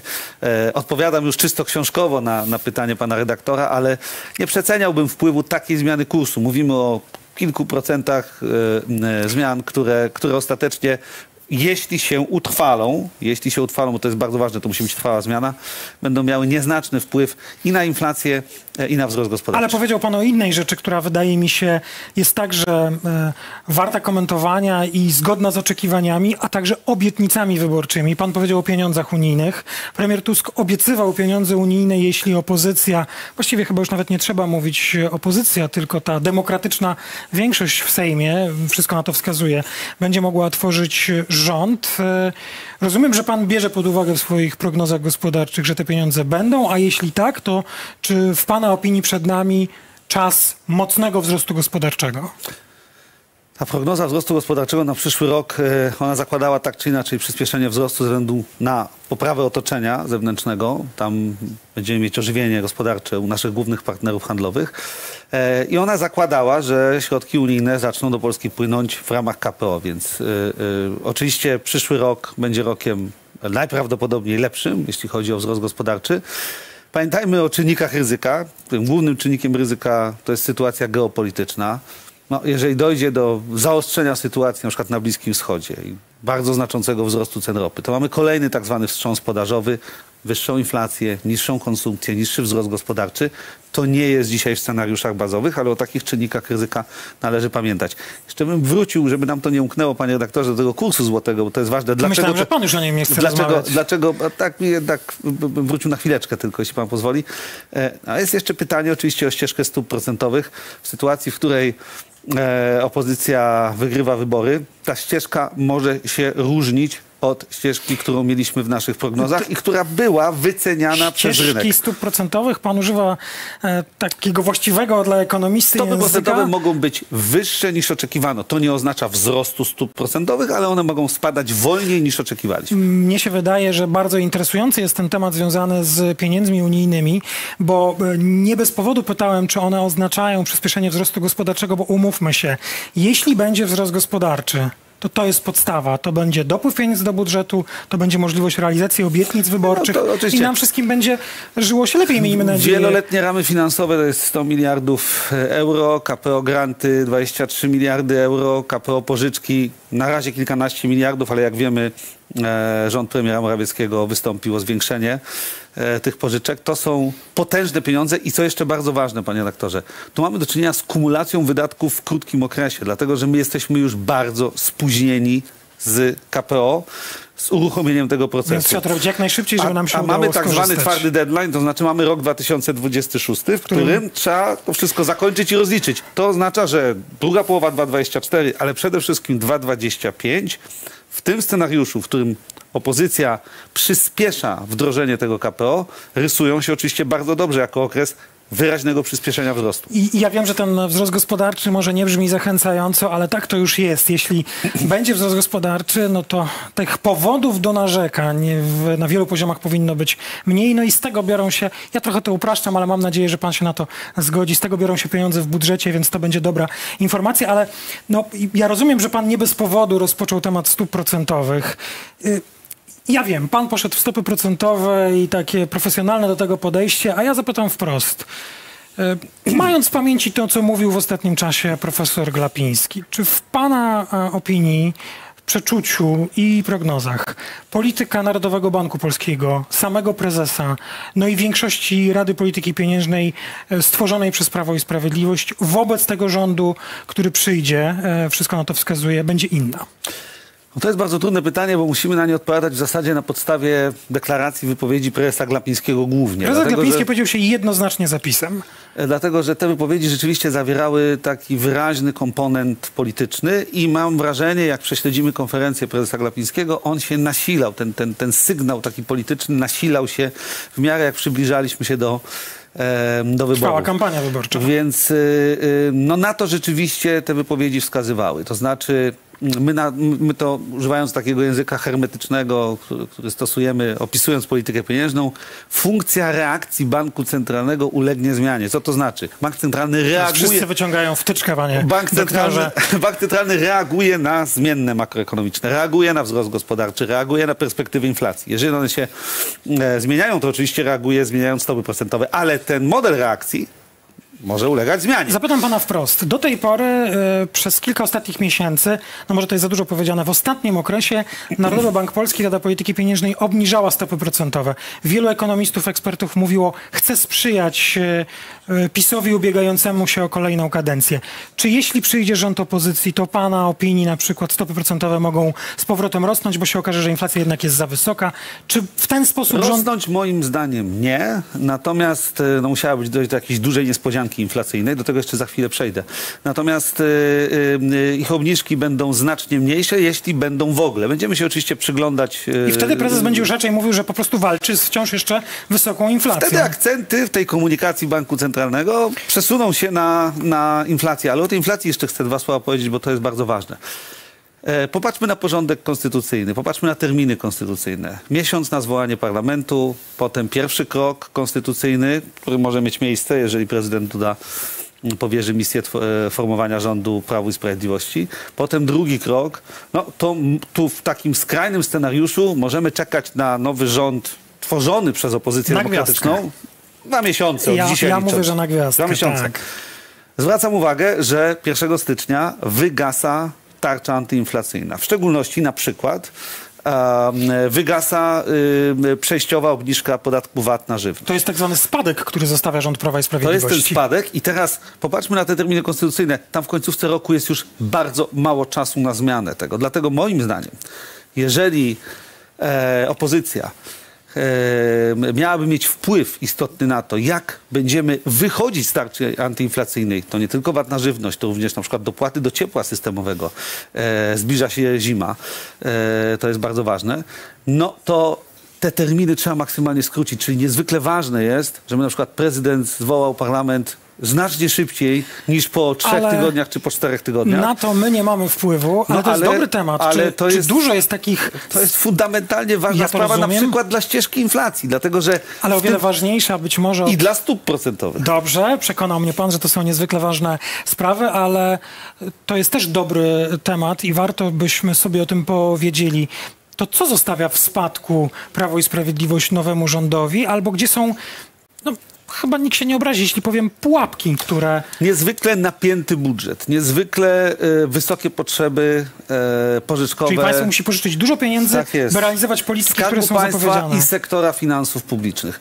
Tu w zasadzie jest bardzo niewielkie pole manewru, zwłaszcza, że w wydatkach wpisano znaczące podwyżki, na przykład dla sfery budżetowej, no trudno, żeby opozycja redukowała te wydatki. Więc wchodzimy w okres relatywnie wysokiego deficytu sektora finansów publicznych, długu, który będzie narastał i e, opozycja, no, jakiś musi wypracować pomysł na to, jak e, jednocześnie realizując swoje postulaty, na przykład No podniesienie właśnie. kwoty wolnej, prawda? Na przykład podwyżki dla pracowników sfery budżetowej i nauczycieli. Wyższe niż te, które są zapisane w budżecie, bo to trzeba, to trzeba też odnotować. Jak to zrobić? Jak to wszystko Pan wie, jak to e, zrobić? pogodzić? E, no, Wzrostem gospodarczym, e, tak mówiła opozycja. Przede wszystkim odblokować KPO. To jest podstawowy sygnał dla inwestorów, dla e, firm, że wchodzimy w okres wyraźnego przyspieszenia e, wzrostu. Więc e, e, to, są te, to są te sprawy, którymi, którymi moim zdaniem najpilniej się trzeba zająć. Natomiast e, jeżeli chodzi o e, sprawę VAT-u, sprawę dopłat na przykład do ciepła systemowego, moim zdaniem niezwykle jest ważne, żeby, żeby wszyscy mieli świadomość tego, jak kalendarz konstytucyjny wpływa na ścieżkę inflacji, na to, że ona może obniżać się wyraźnie wolniej od stycznia, co może mieć też również reperkusje nie tylko dla konsumpcji, nie tylko dla wzrostu gospodarczego, ale również dla stóp procentowych. No ale mimo, te, mimo iż powiedział pan, że to jest niezwykle ważne, jak ten kalendarz konstytucyjny nakłada się na kalendarz powiedzmy legislacyjny, który zostawiło Prawo i Sprawiedliwość, czyli różnych zmian dotyczących naszych portfeli, no to ja zapamiętałem z naszej rozmowy, że e, również uznaje pan, iż niezwykle ważne jest odblokowanie pieniędzy e, z KPO, bo to będzie amortyzowało wszystko, co e, nowy rząd, ten tworzony przez partię dotychczasowej opozycji chce zrobić. Nowy rząd, podobnie jak i my wszyscy, jak powietrza będziemy potrzebować wzrostu gospodarczego możliwie szybkiego, możliwie szybkiego ożywienia Pan gospodarczego. doktor Jakub I Borowski. KPO jest tutaj takim pierwszym Główny ekonomista wyzwaniem. Banku Credit Agricole, Szkoła Główna Handlowa w Warszawie. Dziękuję. Trwa poranek wyborczy Gazety.pl, Gazety Wyborczej i TOK FM. Poranek wyborczy. Roman Imielski, witam ponownie, a ze mną jest Justyna Dobrosz-Oracz. Dzień dobry. Napisałem tak, postrach polityków na korytarzach sejmowych. Oczywiście wszyscy wiemy te pogonie. Czarownica, za tak? nimi, Według tak. PiSu. Ale wczoraj byłaś e, na wieczorze wyborczym w PiSie i do tego za chwilkę wrócę. A pierwsze pytanie zadam nietypowe. Gdybyś dzisiaj, już po tym late polu, spotkała Jarosława Kaczyńskiego i jednak by przystanął i e, chciał odpowiedzieć na jakieś twoje pytania, to jakie byś mu dzisiaj pytania zadała? Pytanie jest jedno, czy zrezygnuje ze stanowiska? Dlatego, że Prawo i Sprawiedliwość zwyciężyło, ale przegrało te wybory. To jest polityczny paradoks, ale tak jest. E, I za to jest odpowiedzialny także osobiście Jarosław Kaczyński, dlatego że to on kazał postawić na kampanię, w której będzie dużo agresji, dużo nienawiści, dużo hejtu i ataki na Unię Europejską w końcówce kampanii. A to moim zdaniem spowodowało, że ludzie tak tłumnie ruszyli do urn. E, Cała ta akcja z wieńcem, która była wiralem w internecie, ona też Miesięcznicę skłoniła... Smolej... no, w dniu miesięcznicy Tak, smoleńskiej. ona też skłoniła młodych ludzi do głosowania, bo co zobaczyli? Zobaczyli starszego pana, który dał się bardzo łatwo sprowokować, cokolwiek by o tym nie powiedzieć, bo oczywiście sprawa jest bardzo delikatna, ale prawda jest taka, że polityk, który bierze wieniec, na tak, ale bierze wieniec y, i go niszczy na oczach e, kamer i jeszcze później strofuje policjantów, jak mają się zachować i mają spisać tych, którzy e, ten wieniec e, przed pomnikiem postawili, to absolutnie bym tego nie bagatelizowała. Także odpowiedzialność za tą kampanię, za to, że de facto uderzono tylko, uderzano w Donalda Tuska w kółko opowiadając, że jest Niemcem, to Jarosław Kaczyński mówił, a w ostatnim dniu kampanii powiedział nawet, że zwolennicy opozycji mają słabe umysły. E, Myślę, że e, to sprawiło, że mamy gigantyczną, rekordową frekwencję i te kalkulacje Prawa i Sprawiedliwości, które były jeszcze w ostatnim tygodniu, się nie sprawdziły. A bo to był przedziwny wczoraj ten wieczór wyborczy w Prawie i Sprawiedliwości. Właściwie trudno go nazwać nawet wieczorem wyborczym. No, trwało z 10 minut oficjalna część, krótkie przemówienie prezesa i właściwie tyle. Czy, czy, czy, y, jak myślisz, skąd w ogóle taki pomysł na ten dziwny wieczór wyborczy? Czy oni już wcześniej jednak te sondaże nie były tak dobre, jak jeszcze kilka dni temu suflowali, że mocna czwórka? Nie, to znaczy od początku była mowa o tym, że będzie wieczór wyborczy, ale chciano zaprosić dużo więcej gości. Miał być święto, a dziennikarzy miała być garstka. Miała być głównie tych z mediów rządowych, ewentualnie Polsat. Zrobił się wokół tego szum, dlatego że odebrano to właśnie jako e, dowód na to, że Prawo i Sprawiedliwość może przegrać wybory, więc zaczęto całkowicie zmieniać strategię i, zaczęto, i postanowiono wpuścić więcej dziennikarzy. Ale ja e, relacjonuję kampanię wyborczą od 2001 roku i od 2007 zawsze byłam w sztabie wyborczym PiSu. I ja czegoś takiego nie widziałam wczoraj, bo przez dwie godziny dziennikarze czekali na dworze, marzli w kordonie policji, która pilnowała nas nie wiem przed czym.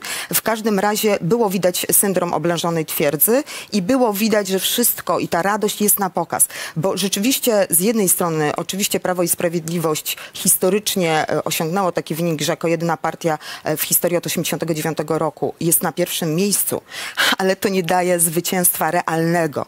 E, I te wszystkie miny, które mieli powiem, jakie były kulisy, były naprawdę e, Ale morowe. widziałaś strach w oczach niektórych ludzi? Tak, e, oczywiście przed kamerami politycy udawali, prężyli muskuły, mówili poczekajmy do rana, to jeszcze się może zmienić, frekwencja nam będzie służyć. To wszystko oczywiście było, natomiast sam Jarosław Kaczyński przyznał, że być może nie uda się zachować e, władzy i de facto rządzić przez, przez kolejną trzecią kadencję.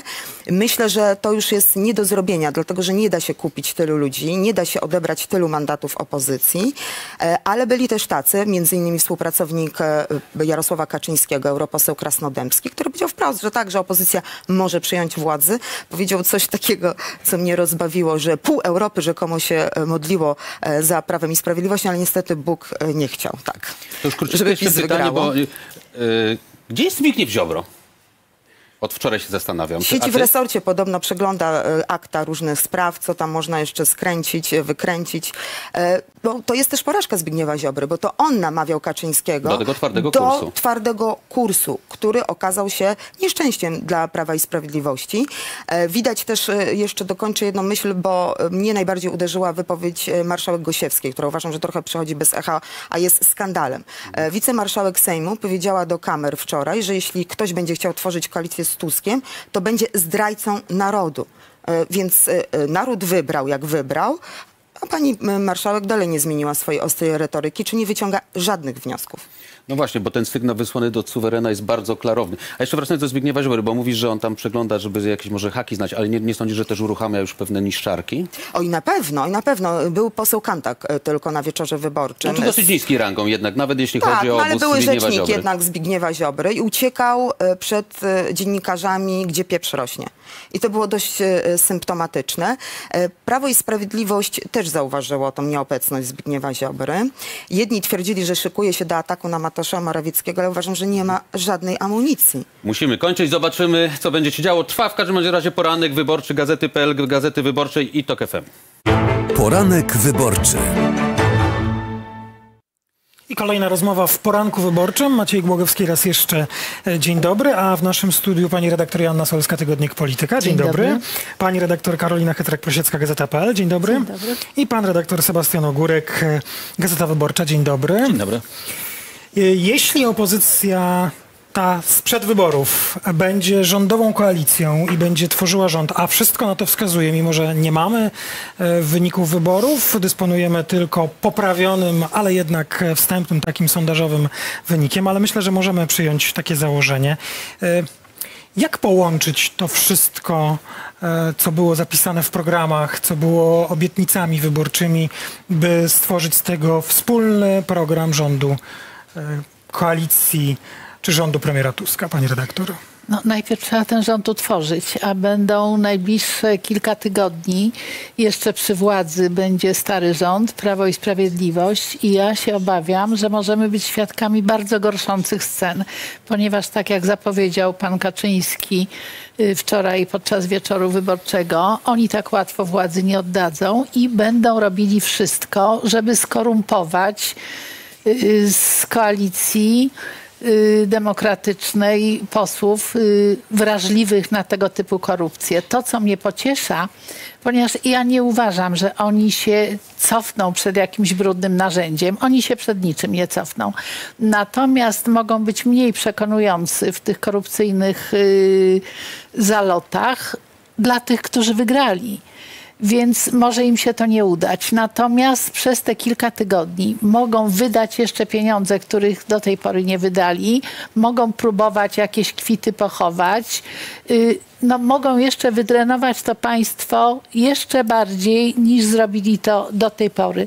Więc ja się boję i tego chaosu, i tego, co oni jeszcze mogą zrobić. I dopiero później będzie. A dopiero później chciała będzie- Pani ze mną rozmawiać tak, na temat tego, tak. jak ten nowy rząd będzie, jaki będzie miał program. Y, No dobrze, no oczywiście, że pewnie potrwa proces tego przekazywania władzy jeszcze czas jakiś. Y, No, nie chcę wykazać się naiwnością, mówiąc, że powinno przejść to wszystko w miarę sprawnie, bo nie ma e, takich sygnałów, że, że PiS tak będzie chciał zrobić. Zresztą pani redaktor przypomniała słowa prezesa Kaczyńskiego, choć przypomnę też, że prezes Kaczyński wczoraj rozpoczął swoje wystąpienie od wskazania, że no nie wyklucza tego, że będzie, że będzie jednak e, w opozycji. No to e, skoro taka logika naszej rozmowy, to mm, jak pani redaktor widzi to, co Prawo i Sprawiedliwość może jeszcze zrobić, zanim e, trzeba będzie napisać program nowego rządu? Znaczy pewnie będzie przedłużać utworzenie nowego rządu i to jest w gestii prezydenta, dlatego że przecież od stycznia może wejść mnóstwo podwyżek, które pójdą już na konto opozycji, jeśli opozycja utworzy rząd. I O tym jest... kilka minut temu mówił Jakub Borowski, że to się wszystko składa. Terminy konstytucyjne z To legislacyjnymi. jest i to już będzie obciążenie pierwsze, tak? Więc opozycja będzie musiała bardzo szybko podejmować decyzje, e, żeby anulować, bo przegramy, tak? Po prostu.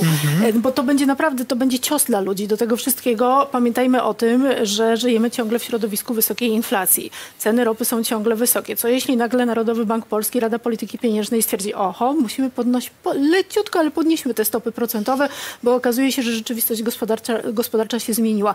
Nie żyjemy w świecie normalnych schematów rynkowych przecież, tak? Nic takiego się dzisiaj nie dzieje. Więc ja uważam, że mm, opozycja będzie musiała być bardzo czujna, ale też te trzy miesiące po zakształtowaniem rządu powinna sobie poświęcić na to, żeby dobrze zakomunikować to, jak będzie właśnie kształtowała ten swój program gospodarczy. Dlatego, że tam jest mnóstwo elementów zbieżnych, ale też jest mnóstwo rozbieżnych, jak chociażby 800+, czyli waloryzacja, przy której na przykład Trzecia Droga mówi, wprowadzimy dla ludzi pracujących. Tak? Pytanie, czy na przykład Prawo i Sprawiedliwość teraz, bo jeszcze obraduje stary e, Sejm, czy, czy, czy Prawo i Sprawiedliwość w jakiś sposób nie zareaguje w tym obszarze.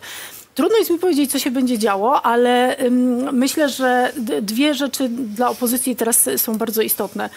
Żeby ułożyć komunikacyjnie plan gospodarczy, y, żeby spełnić obietnice, te, które powiedziano, że zostaną spełnione w pierwszych studniach, przynajmniej dwie, trzy, tak żeby jednak pokazać, że to jest sprawczość. Y, Pewnie zaczną od jakiegoś rodzaju audytu finansów publicznych, co może być takim elementem otwarcia i też pewnego rodzaju usprawiedliwieniem, że nie wszystko możemy zrobić tu i teraz. Zresztą mówmy się, Prawo i Sprawiedliwość z em- em- emeryturami stażowymi czekało 8 lat. No tak. Więc opozycja, Nikt opozycja ma plan, może to rozłożyć w czasie mądrze, to znaczy to, co musimy zrobić tu i teraz, żeby pokazać, że mamy sprawczość, zrobi na początku. Coś przełoży na środek kadencji, o ile taki będzie, bo przecież nie wiemy, co się Chociaż to, co najtrudniejsze, pewnie trzeba będzie robić jak No najszybciej. właśnie chyba w tym przypadku Maciek nie, bo ja też tak myślałam. No, zobaczymy. Ale, ale tu właśnie to są takie wybory, przy których właśnie dokładnie odwrotna logika moim Być może działa. tak, ale to jeszcze o tych obawach. Czy... To tak. Ja mam jeden apel do Apel. wszystkich osób, które w tej chwili siedzą w spółkach Skarbu Państwa, w instytucjach typu Lasy Państwowe, Narodowy Fundusz Ochrony Środowiska itd. itd. Czy to jest apel Szymona Hołowni? E, nie, to jest Pakujcie- apel Sebastiana Ogórka. E, wiadomo, że PiSu już nie ma. Ich nie ma. Te tłuste koty wszystkie odejdą. Ich trzeba będzie rozliczyć. Tu jest e, broszurka, którą wydał kod 100 afer, to są na razie afery opisane przez nas, przez dziennikarzy, którym należy się także podziękowanie za, za to, co robiły przez ostatnie 8 lat. Natomiast e, w tej chwili to, co e, przed chwilą też Justyna Dobroszoracz mówiła, czyli o paleniu tak zwanym teczek. Znaczy to się będzie teraz odbywało przez 2,5 miesiąca mniej więcej. I naprawdę ludzie, którzy tam siedzą, mają teraz ważny obywatelski obowiązek do spełnienia, To ten apel, jaki żeby jest? archiwizować, wszystko archiwizować, pilnować, sprawdzać, kontrolować, robić print screeny, ściągać PDF-y i tak dalej, i tak dalej, żeby te afery wszystkie rozliczyć. Bo dla mnie pierwszą rzeczą, którą em, trzeba będzie zrobić po dojściu opozycji do władzy, to jest zaprowadzenie prawa i sprawiedliwości. Ale takiego prawa i sprawiedliwości, e, którego przez 8 lat nie było. Nie było jej ani, ani w, prokuratorze, w prokuraturze, ani w spółkach Skarbu Państwa, ani gdziekolwiek indziej, Ja- co widzimy nawet dzisiaj przy dystrybutorach, bo na połowie z nich nie ma po prostu paliwa. I Ja to doskonale rozumiem i wydaje mi się, że ten element, e, powiedzmy, rozliczeń e, nie zostanie zaniechany. Zresztą Donald Tusk go obiecuje i z, tych, z tej czwórki to był ten pierwszy rozliczenia, ale podejrzewam, no to, to politycy lepiej się na tym znają, ale podejrzewam, że e, to nie będzie mogło być działanie, które opóźni wprowadzenie tego programu, z którym opozycja co, poszła na wybory. Myślę, że pierwszym takim ważnym krokiem będzie odblokowanie KPO.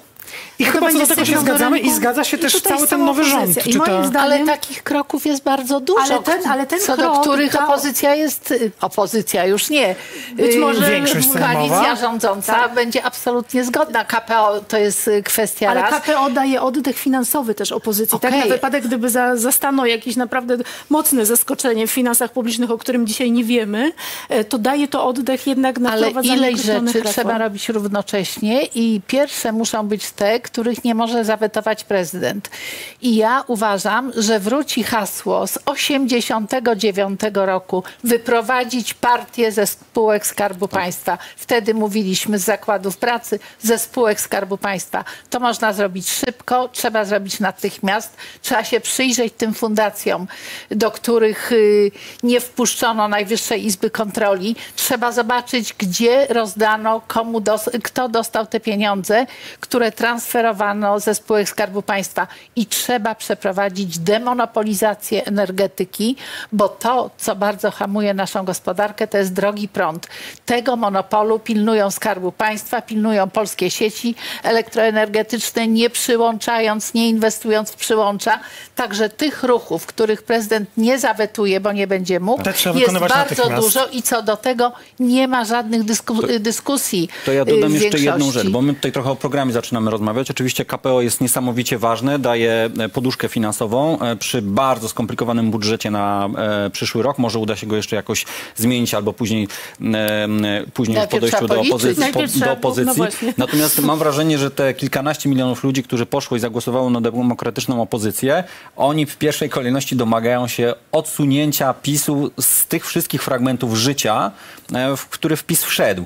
Drugi apel, który powinniśmy mieć, to także dla tych partii opozycyjnych, ich członków, ich, ich kandydatów, e, ich ludzi, że czasy takiego zarządzania państwem powinny się skończyć. Żeby nikt nie myślał, że skoro PiS Że działał w ten zastąpią sposób, drudzy na tej to teraz my zasadzie. będziemy także tłustymi, może już nie kotami, tylko pieskami załóżmy. Ja jestem bardzo ciekawa, kto będzie ministrem finansów, bo to, to będzie kluczowe. Tu się, a tu się, to się otwiera nam Ale kolejny to już- wątek. Jaka też będzie jego rola, bo jeśli Otóż będzie to, taką będzie rolę jak obecna, politycznie, tak jest. to jest to w ogóle to jest niepotrzebna osoba zupełnie, nie decydująca o niczym, nie mająca zielonego pojęcia, jaka jest dziura budżetowa, jakie są wydatki państwa, Tak. bo do tych rzeczy, które y, zostaną zrobione natychmiast, to musi być zrobiony remanent. Ile nam naprawdę brakuje Tak, w kasie państwa, bo dziura budżetowa nie mówi o niczym. Wiemy, że jest kilkaset miliard, y, miliardów w funduszach celowych. Nie mamy zielonego pojęcia o tym, ile wydał minister Błaszczak, więc trzeba zobaczyć, ile wydano więcej niż państwo ma do dyspozycji. Ja dodam jeszcze jedną rzecz, bo tutaj mówiliśmy o tym kursie e, złotego. Nie wiadomo, co się będzie działo z ropą naftową i jej ceną i innymi surowcami energetycznymi, jeśli wybuchnie konflikt na Bliskim Wschodzie. Bo może się okazać, że ten Katar, z którego my tak sobie e, fajnie dzisiaj ściągamy ten gaz, to może zostać w jakiś sposób zablokowany. Może te wszystkie transporty po prostu no, nie będą To są to tak zwane naszej... ryzyka, które to są, mogą się, tak, te czarne e, e, pojawić. ła- łabędzie, które mogą się tutaj pojawić, więc ten czas przejmowania tej władzy jest też absolutnie, no to nie są spokojne czasy tak na arenie arenie międzynarodowej. Musimy dokończyć także proces modernizacji polskiej armii. PiS No, ale go jakiś jednak, zaczął. e, przepraszam, że, że, że przerwę, ale jakiś jednak plan, mimo że chcieliście się od niego, miałem wrażenie, w pierwszej chwili uchylić, tu się zarysował, czyli po pierwsze to jest wyprowadzenie partii dotychczas Ze spółek Skarbu ze spółek Państwa. Skarbu Państwa i z życia gospodarczego tam, gdzie nie powinna e, rządzić nomenklatura partyjna, tylko e, rynek albo Fachowcy. przejrzystość i transparentność. To jest pierwsza sprawa. A druga, jak rozumiem, to jest porządkowanie e, finansów, publicznych. państwa I KPO oczywiście. I KPO. Ale KPO wymaga I y, rzeczywiście- tych kamieni, zrealizowania tych kamieni milowych i to są bardzo poważne rzeczy, bo trzeba inaczej ustanawiać prawo, trzeba przywrócić praworządność.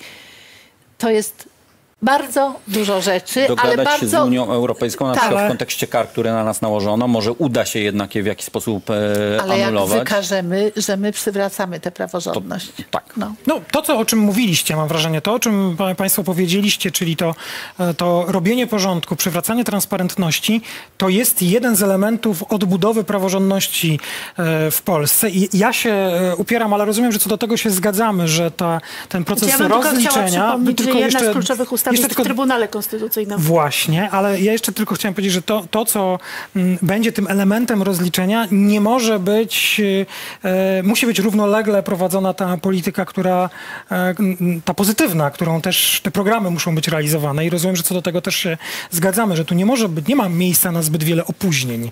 Tym bardziej, że niektóre obietnice były bardzo Lu- konkretne Ludzie się będą że, spodziewać. że wydarzy się zaraz.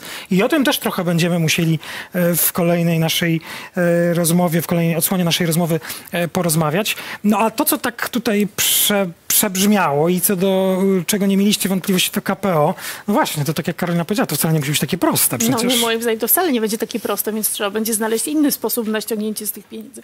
Albo, w, albo podjąć decyzję w kontekście Trybunału Konstytucyjnego, tylko jak?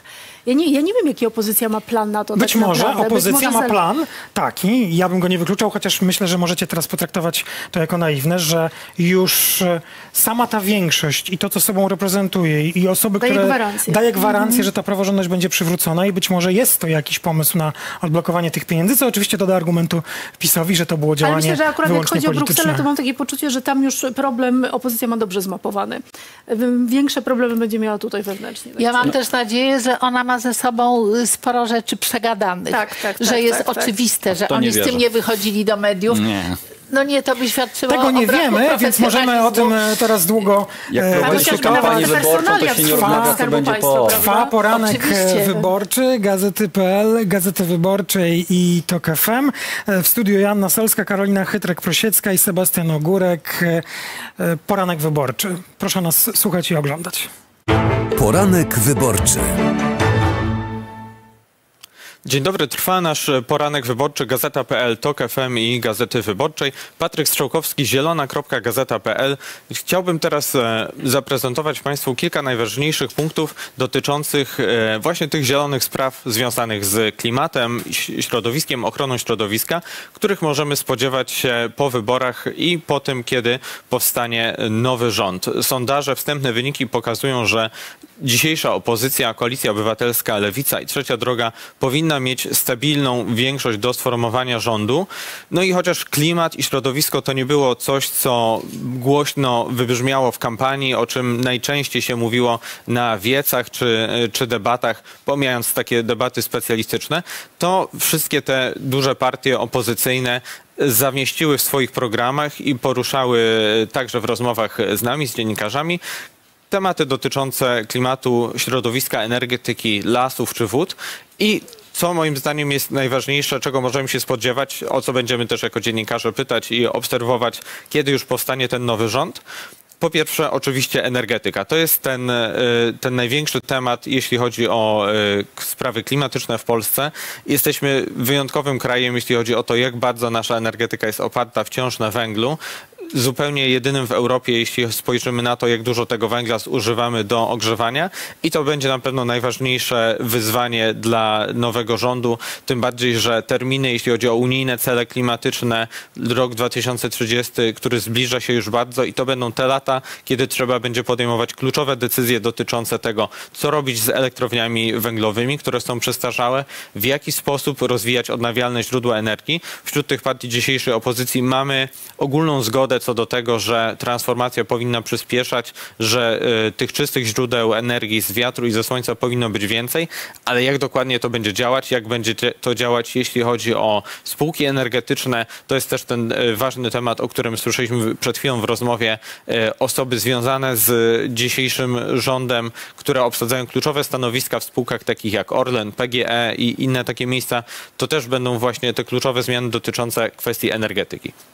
Druga, drugi kluczowy obszar, o którym też mówiło wielu polityków opozycji przez ostatnie lata rządów PiS, a także w kampanii wyborczej, to jest ochrona przyrody i szczególnie lasy państwowe. Lasy państwowe to jest kolejna instytucja, która w czasie y, ostatnich lat rządów PiSu została, jak często to mówili politycy czy, politycy czy komentatorzy, upartyjniona. Szczególnie osoby związane z Solidarną, suwerenną Polską y, Zbigniewa Ziobry objęły kluczowe kierownicze stanowiska w lasach państwowych.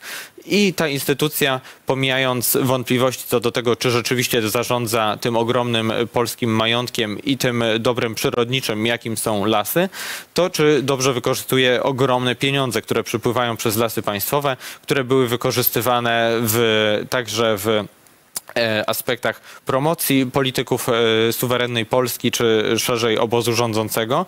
No i tutaj kluczowe decyzje będą dotyczyć z jednej strony tych spraw personalnych, czyli tego, czy zmieni się kierownictwo lasów państwowych, w jaki sposób nowy rząd zdecyduje o tym, kto ma teraz podejmować tam te kluczowe decyzje, ale też jakie będą zmiany systemowe, bo to jest coś, o czym alarmowali eksperci, o czym alarmowała Unia Europejska. Lasy państwowe dotychczas były instytucją w dużej mierze pozbawioną kontroli społecznej. Ciężko było lub było to wręcz niemożliwe dla obywateli, dla organizacji społecznych, także dla dziennikarzy uzyskać informacje, co dokładnie dzieje się w lasach, gdzie i z jakiego powodu wycinane są drzewa, w jaki sposób to drewno jest sprzedawane, eksportowane także poza Polskę czy obywatele i w jakim stopniu obywatele, obywatelki mogą wpływać na to, żeby te y, wycinki zatrzymać, na przykład jeżeli uważają, że las jest cenny przyrodniczo czy społecznie. Więc to są te kluczowe decyzje, z których część zapewne rząd będzie mógł podejmować już y, na tym, na tym poziomie ministerstw, jeśli chodzi szczególnie o te sprawy personalne. Z drugiej strony, jeśli chodzi o te sprawy systemowe, to będzie wymagać y, zmiany w ustawach. To wiemy, że może być zablokowane jeszcze przez co najmniej kilkanaście miesięcy miesięcy, jeśli prezydent Andrzej Duda nie będzie skłonny podpisać się, zgodzić na, e, na tego typu zmiany, tak czy siak będzie to jeden z dużych tematów związanych ze środowiskiem i przyrodą dla nowego rządu. Trzecim ważnym obszarem jest ochrona rzek. To jest problem, który jest w Polsce chroniczny i narastający, ale w dużej mierze był nieuświadomiony aż do ubiegłego roku, kiedy wszyscy zobaczyliśmy na własne oczy, czym kończy się dotychczasowe podejście do ochrony rzek, ochrony wód w Polsce czyli katastrofa na Odrze. Od tego czasu rząd Prawa i Sprawiedliwości zaczął wprowadzać pewne zmiany, jeśli chodzi o monitoring rzek, jeśli chodzi o, o samą Odrę i to, co było konkretnie przyczyną tej katastrofy. A jeśli spojrzymy na statystyki dotyczące ogólnie jakości wód w Polsce, to ponad 90% rzek ma zły stan wód i jest w ten czy inny sposób zanieczyszczona. Po drugie, organizacje ekologiczne ostro krytykowały też podejście obecnego rządu do tak zwanego betonowania, że do tego, żeby one były bardziej regulowane, żeby były bardziej spławne dla transportu rzecznego, żeby było więcej zapór. To jest coś, czemu sprzeciwia się co najmniej część opozycji, chociaż nie wiemy, czy e, dzisiejszej opozycji, nie wiemy, co, e, czy będzie kompletna zgoda wśród poszczególnych partii co do tego podejścia, jeśli chodzi o rzeki, ale wiemy, że w programach na przykład Lewicy czy Polski 2050 były kwestie takie jak renaturyzacja rzek, jak lepszy y, monitoring y, stanu wód. To są moim zdaniem te trzy duże, ważne ekologiczne tematy, które będą po pierwsze kluczowymi wyzwaniami dla nowego rządu, a po drugie będą tym, o co będziemy pytać i co będziemy obserwować. Także dzisiaj jeszcze w poranku wyborczym będę rozmawiał z Dorotą Olko z Partii Razem i ją także zapytam o kwestie ekologiczne. A teraz zapraszam na dalszą część rozmowy w studiu. Patryk Strzałkowski, do zobaczenia. Poranek wyborczy. To jest poranek wyborczy. Raz jeszcze dzień dobry. Ja nazywam się Maciej Głogowski. W naszym studiu pani Joanna Solska, pani Karolina Chytrek-Wrosiecka i pan Sebastian Ogórek. Rozmawiamy o gospodarce i o tym, jakie mogą być priorytety nowego rządu, a właściwie jakie zadania dla nowego rządu. Przypomnę, mówiliśmy już o KPO, o wyprowadzeniu partii ze spółek. E, No to skoro to są nawiązania do, tego, do tych najważniejszych wyborów od 89 roku, to i e, to stwierdzenie, takie jak było w 89 roku, może e, powrócić. Przy okazji nie wiem, czy zwróciliście Państwo uwagę, w 89 roku wybie- wybieraliśmy Sejm 10 kadencji PRL, wczoraj wybieraliśmy Sejm 10 kadencji RP, więc może ta symbolika tutaj ma znaczenie. E, Zanim oddam Wam, e, drodzy Państwo, głos, to chcę powiedzieć, że WIG20 jest na prawie 3% plusie. Indeks 20 największych spółek e, giełdowych, a patrzę sobie na złotego, euro 4,47. Myślę sobie, że e, do powołania rządu jeszcze daleko, jeszcze musimy e, poczekać, aż zadziałają, zobaczymy, które procedury.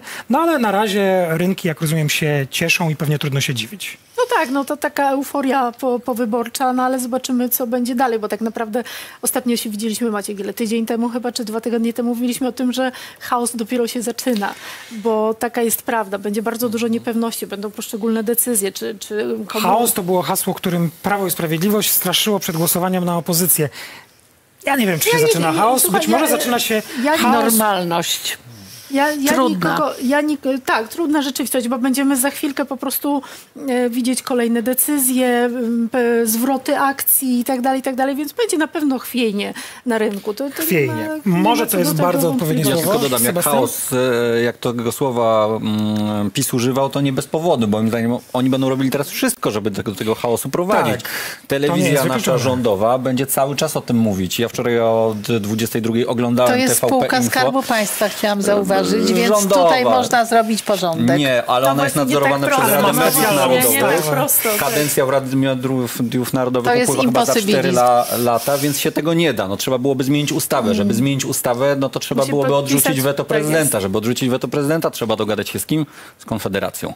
No więc nawet takie, że tak powiem, zamieszanie będzie trzeba e, stosować, żeby czasami się po prostu dogadać. Moim zdaniem Konfederacja pójdzie na to, no bo po tym, jak ich wyrzucono całkowicie z TVP Info i telewizji nadal jeszcze rządowej, no to będą chcieli zrobić wszystko, żeby tam, tam zczyścić, także Danuta Cholecka i spółka stracą pewnie Dobrze, pracę. spróbujmy. Spróbujmy sobie to poskładać. Jak może wyglądać? KPO jest priorytetem i spójnym dla wszystkich partii, które będą tworzyły e, nowy rząd. To już mamy. Mam nadzieję, że to odpolitycznienie spółek również. Tu partie miały różne pomysły.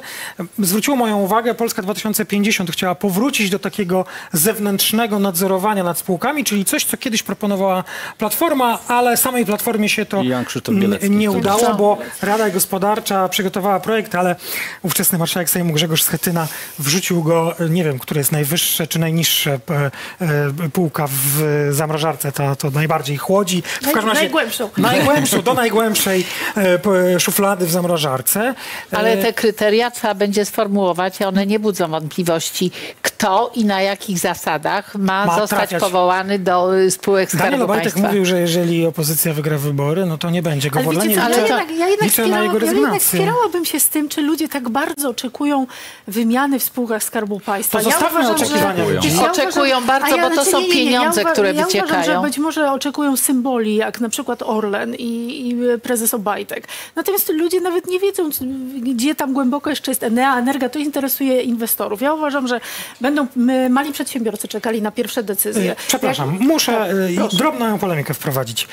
Nawet jeżeli nie oczekują na zmiany w poszczególnych spółkach, czy być może nie interesowali się tym, bo nie czuli takiej potrzeby, by wiedzieć, kto w której spółce jest e, prezesem, prezeską, to wydaje mi się, że, łatwo się pogubić. że wydaje mi się, że jedna rzecz e, dotyczy nie tylko tych, którzy nas teraz oglądają i słuchają, nas wszystkich, wyborców i wyborczyń również.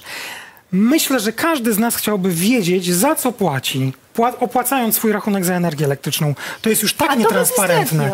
Więc mam nadzieję, Oczywiście. że przynajmniej zmiany kadrowe gdyby przybliżą nas do tego, żeby zrozumieć, co tam jest napisane i ile jest mojej prawdziwej ale- opłaty. Ale jest jeszcze symboliczne, ale nie- jedna sprawa, Solska? która jest bezdyskusyjna dla wszystkich.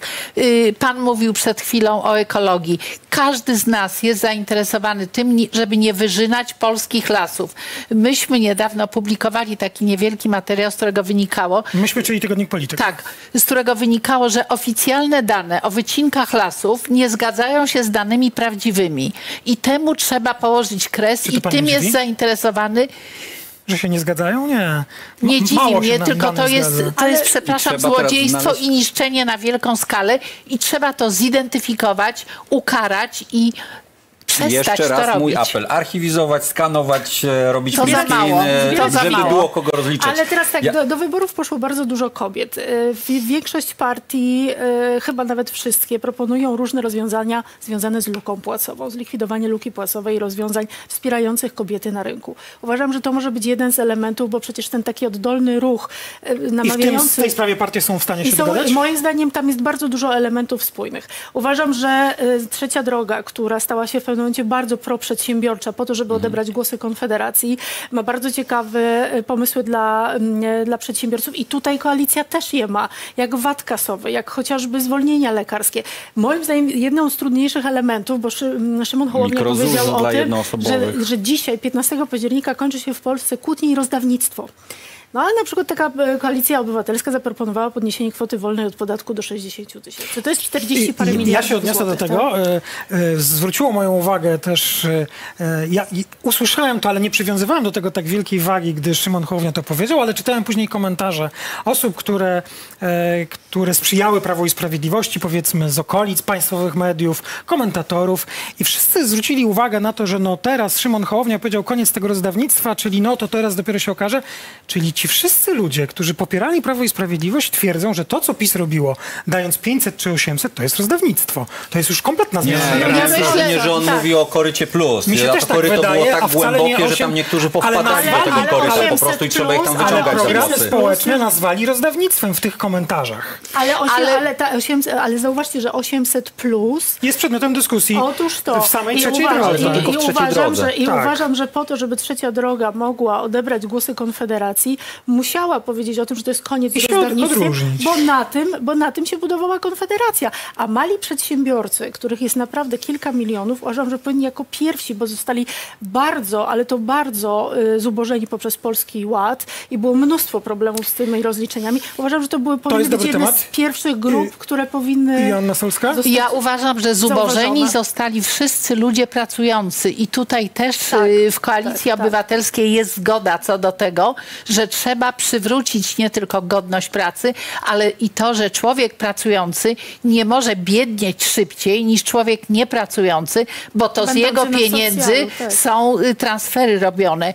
Więc absolutnie ludzie pracujący zostali tak skrzywdzeni przez inflację o wiele bardziej niż niektórzy beneficjenci transferów, że to trzeba zmienić. Praca musi się opłacać i tutaj oni są zgodni co do tego i ja myślę, że to jest rzecz jedna z pierwszych i tą rzeczą są również zainteresowani pracodawcy i małe firmy i duże firmy. Brakuje ludzi do pracy coraz bardziej, więc jeśli nie będzie zachęt do tego, żeby pracować, a nie wyciągać rękę, tych ludzi będzie brakowało Dobrze, ja jeszcze jestem bardziej. bardzo ciekawy, jak Lewica zareaguje, w szczególności razem, jak m, powiemy o tym, że będziemy jakoś zmieniali kwestię związaną z opodatkowaniem mikroprzedsiębiorców, bo umówmy się, że wielu z nich to są po prostu pracownicy, którzy pracują na fakturę.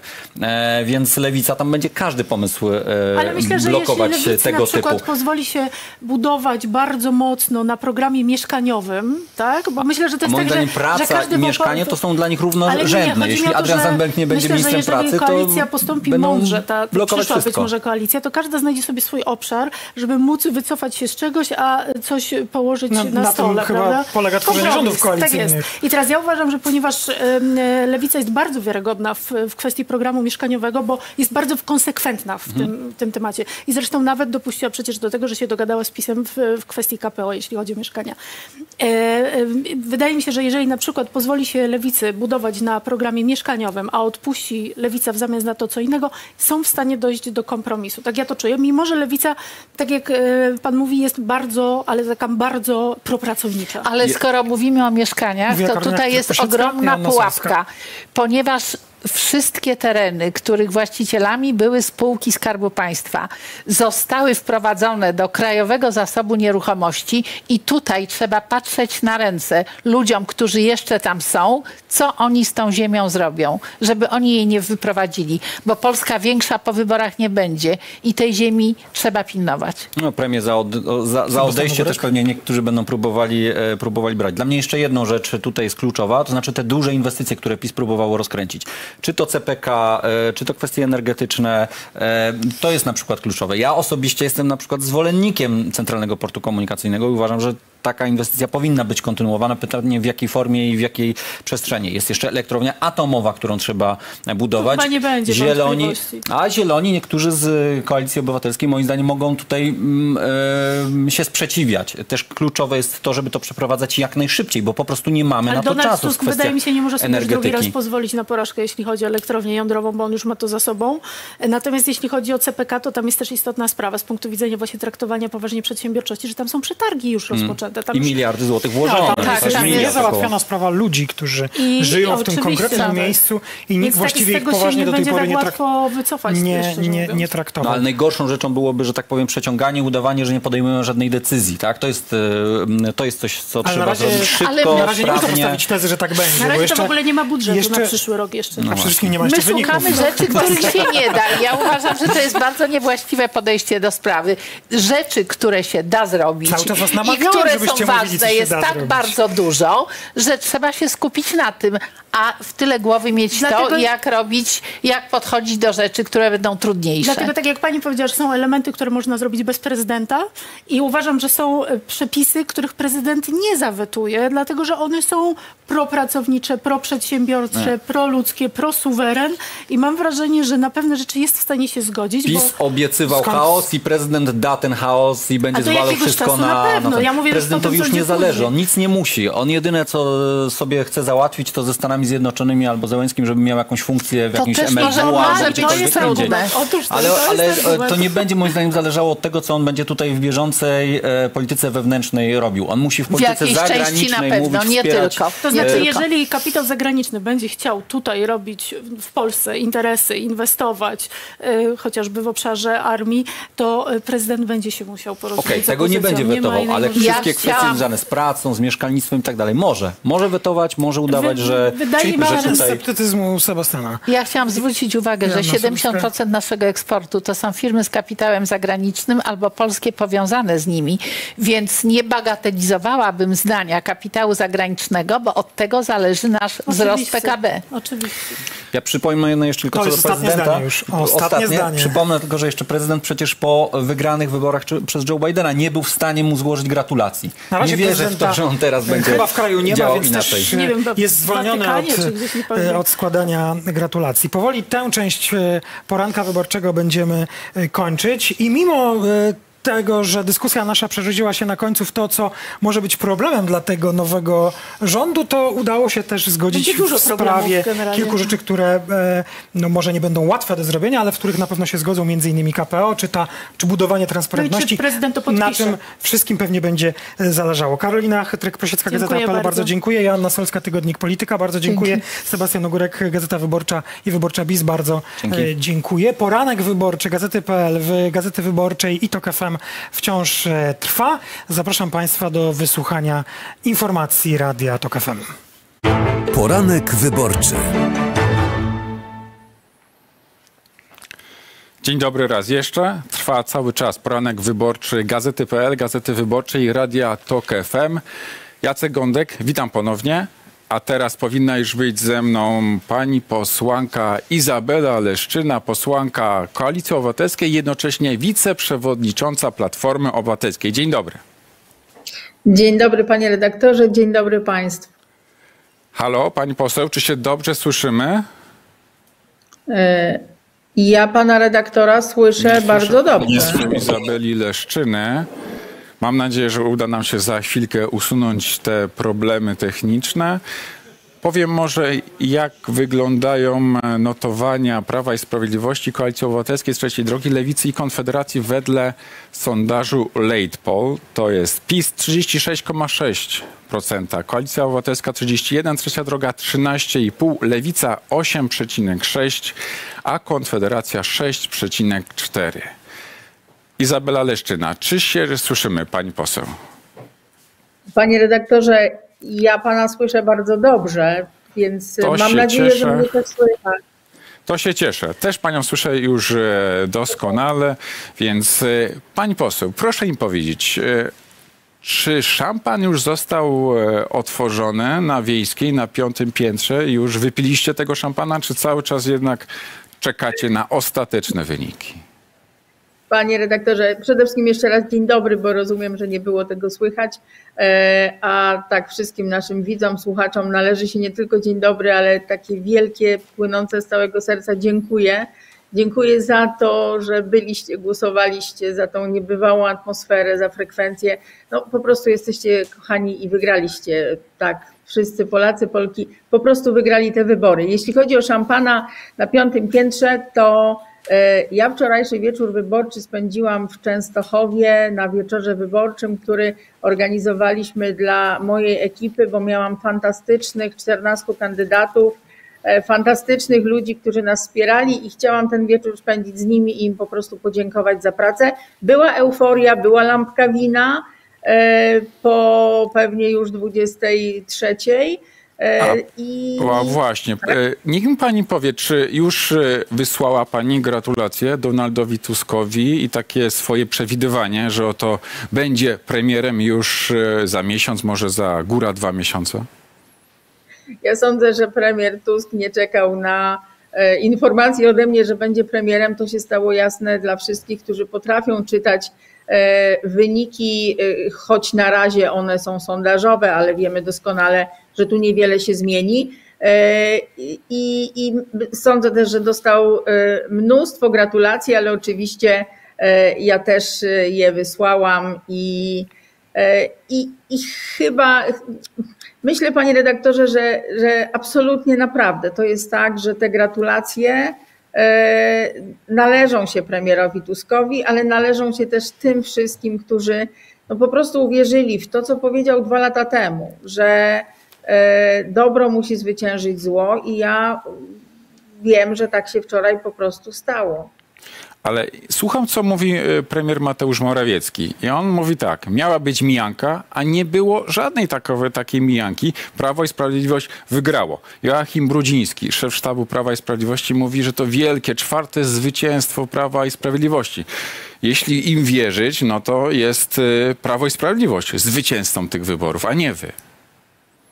Ja już wczoraj do dziennikarzy, którzy przyszli y, z nami, e, oczekiwali na wyniki e, exit polu, powiedziałam, że to jest taki wyjątkowy dzień, e, kiedy drugie miejsce okazuje się zwycięskie. I rzeczywiście tak po prostu jest. Konfederacja, która e, miała wynik zdecydowanie poniżej sondażowych oczekiwań. To mnie bardzo cieszy. To, to świadczy o tym, że, że nasi wyborcy, czyli w, ogóle wyborcy w Polsce, e, są jednak świadomi i zanim oddadzą swój głos, to sprawdzą e, jednak dokładniej, czy to jest tylko tak, że partia obiecuje niskie podatki, czy jednak e, ukrywa tę swoją brunatną twarz. Więc niski wynik Konfederacji cieszy. Mam nadzieję, że w kolejnych wyborach parlamentarnych zejdą pod próg. E, Natomiast e, cokolwiek powie pan Morawiecki, Brudziński i inni, mogą zaklinać rzeczywistość. Prawda jest, panie redaktorze, taka, że PiS nie jest w stanie stworzyć rządu, a my możemy ten rząd stworzyć w ciągu tego tygodnia. Ale Mateusz Morawiecki mówi, że no, on ma nadzieję, że ta misja tworzenia rządu zostanie właśnie powierzona przedstawicielowi Prawa i Sprawiedliwości w tym pierwszym kroku, bo przecież są zwycięzcami. A czy Platforma, czy pani osobiście macie takie oczekiwanie, że to już w pierwszym kroku prezydent Andrzej Duda powierzy tę misję tworzenia rządu właśnie liderowi Platformy Obywatelskiej Donaldowi Tuskowi, czy jesteście skłonni poczekać na ten drugi krok i wówczas działać sami w Sejmie? Tu dwie rzeczy są ważne. Gdyby prezydent Duda był przyzwoitym człowiekiem, umiejącym czytać wyniki wyborów, umiejącym czytać nastroje społeczne, obserwującym to, co dzieje się w koło, wystarczyło naprawdę zobaczyć to, co wolne media pokazywały e, w lokalach wyborczych, przed lokalami. Nie było w historii Polski takiej sytuacji, żeby ludzie do e, trzeciej prawie w nocy, tak się stało we Wrocławiu, stali w kolejkach, żeby zagłosować. Więc gdyby prezydent Duda był przyzwoity, powierzyłby e, misję tworzenia rządu Donaldowi Tuskowi. Ale że przyzwoity nie jest i ja nie spodziewam się po nim niczego dobrego, to sądzę, że po to, żeby stworzyć pozory chaosu, bo y, próba tworzenia rządu przez Kaczyńskiego czy Morawieckiego, to nieważne, będzie chaosem, będzie takim e, wydłużeniem odchodzenia od władzy PiSu. Oni w tym czasie będą niszczyć dokumenty, pewnie pan Ziobro będzie niszczył jakieś kolejne laptopy. Ale to Nic pani oczekuje, że prezydent Andrzej Duda jak najszybciej, nie czekając wcale 30 dni, które ma na to, y, czytając konstytucję, tylko że zwoła pierwsze posiedzenie nowego Sejmu już ekspresowo, po prostu w najbliższym tygodniu?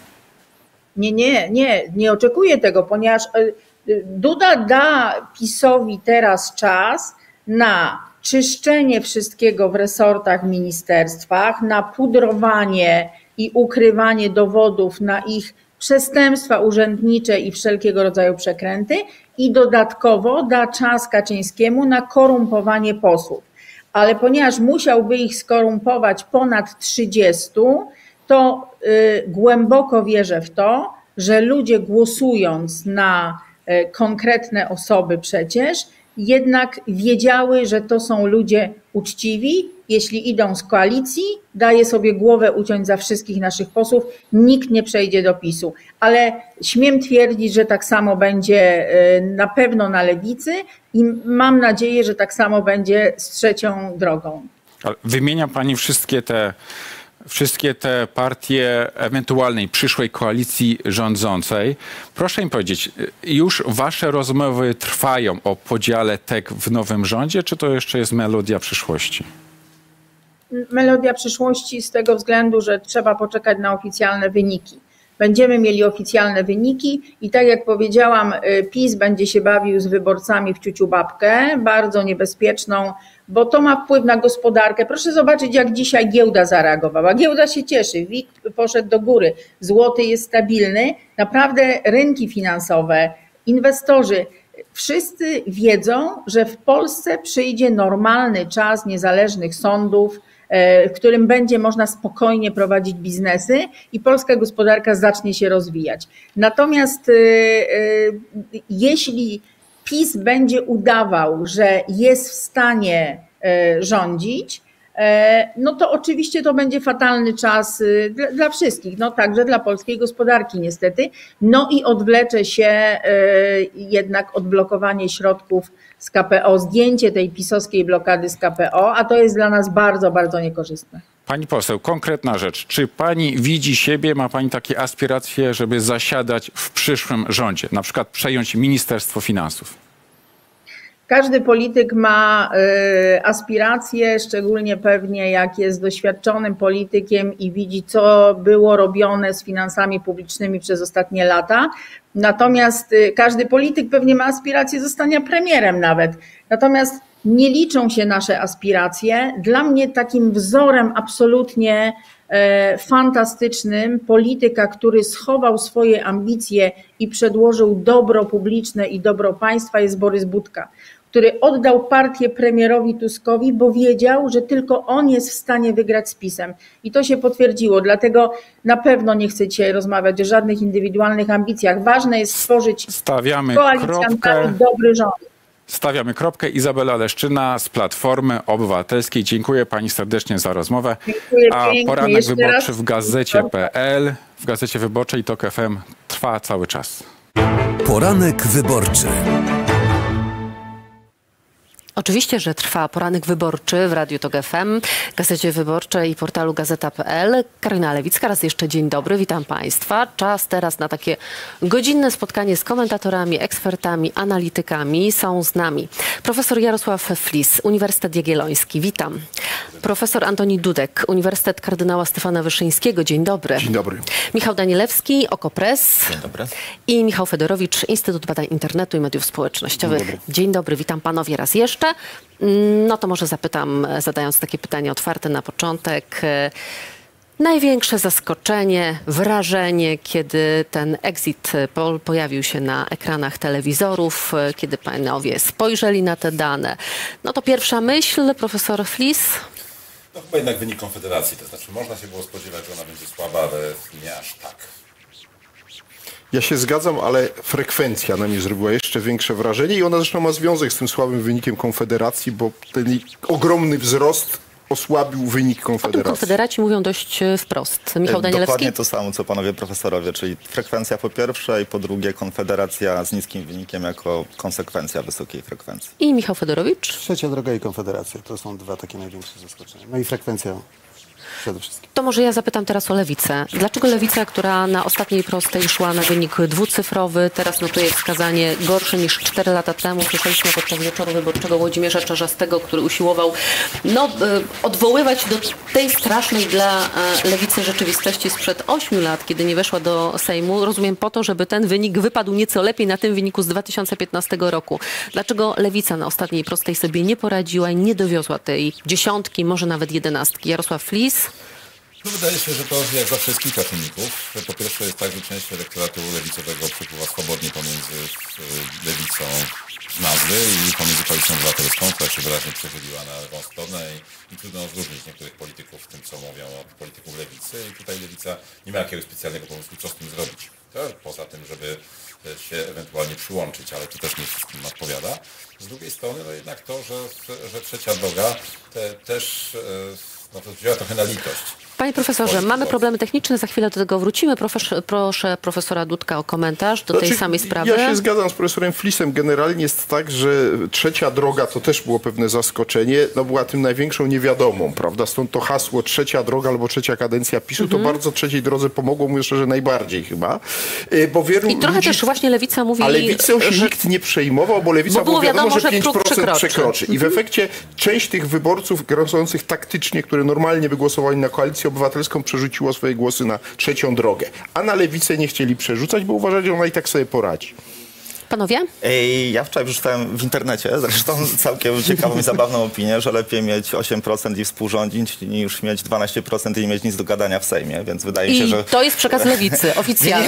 Nie, nie, nie. To jest przekaz jakiegoś Nie, nie, to ja słyszałam ale- dzisiaj Aha, już okej. od polityków to, znaczy, to jest lewicy. całkiem trafne, a dlaczego lewica tylko 8,5% to widać w exit polu, to znaczy jedna czwarta wyborców lewicy sprzed czterech lat zagłosowała na koalicję obywatelską, plus notowania lewicy dramatycznie spadają wśród ludzi po 50, co oznacza, że taki elektorat właśnie dokładnie balansujący między KO a lewicą jednak zdecydował się przerzucić swoje głosy na mm, koalicję obywatelską. Politycy lewicy zwracają też uwagę, że mogli paść ofiarą polaryzacji na tej ostatniej prostej, czyli duża część głosów właśnie na koalicję, na Prawo i Sprawiedliwość, część głosów e, też na trzecią drogę, żeby czasem nie wpadła pod próg, bo wiadomo, albo trzecia droga, albo trzecia kadencja PiSu, no i że w związku z tym właśnie lewica padła ofiarą tego wszystkiego, co wydarzyło się w ciągu ostatnich dni przed głosowaniem niedzielnym. Wydaje się, że ze wszystkich danych ilościowych Lewica prowadziła, jeśli chodzi o media społecznościowe, najgorszą kampanię. Tak naprawdę, znaczy gorzej jeszcze tylko była Konfederacja, natomiast nie uzyskiwała odpowiedniej jakby skuteczności dotarcia. Te reklamy były y, drogie, były źle targetowane. Nie było też osobowości na, znaczy widać po debacie było, że tak naprawdę ekspo, ekspozycja osobowości. Liderzy nie pociągnęli w mediach społecznościowych, które też personalizują przekazy, a nie patrzą na partię, nie pociągnęli tego i tutaj to może być oczywiście polaryzacja i oczywiście frekwencja też, ale jakby sama kampania była no, dyskusyjna. Ja, Jeśli mogę, nie wiem, czy się zgodzę, że to miało aż takie znaczenie. To znaczy, jeśli popatrzymy, że notowania lewicy dramatycznie spadają wśród wyborców po, po 50, no to nie są główni wyborcy jednak, znaczy główni odbiorcy mediów społecznościowych jednak. Więc jeśli wysnujemy hipotezę, że media społecznościowe raczej docierają do młodszych wyborców, no to tam lewica ma dobry wynik. A wśród starszych nie, to jest pewnie no, To jest drugi długa, wynik wśród młodych, jeżeli chodzi o lewicę. dyskusja w takim sensie, że lewica zagrała bezpiecznie. To znaczy nie próbowała się odróżniać od koalicji obywatelskiej, odgrywała rolę takiej młodszej siostry KO. Ale E, była też zgodna, z wszystkimi chętnie no jak ktoś jest współpracowała. zgodny tak bardzo z większym partnerem, to ten większy partner robi kłap, kłap i trochę Mhm. mu wyborców zabiera. Czyli rola przystawki. Trochę tak. No, to było, jak mówię, gdyby lewica chciała ryzykować i odróżniać się od KO, to byłby pewnie potencjał na wyższy wynik, ale też potencjał na mm, skonfliktowanie się z pewną grupą wyborców, która jednak tej zgody oczekiwała, więc to nie była taka łatwa wcale gra kampanijna, jeśli chodzi o lewicę. Wracam, e, panie profesorze. Tuż e, po informacjach wrócimy do, e, do pana. N- Pana profesora Dudka chciałabym jeszcze zapytać o Konfederację, ponieważ e, Konfederacja będzie miała teraz bardzo trudną sytuację, myślę, żeby określić e, sama siebie, bo były te sny o potędze. Niektórzy eksperci wskazywali, że Konfederacja ma szansę sięgnąć e, po 20%. W szczycie sondażowym było to 14-15. Kończy na 6. No, może będzie troszeczkę więcej w oficjalnych wynikach, e, które poda Państwowa Komisja Wyborcza. Wczorajsze przemówienie Sławomira Mencena podczas wieczoru wyborczego też było bardzo defensywne. On przyznał się do porażki, tak? Docierają do mnie głosy polityków Konfederacji, którzy twierdzą, że to było wystąpienie złe także dlatego, bo podkopało wiarę, co dalej z tym projektem. No cóż, ja myślę, że y, to czas pokaże. Y, y, Konfederacja może rzeczywiście się rozlecieć, aczkolwiek przetrwała całą poprzednią kadencję Sejmu przy moich, co mnie zaskoczyło, że oni przetrwali, więc teraz będą mieli pewnie jednego czy dwóch posłów więcej i będą sobie dalej trwać, licząc, że koniunktura się odwróci. Ale to, to już w tej chwili nie ma znaczenia, dlatego że, że y, y, oczywiście y, dopiero musiałaby nastąpić jakaś daleko idąca dekompozycja obozu reszty opozycji, żeby Konfederacja wróciła do gry jako potencjalny element jakichś układanek PiSu. To jest w tej chwili mało realne. Ich po prostu czeka trwanie przez e, kolejne lata e, i czekanie na swoje pięć minut. No najbliższą okazją będą wybory prezydenckie, gdzie podejrzewam, że właśnie Mencen, który jest albo Bosak, będą próbowali zrobić dobry wynik e, i na tym znowu budować jakąś przyszłość dla tej formacji. Ale mówię, ona musi najpierw przetrwać, bo w tej chwili, no to co pani redaktor powiedziała, że Mencena niektórzy krytykują, może się przerodzić w ogóle w rozpad tego, te, tej formacji. Czy Sławomir Mencen jako twarz tej porażki, bo niewątpliwie to jest Mhm. twarz tej porażki, ma szansę na takie odrodzenie? Moim zdaniem Konfederacji będzie trudno zrobić drugi raz pierwsze wrażenie. To znaczy, y, wyobraźmy sobie kolejne kampanie, sondaże, które na przykład pokazują Konfederację albo kandydata Konfederacji na poziomie 10%. To w pamięci wyborców, w pamięci Mhm. wyborców Konfederacji zostanie to, że tak już było, a skończyło się bardzo źle. Więc ten elektorat Konfederacji, który generalnie jest trudny do zmobilizowania, może być w kolejnych wyborach coraz trudniej, żeby go do urn zagnać lub zachęcić do pójścia. Przezwyciężyliśmy problemy techniczne. Wraca do nas głosowo profesor Flis. Panie profesorze, proszę o te komentarze, których nie mieliśmy okazji usłyszeć wcześniej. Zarówno Konfederacja, jak i e, Lewica miały jeden problem, to znaczy miały, mają dużo słabsze listy niż e, trzy pozostałe partie, tak lokalnie, jeśli chodzi o pokrycie kraju. Na przykład Konfederacja nie miała kandydata w Końskich, chociaż wszyscy wiedzą, że w Końskich się wygrywa wybory. E, To, e, a też Lewica osłabła w samorządach, miała dużo mniej takich kandydatów właśnie z dorobkiem, no i miała dużo układanek takich między poszczególnymi partiami, więc na przykład miała najwięcej spadochroniarzy. To prawie dogoniła PiS, jeśli chodzi o liczbę spadochroniarzy na, na listach, co nigdy nie pomaga w, w, w kampanii e, wyborczej. No i poza tym warto też pamiętać, że Lewica jako jedyna z partii opozycyjnych nie zmieniła kierownictwa. Bo po poprzednich wyborach, to znaczy Platforma odnowiła mm, Tuska, e, Trzecia Droga dołączyła Hołownię, e, a Lewica no tak się nie wiedziała. tak? Jaka była, by- taka jest. tak, no znaczy niby tam były te pomysły, żeby wystawić kobiety, ale nie aż tak, żeby je zrobić szefowymi tej, e, tego ugrupowania. No więc to też niestety za tego typu rzeczy się płaci. Jak się poprzednich wyborów nie wygrało, no to wypada coś zmienić.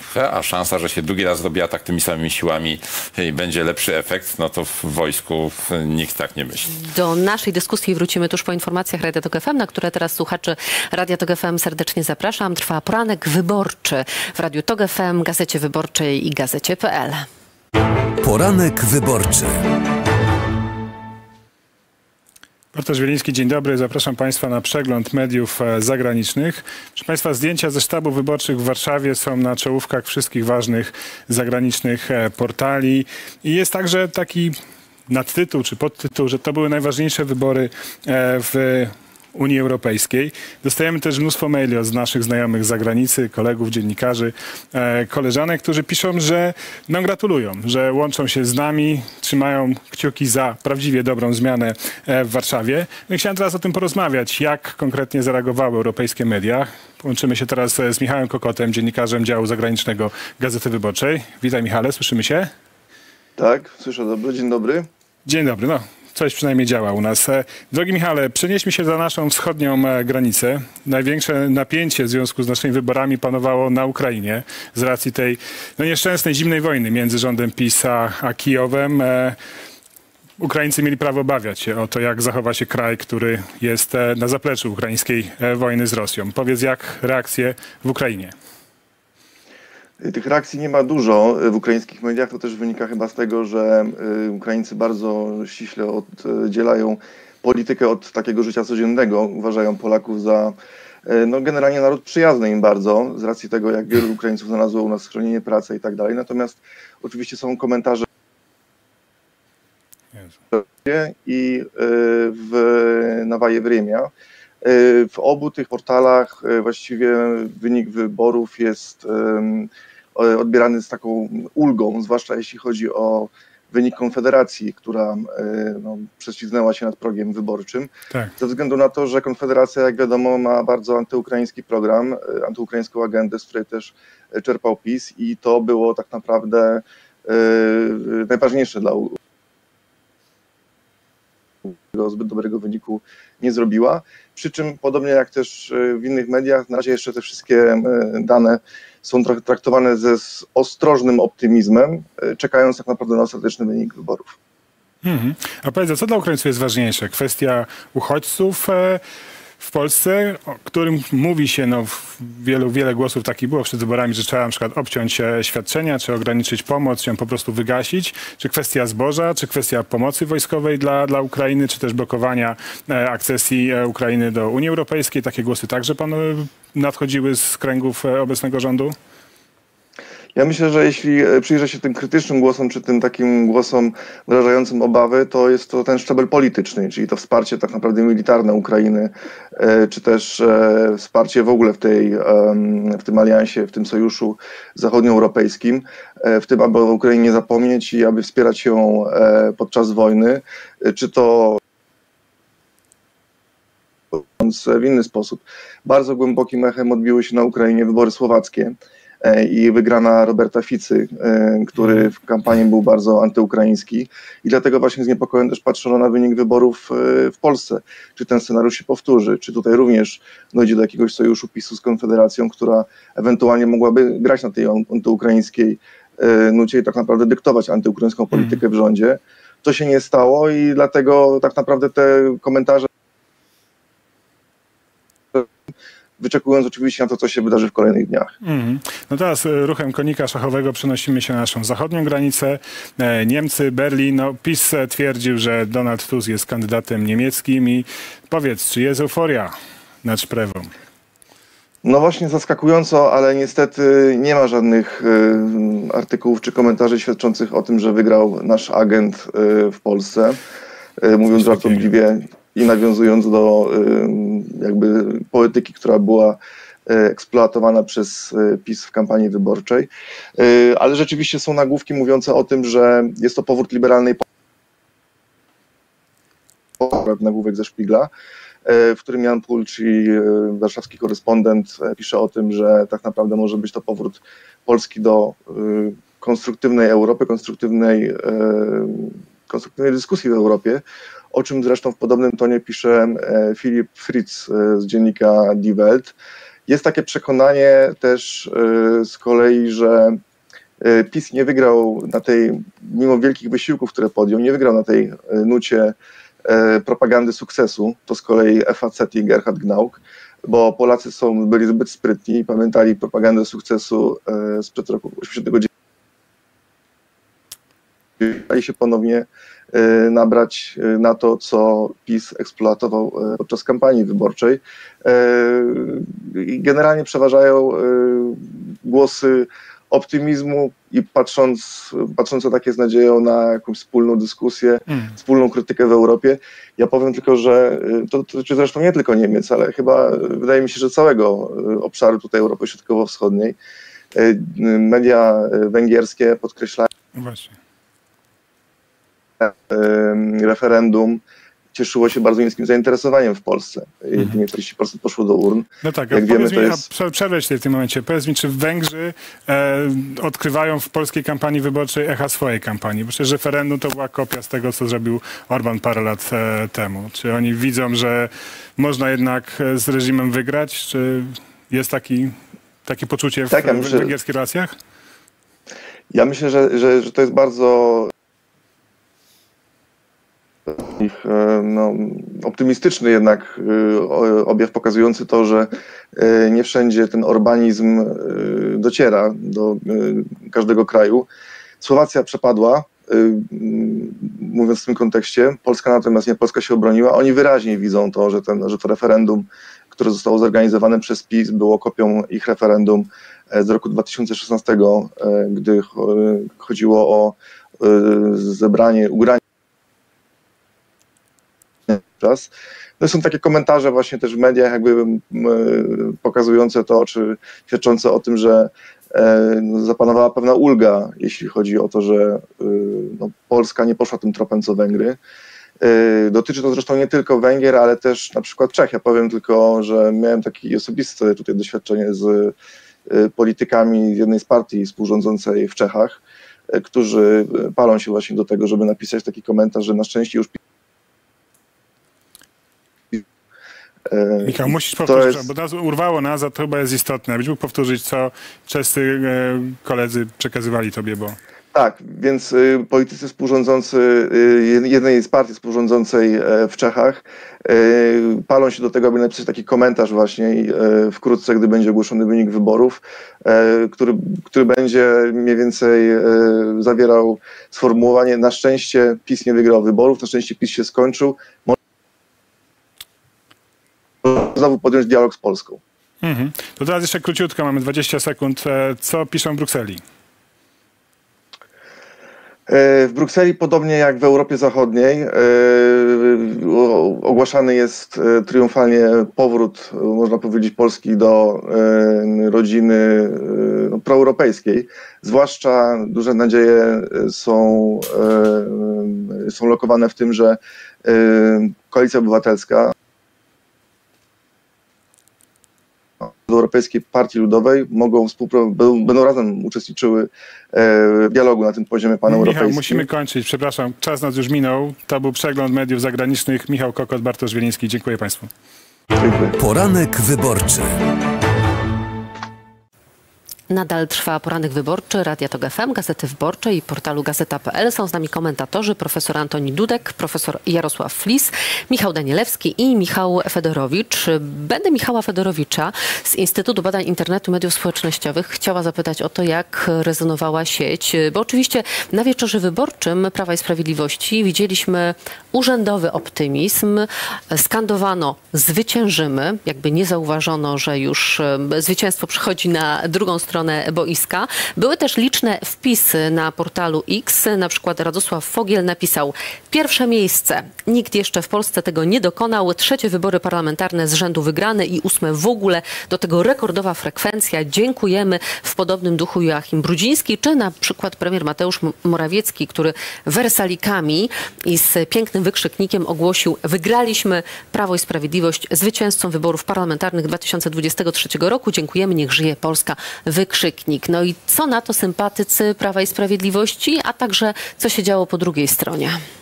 W przeciągu trwania wyborów w dniu wczorajszym, y, przede wszystkim na wszystkich narzędziach ogólnodostępnych, tak jak Google Trends, było pierwszy raz od 2015 roku, było widać, że dużo więcej wyszukiwań organicznych miała Koalicja Obywatelska i Trzecia Droga niż Prawa i Sprawiedliwość. I to był o godzinie 11, to już był tak może z naszej perspektywy sy- sygnał alarmowy, że po prostu Prawem i Sprawiedliwością nikt się nie interesuje, albo przynajmniej listami i A tu trwają wybory. Tu trwają wybory. Tam w pewnym momencie można było odnieść wrażenie, że między godziną 10 a 13 praktycznie cała Polska żyła tylko trzecią drogą i PSL-em.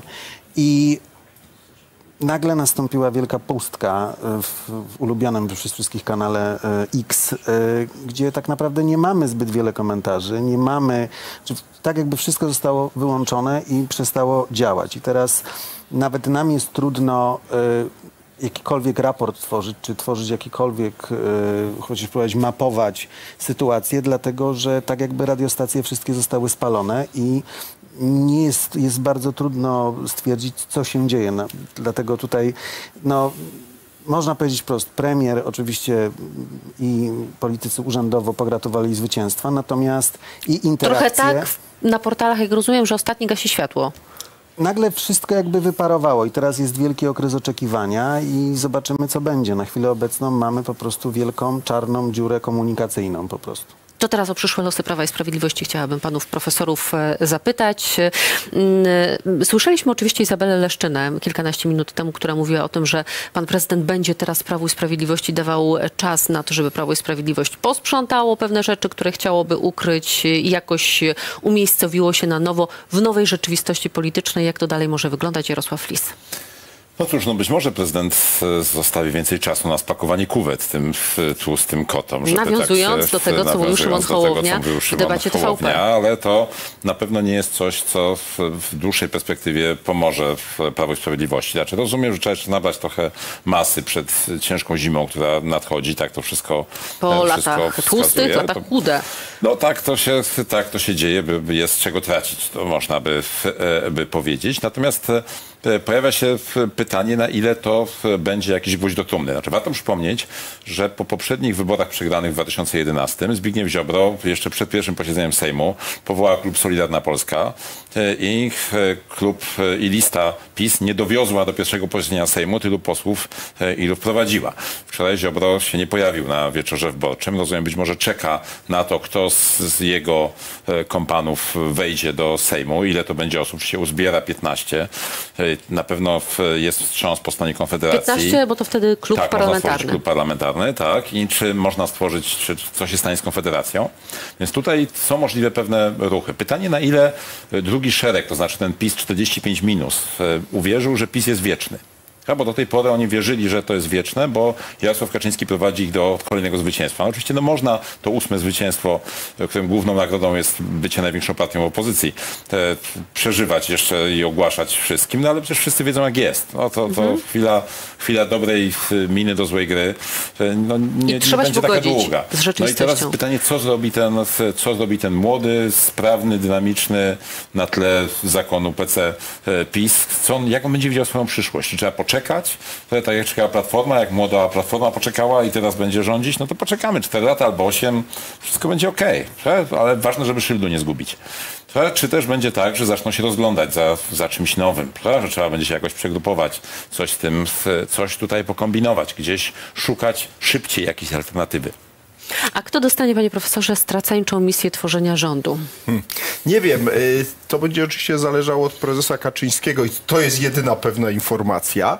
Y, Natomiast zarówno mogę sobie wyobrazić, że to będzie znowu Mateusz Morawiecki, żeby go ukarać za to, że jednak no właśnie nie dowiózł y, sukcesu w należytym wymiarze, jak i można sobie wyobrazić, że to będzie na przykład któraś z pań posłanek, żeby tak jej nie zatrzaskiwano drzwi, prawda, z tych innych formacji, z którymi będzie rozmawiała, próbując zbudować tą większość sobie wyobraża, że ktokolwiek będzie chciał jeszcze z PiSem rozmawiać? Wie pan, nie wiem, Bo po no, tych ale pierwszych tak deklaracjach owak- na to się nie zanosi. e, No tak, ale powiedzmy sobie jasno, PiS będzie grał na czas, więc tak czy owak to jest dwa tygodnie na tworzenie rządu w tym pierwszym kroku koalicji e, I rozumiem, że na przykład taka kandydatka na premiera Elżbieta Witek jednak wystosowuje zaproszenie do trzeciej Tak, drogi. czeka, jest stół, tak, są fotele, tak. są ciasteczka, tak, czekamy. Tak, no Nikt nie czekamy. przychodzi ale tak i kolejny dzień. Czas. No tak, ale tu chodzi o 14 dni, które dla PiSu jest ważne, bo PiS będzie teraz razem z prezydentem Dudą, bo to od niego zależy, ale raczej grał na czas, żeby przeciągnąć ten proces tworzenia nowego rządu e, jak najdłużej. E, i myślę, że e, w tym jest pewna strategia,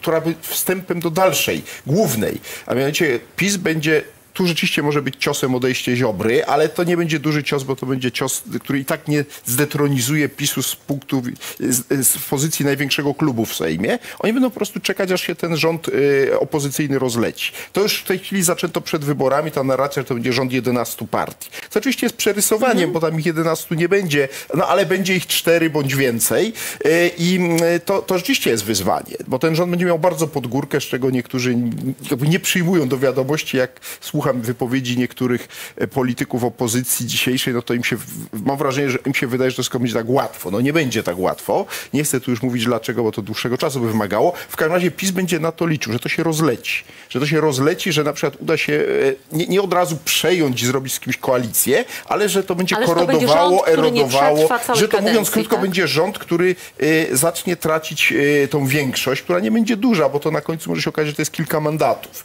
e, tej przewagi. Zresztą PiS tak rządził przez 8 lat, tylko że PiS był bardziej zdyscyplinowany i spójny. I to jest to, na co będzie PiS grał, a po drodze ma dwie kampanie w przyszłym roku nas czekają. Pa, kampania samorządowa, Samorządowa, bardzo ważna i europejska. i one, europejska I one albo PiS podniosą, albo go dobiją. No, ale oczywiście najważniejsze będą wybory prezydenckie, czyli y, te najbliższe półtora roku to będzie bardzo burzliwy okres polskiej To polityki. w ogóle jest bardzo interesujący czas. Patrzę na Michała Danielewskiego. Prawo i Sprawiedliwość będzie musiało się mm, zmierzyć z rzeczywistością kampanijną. Bez mediów publicznych na przykład, bez pieniędzy państwowych spółek. No zobaczymy. To jest, mm, są trochę dwie szkoły, to znaczy bardzo przeceniania czy doceniania tej roli propagandy w poparciu dla PiS. No i druga jednak, że podstawa poparcia dla PiS jest bardziej strukturalna. To znaczy, że są po prostu wyborcy z takimi poglądami, mają swój interes w tym, żeby, żeby PiS popierać e, i ten interes się utwardził przez, przez 8 lat rządów PiSu. Też pamiętajmy, że ten wynik PiSu generalnie są największą partią. Jak, jak pan profesor powiedział, nagrodą jest, że będą największą partią opozycyjną. Natomiast w milionach głosów to prawdopodobnie będzie wynik zbliżony do tego z 2019 roku. Więc to nie... Chyba na razie wychodzi, że około 300 tysięcy wyborców mniej. Mhm. No, więc to jest powiedzmy na tym na, na podobnym poziomie. Więc można powiedzieć, że nie PiS przegrał dlatego, że stracił jakąś wielką e, masę wyborców, ale dlatego, że wyborcy opozycji się Bo zmobilizowali. To PiSowi jest- nie udało się ich zdemobilizować, jest, na co e, grał. mhm, mhm. I to jest ciekawa opowieść. Nie, nie wiem, czy chcemy wracać, ale mi się wydaje, że generalnie ta liczba wyborców opozycji, którą udało się zmobilizować, ten wynik trzeciej drogi pokazuje, jak fatalnym w założeniach pomysłem była jedna lista opozycji i jak dobrze dla opozycji, że ta jedna lista nie powstała. To znaczy, że to pozwoliło zmobilizować szersze, szersze, szersze grupy wyborców, niż jedna lista mogłaby zmobilizować. A co do Andrzeja Dudy, to ja chciałem ujawnić swój idealizm tutaj trochę, bo wydaje mi się, że musimy powiedzieć, co prezydent powinien zrobić. No to od momentu ogłoszenia oficjalnych wyników po prostu powinien przeprowadzić konsultacje ze wszystkimi klubami parlamentarnymi, się się zorientować zorganizują oficjalnie, kto ma szansę na Dokładnie. stworzenie rządu. posłuchać, e, kto chce z kim współpracować i na tej podstawie wyznaczyć premiera. No ale oczywiście tak nie będzie. Ja się zgadzam, że zapewne PiS będzie chciał kupić sobie czas i będzie polowanie na jakąś kamikadze albo kamikackę, która przez dwa tygodnie będzie robiła z siebie mm, e, trochę takiego desperackiego premiera lub premierkę. To jeszcze jeden ważny wątek z wypowiedzi pana profesora Dudka. Powiedział pan, panie profesorze, że PiS będzie mm, czekał, aż się nowy rząd rozleci. A ja sobie myślę, że Prawo i Sprawiedliwość będzie jako ten największy klub opozycyjny i największy klub w ogóle w Sejmie grało na to, żeby Tak. rząd się e, rozleciał. E, Zresztą widać to już teraz w pierwszych komentarzach, które pojawiają się m, po tym ogłoszonym wczoraj wyniku wyborów, e, że oto być może dla mobilizacji wyborców wielkomiejskich istotna była działalność, tu cytuję prasę prorządową, e, zewnętrznych organizacji tak zwanych pozarządowych finansowanych przez zagranicę. Czyli już widzimy te takie wątki dotyczące ukradzionego zwycięstwa. Byliśmy pierwsi, a proszę bardzo, oni nie chcą z nami współpracować. Trzecia droga nie chciała z nami stworzyć koalicji, dlatego my nie tworzymy rządu. I to już jest oczywiście fundament, żeby potem godzić i atakować ten nowy rząd Donalda Tuska czy kogokolwiek innego, kto stanie na czele tego rządu. Panie profesorze? No można tak próbować, ale to jest, to jest jak desperacji, to znaczy no, to jest robienie znowu dobrej miny do złej, złej gry, bo wiadomo, że wszystkie zaangażowanie w tego typu, w tego typu działania sprawia, że się nie dostrzega własnych błędów. Prawda, że Prawo Sprawiedliwość pójdzie w taką, w taką ścieżkę, w tą opowieść, że znowu jesteśmy skrzywdzeni, znowu nas skrzywdzili, że to jest, że my jesteśmy aniołki w ogóle. Panie profesorze, na użytek zewnętrzny, bo na użytek wewnętrzny to już docierają do nas dziennikarze sygnały, że Prawo i Sprawiedliwość i ma pretensje do swojej sondażowni, która faktycznie, a nie na potrzeby propagandowe dawała Prawu i Sprawiedliwości lepsze wyniki. I wiemy, że już niektórzy kwestionują tę mm, narrację, która sprowadzała się właściwie wyłącznie do ataków na Donalda Tuska, więc ten proces wyciągania wniosków z błędów już, już postępuje, tak? Ale ja mówię o tym, co będzie działo się oficjalnie, na scenie. No tak, tylko że jeżeli to się będzie tak działo, to nie jest tak, że to zostaje bez, bez wpływu na to, co się dzieje wewnątrz. Tam cały czas jest, przecież toczy się gra. W tej grze głównym rozgrywającym jest prezes Kaczyński. Wszyscy się dostosowują do jego oczekiwania, nie do oczekiwań, e, które takie, jak są, co byłoby interesem partii.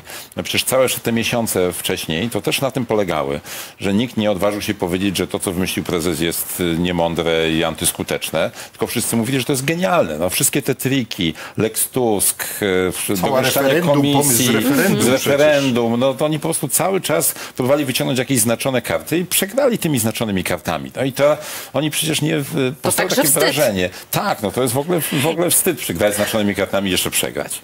I tu postawimy kropkę, choć wrócimy tuż po informacjach Radia Tok FM, na które teraz słuchacze Radia Tok FM zapraszam, ale poranek wyborczy Radia Tok FM, Gazety Wyborczej, Gazeta.pl cały czas e, trwa. Poniedziałek, 16 października, tuż po niedzieli wyborczej znamy już wstępne wyniki. Jutro oficjalna, my komentujemy nową polityczną rzeczywistość. Poranek wyborczy. Patryk Strzałkowski, trwa poranek wyborczy Gazeta.pl, Radio Tok FM i Gazety Wyborczej. Zbieramy komentarze, jesteśmy coraz bliżej poznania tych ostatecznych wyników y, wyborów i sprawdzamy, jakie są opinie, reakcje na ten temat. Teraz y, z nami łączą się Michał y, Jurek-Styczyński i Bartosz Urbanik z Orby News. Cześć panowie, dzień dobry.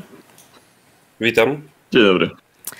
E, Wy śledziliście w swoich kanałach, w social mediach i poprzez e, YouTube, TikTok i inne kanały informowaliście głównie tych młodych wyborców o tym, co dzieje się w kampanii, co dzieje się w polityce. Jakie są Wasze e, reakcje na koniec tej kampanii, na wynik wyborów, e, przynajmniej ten sondażowy, który poznaliśmy wczoraj wieczorem? No my tak naprawdę czekamy teraz głównie na, na, na, więcej, e, więcej ogłoszeń e, PKW, bo nie oszukujmy się, no te exit pole oczywiście są ciekawe. E, No, teoretycznie zmieniła nam się właśnie władza, ale tutaj dla jednak pewności wolelibyśmy poczekać, bo no, nie chcemy tutaj zobaczyć Słowacji czy innej sytuacji tego typu. Tak, znaczy z takich na pewno zaskoczeń to wynik Konfederacji jest całkiem niesamowity, szczególnie w kontekście tego, jak przez całą kampanię było mówione o tym, że to oni będą języczkiem uwagi, że to od nich będzie zależało to, jak będzie wyglądał ten rząd.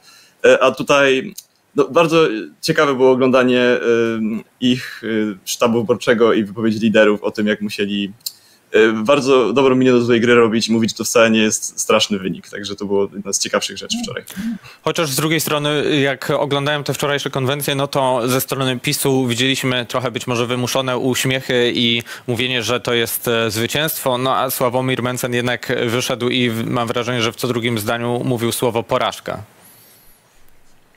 No tak, no mm, to było jakieś takie ciekawe zagranie skierowane po to, żeby pokazać e, Konfederację, myślę, w jakimś takim nowym świetle, jako partię, która przyznaje się do porażki, nie próbuje tutaj grać do końca jako e, partia zwycięska. E, I myślę, że może przy jakimś trochę lepszym wyniku mogłoby to uratować sytuację i mogłoby wyglądać dobrze, ale no tutaj ten wynik, przynajmniej ten exit polowy oczywiście, no jest na tyle słaby, że no myślę, że to jest jednoznacznie porażka. No Janusz Korwin-Mikke wypowiadający się na Twitterze o tym, że tak się kończy chowanie jego i Brauna do piwnicy w tych wyborach e, e, tak się skończyło. No, myślę, że to świadczy o wszystkim, o czym w tym momencie możemy mówić, jeśli chodzi o Konfederację. Czekamy jeszcze, tak jak mówicie, na te ostateczne wyniki, które pokażą już z pewnością, jaka będzie nowa większość w, w nowym Sejmie, ale to, co wiemy już teraz z bardzo dużą pewnością, no to to, że mieliśmy rekordową frekwencję, mieliśmy kolejki do lokali wyborczych, sam wczoraj stałem dwie godziny, żeby zagłosować, a z drugiej strony w kampanii dużo mówiło się o zmęczeniu polityką, dużo było zachęcania też właśnie młodych osób, e, żeby, żeby zagłosowały. No i to się stało. Frekwencja także wśród najmłodszych wyborców była wysoka. Ludzie, niektórzy we Wrocławiu stali do, do późnej nocy, żeby zagłosować. Skąd waszym zdaniem taka mobilizacja wśród wyborców w ogóle, a szczególnie właśnie wśród tych, e, tych młodych? E, wydaje mi się, że PiS bardzo jednoznacznie zniechęcił do siebie wielu młodych wyborców e, i też przez właśnie strajki, przez sytuację z Trybunałem Konstytucyjnym, który był takim e, jednym chyba konkretnym wydarzeniem, który sprawił, że młodzi ludzie zaczęli się coraz bardziej interesować polityką i poczuli, że to dużo bardziej ich dotyczy niż dotyczyło wcześniej.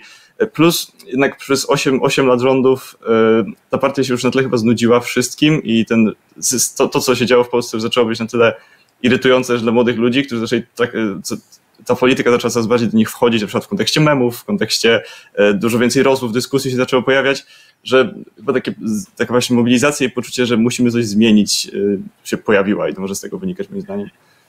Myślę też, że tutaj chwilę przed tak naprawdę samymi wyborami było bardzo dużo tych wszystkich akcji profrekwencyjnych i mam wrażenie, przynajmniej są jakieś moje obserwacje też e, patrząc po prostu po znajomych i ludziach gdzieś tam w moim wieku, wydaje mi się, że w tych wyborach bardzo wręcz modnym stało się to, żeby mówić o wyborach, żeby pokazywać, że na wybory idzie, żeby zachęcać innych.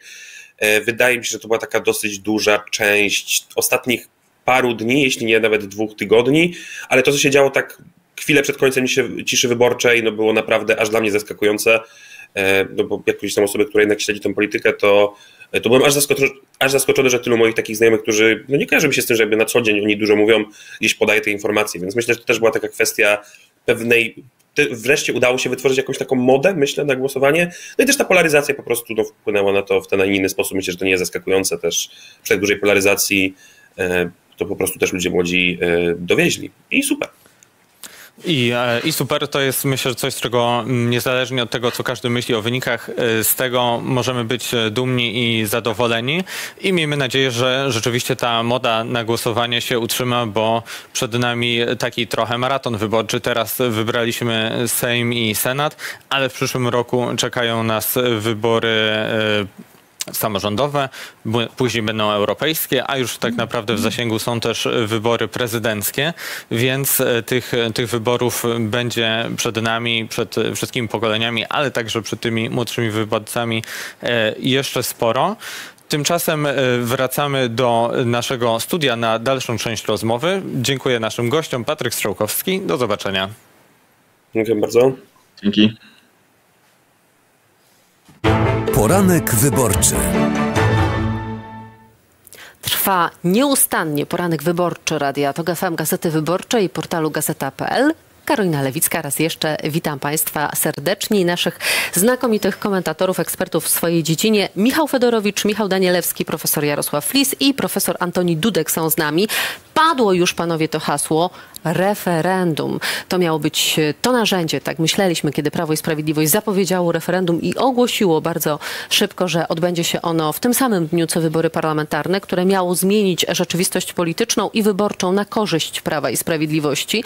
Wczoraj podczas wieczoru wyborczego Prawa i Sprawiedliwości, który zresztą skończył się bardzo szybko, bo przed 22 nikogo już na miejscu nie było, Jarosław Kaczyński o referendum się nawet nie zająknął. Premier Morawiecki w wywiadzie bardzo krótkim, którego udzielił TVP Info, mm, obarczał odpowiedzialnością za słabą frekwencję, jeżeli chodzi o akcję referendalną, bo na poziomie 40% opozycję, że zniechęcała do udziału w referendum. No i cóż z tym referendum? Zacznę od Michała Fedorowicza. Jak w ogóle ono rezonowało w przestrzeni mm, internetowej? Jak wyborcy się odnosili do tego referendum? Z naszej perspektywy y, internetowo-społecznościowej nie było takiego tematu. To znaczy to jest tak, że y, ten temat był obecny w jakichś, powiedzmy, w mediach bardzo takiej wąskiej banieczce na 7-8 milionów dziennie zasięgu, co jest przy kampanii praktycznie nie stanowi żadnego zasięgu. Natomiast E, absolutnie ani budżety, ani targetowana kampania.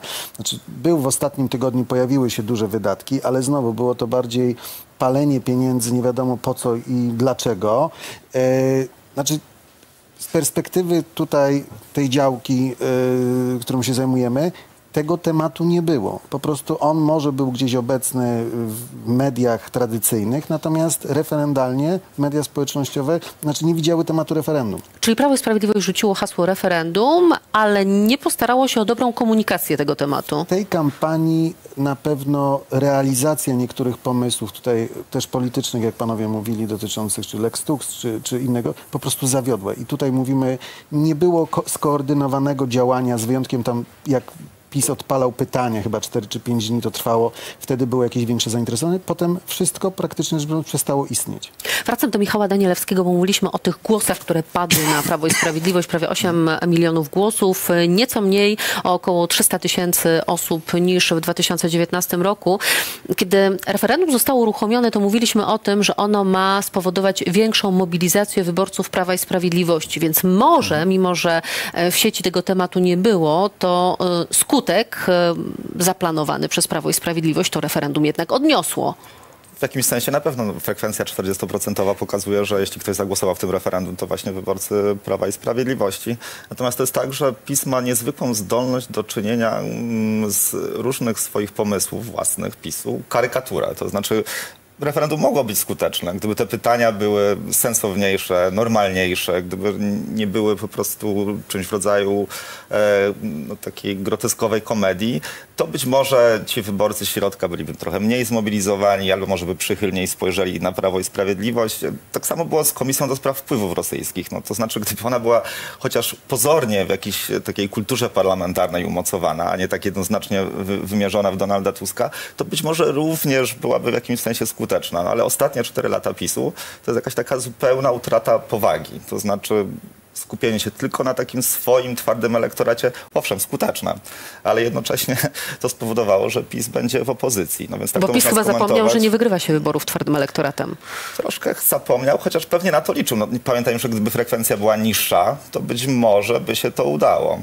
Natomiast e, myślę, że najlepszym komentarzem do tego jest ta wypowiedź, którą pani redaktor cytowała premiera Morawieckiego, który powiedział wczoraj też w tej samej wypowiedzi, o ile, o ile dobrze pamiętam, że ta, refer- że ta frekwencja referendalna jest duża, że dużo ludzi zagłosowało, powiedział premier Morawiecki, więc e, to też pokazuje pewien rodzaj no, mm, oderwania jednak. No, Jarosław Kaczyński mówił wczoraj o wielkim sukcesie Prawa i Sprawiedliwości.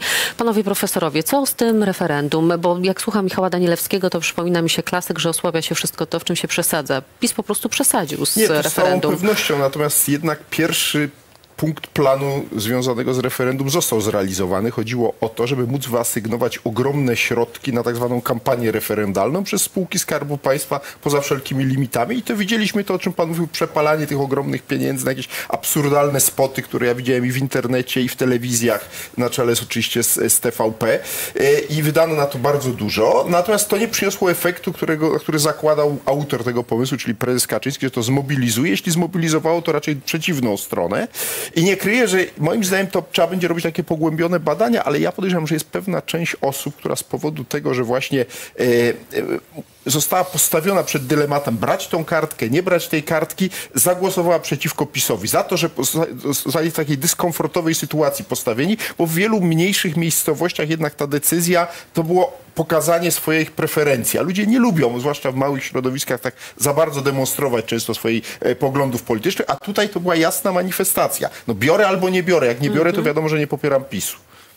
Profesor Flis. To mi się wydaje, że to jest świetny dowód na to, że wszystkie manipulacje prawem wyborczym są jak nunchako, to znaczy to jest bardzo groźna broń, ale łatwiej trafić w własną głowę niż w głowę e, przeciwnika i to jest kolejne referendum po tym naszym Kolejny referendum dowód na.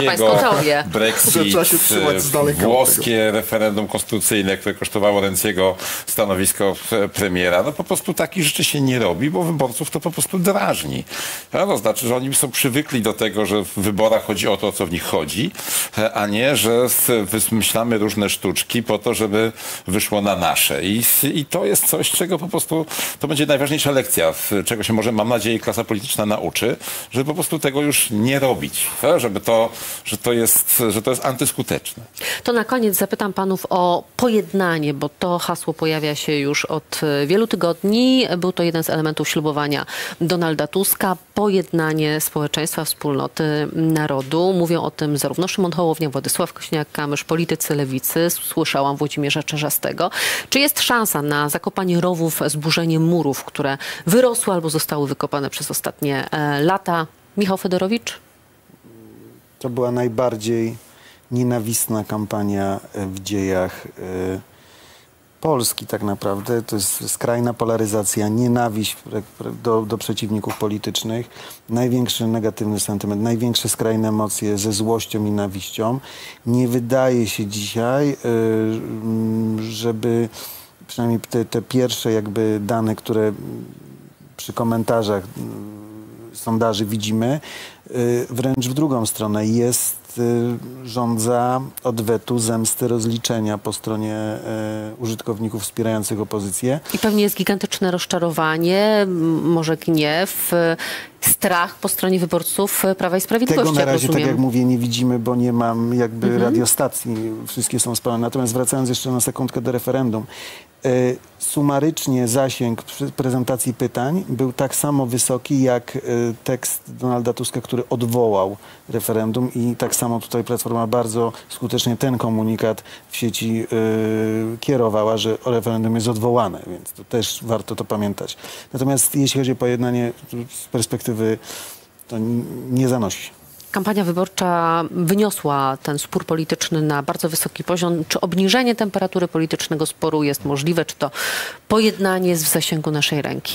Ja uważam, że to jest wielka szansa dla opozycji. To znaczy pewien na pewno rządza rewanżu, jakiś taki rodzaju zemsty będzie duża. Natomiast jeśli by się udało opozycji jednak obniżyć trochę tę temperaturę sporu politycznego i wyjść z jakąś ofertą do wyborców PiSu, to w przypadku radykalizacji Prawa i Sprawiedliwości, przynajmniej przez e, pierwsze miesiące e, po wyborach, co wydaje mi się, co wydaje mi się, co wydaje mi się nieuniknione, czytając komentatorów związanych z PiSem, słuchając polityków PiSu, no ta, oni będą uciekać, jak zwykli to robić po przegranych w latach poprzednich, jednak w takie spiskowe myślenie, w, w radykalizm jeszcze większy i tak dalej. Jacek Karnowski napisał właśnie, że trzeba zrobić porządek z tymi NGO-sami finansowanymi przez zagraniczne podmioty, które tu grasują w, w miastach na przykład, więc to już takie jest wprost trochę język putinowskiej propagandy, używając zgrubnych e, kategorii. Natomiast jeśli opozycja powstrzyma się od takiej rządzy zemsty, jeśli ten przywracanie powiedzmy praworządności czy standardów w mediach publicznych będzie jednak rozumne, a nie na hura, że wygłodzeni ośmioma latami opozycji politycy i cały aparat rzucą się na właśnie instytucje. Mm, To jest perspektywa umocnienia mm, partii opozycyjnych, moim zdaniem. Czy gdyby dwóch ludzi y, przeszło jakąś niebywałą metamorfozę i zaczęło się zachowywać zupełnie inaczej niż dotąd, mówię o prezydencie Dudzie i o przewodniczącym Tusku, to hipotetycznie jakiś cień szansy na pojednanie byłby możliwy. Ale ponieważ ja nie wierzę, że ta metamorfoza się dokona, to myślę, że przeciwnie, polaryzacja będzie jeszcze większa i konflikt będzie jeszcze ostrzejszy w Polsce. To zła perspektywa, profesor Flis? Znaczy ja widzę jeszcze jedną okoliczność, mianowicie za chwilę mamy wybory samorządowe. W tych wyborach samorządowych ta polaryzacja się kompletnie nie sprawdza. To znaczy burmistrzowie miast powiatowych w Polsce rozmontowują tą polaryzację w ogóle bez mrugnięcia powieką i wszyscy, którzy by chcieli na niej grać w wyborach e, na burmistrza dowolnego miasta, to po prostu przegrają tak, że aż będzie żal patrzeć. W związku z czym tu się może okazać, że ktoś, kto nie wyciszy tych emocji przed wyborami samorządowymi, no po prostu się w nich y, będzie musiał przygotować, znaczy będzie musiał oswoić z potężną A porażką. ja myślałam, że będzie odwrotnie, że kolejne kampanie wyborcze, które przed nami, ta samorządowa i potem oczywiście do Parlamentu Europejskiego na początku czerwca, to one wręcz sprawią, że te emocje pokampanijne leciutko osłabną, by za chwilę już w okolicach grudnia pójść w górę. Nie, w kampanii samorządowej coś takiego, wynoszenie tych ogólnopolskich sporów, to, to jest zupełnie antyskuteczne. Więc to widzimy w Ale Polsce. oczywiście na poziomie centralnym w Warszawie partie polityczne będą robić swoje. No tak, no to wtedy się zobaczą swoje słupki po raz kolejny lecące w, w dół i po raz kolejny będą przegrywać e, z e, lokalnymi siłami w, w polityce i może kiedyś zrozumieją. Mhm. Czy w ogóle te dwie kampanie, jeszcze profesora Antoniego Dudka zapytam, które przed nami, to one właśnie pokażą, w jakim kierunku zmierza politycznie społeczeństwo? Tak, ja się zgadzam z tym, co powiedział profesor Flis, ale jeśli któraś ze stron będzie bardzo ostro grała tak właśnie po warszawsku, to będzie to PiS. To znaczy PiS będzie to przedstawiał jako kolejny Armagedon, starcie sił światłości z ciemnością i może na tym rzeczywiście przegrać. Oczywiście i tak w dużych miastach te wybory potwierdzają, PiS i tak nie ma żadnych szans, no ale może stracić jeszcze te reduty, które ma w tych średnich miejscowościach, jeżeli rzeczywiście Kaczyński narzuci taką właśnie apokaliptyczną kampanię, zamiast dać właśnie tym ludziom, lokalnym działaczom PiSu większą swobodę i mówienie o sprawach lokalnych. Zobaczymy. Na razie nie wiemy, jak prezes interpretuje to, co się stało w niedzielę, bo to, co powiedział w niedzielę, to, to był moim zdaniem taka... Rzucił parę ogólnikowych zdań, a teraz się zastanawia intensywnie, co robić dalej. Myślę, że na Nowogrodzkiej w ogóle jest bardzo intensywny czas. Zresztą we wszystkich innych miejscach również byli z nami profesor Antoni Dudek, historyk, politolog Uniwersytet Kardynała Stefana Wyszyńskiego i autor kanału Dudego Historii na YouTubie. Bardzo dziękuję. Dziękuję. Profesor Jarosław Lis, socjolog Uniwersytet Jagielloński. Dziękuję. Michał Danielewski, wicenaczelny OKO.press. Dziękuję. Dziękuję bardzo. I Michał Fedorowicz, Instytut Badań Internetu i Mediów Społecznościowych. Dziękuję bardzo. Trwa poranek wyborczy Radia Tok FM, Gazety Wyborczej i portalu gazeta.pl. Oczywiście będziemy z Państwem jeszcze przez e, kolejną godzinę i zapraszamy do śledzenia tego, co u nas e, się e, dzieje. Ja teraz z Państwem się na chwilkę żegnam. Informacje Radia Tok FM dla słuchaczy Radia Tok FM, ale oczywiście poranek wyborczy wciąż trwa. Poranek wyborczy. Patryk Strzałkowski, trwa poranek wyborczy Gazety.pl, TOK FM i Gazety Wyborczej, a z nami w studiu jest Dorota Olko z partii Razem. Do wczoraj kandydatka Lewicy w Warszawie, a teraz, no właśnie, czy przyszła posłanka? Jak układają się dla Państwa te wyniki w Warszawie? Zobaczymy, e, czekamy cierpliwie, ponieważ e, wiemy jak jest. Te wyniki dopiero spływają, więc obserwujemy. Na razie patrzę na to z optymizmem, ale jeszcze wszystko może się zmienić. Optymizm tutaj, ale jeśli spojrzymy na ten wynik lewicy w całym kraju, no to jest on trochę niższy niż to, co pokazywały niektóre ostatnie sondaże, niższy niż 4 lata temu, więc chyba nie do końca powody do zadowolenia w skali kraju. Wiadomo, że w tym momencie cieszymy się z tego, że Prawo i Sprawiedliwość, no wszystko wskazuje na to, że nie będzie rządzić. Jeśli chodzi o wynik lewicy, ja wciąż mam nadzieję, że jak spłyną wszystkie wyniki, będzie trochę lepszy, bo wiadomo, e, liczyliśmy na trochę więcej, ale to wciąż będzie mocna reprezentacja lewicy w parlamencie. Także zobaczymy, Wczoraj jak na- będzie, ale. Wczoraj na wieczorach wyborczych słyszeliśmy mm, i ze strony Koalicji Obywatelskiej, i ze strony Lewicy te takie już wstępne, pierwsze deklaracje sformowania e, właśnie w takim układzie koalicyjnym trzech e, partii opozycyjnych rządu. To wszystko może jeszcze potrwać, dopóki ten rząd rzeczywiście zostanie wybrany, zaprzysiężony. No ale wybiegnijmy już trochę w przyszłość. Wiem, że dla mm, Lewica i także pani w swojej kampanii y, mówiła o tych sprawach, o których mówimy w Zielonej Gazecie wiele. Kwestia praw zwierząt, energetyki, y, ochrony środowiska. Czy w tym nowym rządzie, do którego Lewica chce wejść, e, te rzeczy będą priorytetem? Bo jest dużo, na pewno dużo spraw do załatwienia od e, praworządności, e, sądów, praw kobiet. Czy, czy będzie miejsce na te priorytety dotyczące ochrony klimatu i środowiska? Oczywiście my będziemy o to walczyć, bo zwłaszcza po rządach PiSu, no jest tutaj bardzo dużo do zrobienia, bardzo dużo do naprawienia. Powinniśmy już e, myśleć o tym tylko, co robić lepiej, jak lepiej chronić przyrodę, e, jak transformować e, polską energię, a po, no niestety po ostatnich ośmiu latach musimy nadrabiać zaległości, więc mogę zadeklarować w imieniu całej lewicy, że dla nas to będzie jeden z priorytetów e, i mam nadzieję, że przynajmniej w części tych postulatów, o których my mówiliśmy, będziemy zgodni także z innymi przyszłymi, mam nadzieję, partiami tworzącymi e, rząd. Tutaj już wybiegnę zupełnie w przyszłość, ale to też będzie temat, y, kiedy zaczną się takie rozmowy koalicyjne. Y, Kto, która partia za które tematy będzie odpowiadać? Czy, czy w ambicjach lewicy, w planach będzie to, żeby w rządzie, w przyszłym rządzie odpowiadać już personalnie za te kwestie związane czy ze środowiskiem, czy z energetyką? Ja powiem szczerze, e, na razie nie rozmawialiśmy, nie myśleliśmy o personaliach. Myślę, że dzielenie skóry na niedźwiedziu jest nieodpowiedzialne. Do tej pory koncentrowaliśmy się na tym, żeby przekonać wyborczynie i wyborców do naszego programu, do naszej wizji Polski, także właśnie w tych tematach związanych e, z przyrodą, klimatem, e, e, środowiskiem. Więc to wszystko jest przed nami i o tym będziemy rozmawiać w nadchodzących tygodniach. No to nie rozmawiając o personaliach, ale o tych tematach, priorytetach, co y, pani widzi jako te sprawy, które mm, powinny być y, pierwszymi do, mm, do załatwienia, do, czy do naprawiania przez nowy rząd, jeśli właśnie mówimy o tych kwestiach środowiskowych, klimatycznych? No ja myślę, że chociażby te sprawy, które mamy, że tak powiem, zaklepane w e, KPO, e, w, które miały być finansowane, te inwestycje, które miały być finansowane z mm, Funduszu Odbudowy, no to tutaj wreszcie przyjdzie czas na to chociażby na modernizację sieci przesyłowych, na e, termomodernizację budynków. Na to były fundusze i wreszcie otworzy się furtka, żeby te inwestycje mogły ruszyć.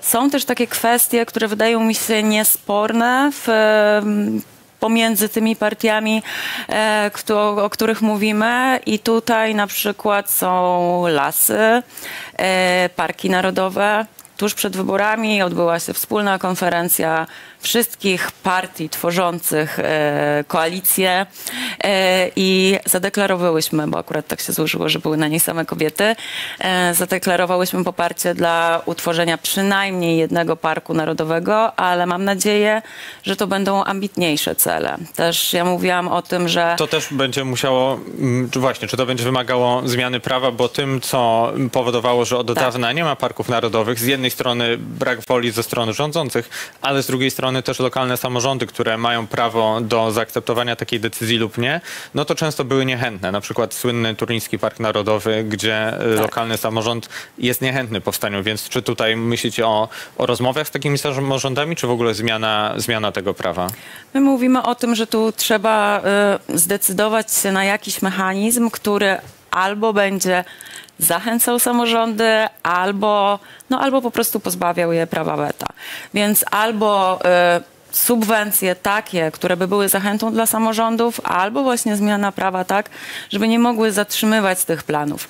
Ale tu będziemy na pewno korzystać też y, z pracy organizacji pozarządowych, które wypracowały e, gotowe rozwiązania. My poparliśmy manifest leśny, gdzie to był jeden z tematów i myślę, że będziemy zachęcać także inne partie, żeby współpracować z organizacjami i wydaje mi się, że jest na to otwartość. Tutaj e, robiły gigantyczną robotę przez te ostatnie lata i wreszcie przyjdzie czas na to, żeby to wykorzystać. Takim dużym projektem jest też e, projekt ustawy Prawo Klimatyczne, który przygotowała Fundacja Client Earth. Czy nie mówię może o tej konkretnej ustawie, ale czy w ogóle coś takiego jak prawo klimatyczne jako ustawa jest w Polsce potrzebne? To jest coś, do czego będziecie chcieli dążyć?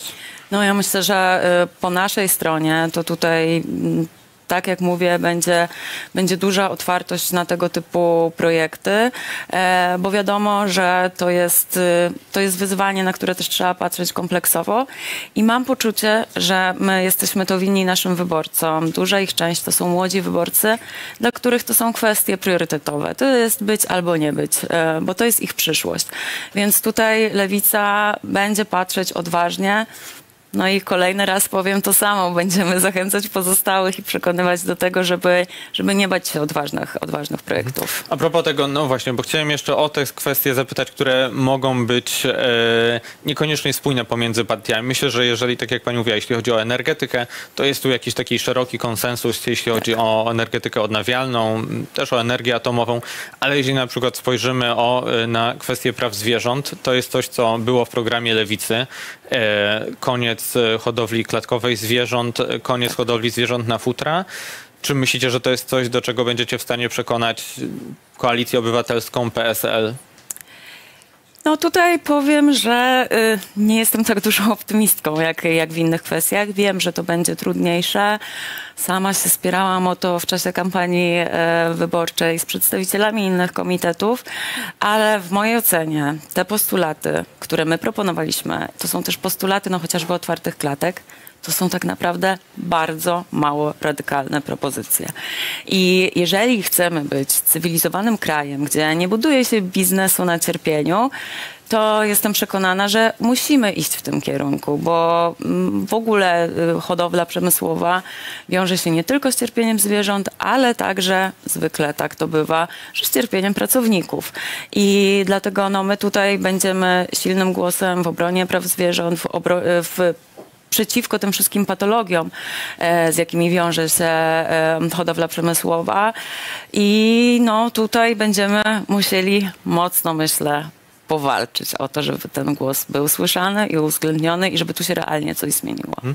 Czy wyborcy mogą też zakładać, że zmieni się podejście, jeśli będzie sformułowany taki rząd, o jakim mówiliśmy dzisiejszej opozycji, czy zmieni się podejście do unijnej polityki klimatycznej, która teraz jest e, mocno krytykowana przez, przez rząd, nawet tuż przed wyborami e, Ministerstwo Klimatu e, złożyło do Trybunału Sprawiedliwości e, skargi dotyczące niektórych kluczowych aspektów, jak e, koniec samochodów spalinowych, jak tak zwane cło węglowe. Czy tutaj zmieni się to podejście wraz z ewentualnym nowym rządem?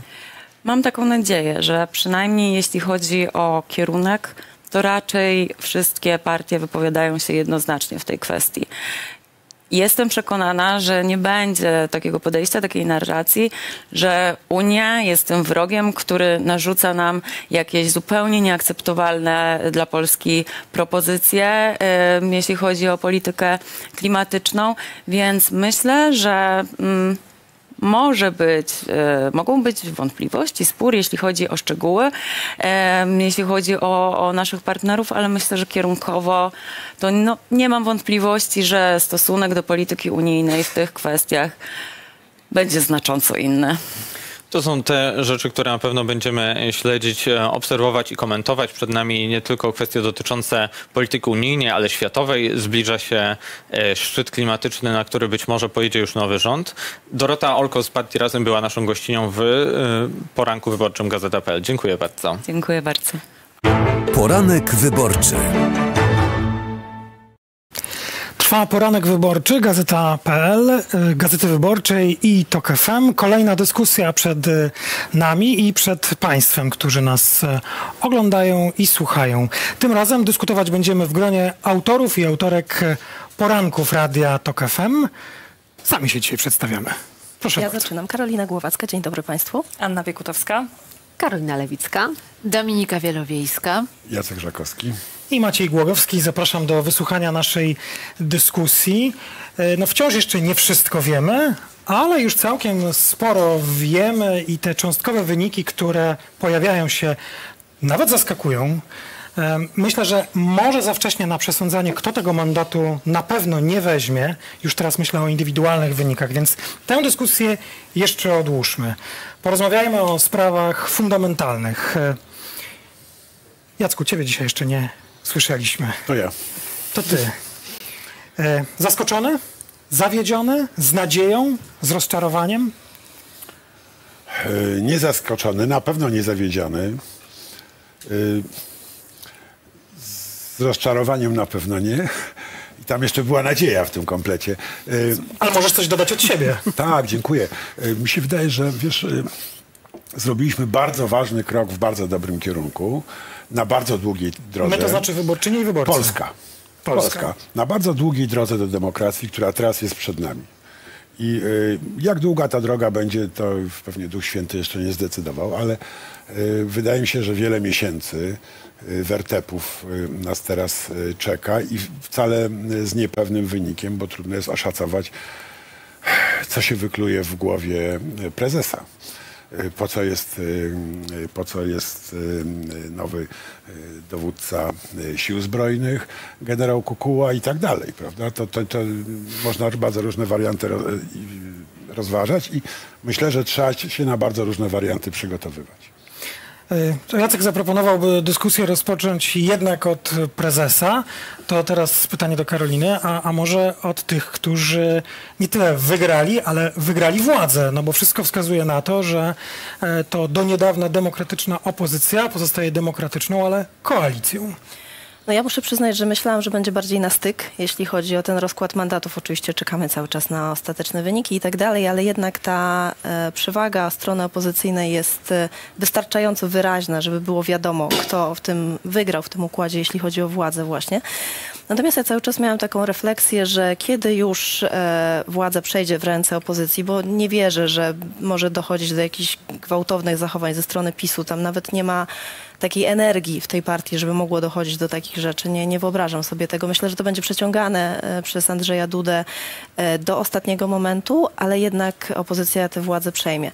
To ja sobie myślałam, że kluczowe jest obniżenie poziomu frustracji e, w ogóle w społeczeństwie, ale u tej drugiej strony, żeby te blisko e, 50% osób, które głosowało, czy na sam PiS na przykład, żeby oni się nie poczuli tak jak ludzie, dla których demokracja była istotna, wcześniej się czuli jakby okupowani we własnym państwie. Nie może być takiej sytuacji, że jest, będzie ze strony opozycji takie TKM, tak? Y, Teraz wiadomo my, tylko ta, musi być obniżona ta frustracja, musi być z powrotem zaznaczona wspólnota i uważam, że opozycja powinna patrzeć z empatią na tych, którzy głosowali na PiS, bo to jednak nie jest tak, że ludzie głosowali na PiS mając na sztandarach e, walkę z praworządnością, że my tutaj wszystko zepsujemy, tylko ludzie głosowali na PiS ze względu na swoje poczucie bezpieczeństwa finansowe, bardzo różne. Empatia jest tutaj kluczowa, żeby nie rosła frustracja społeczna i żebyśmy nie mieli po prostu dalej tych napięć, które obserwowaliśmy do tej pory. No to jest pewnie długa droga, którą musimy pokonać. Zresztą politycy,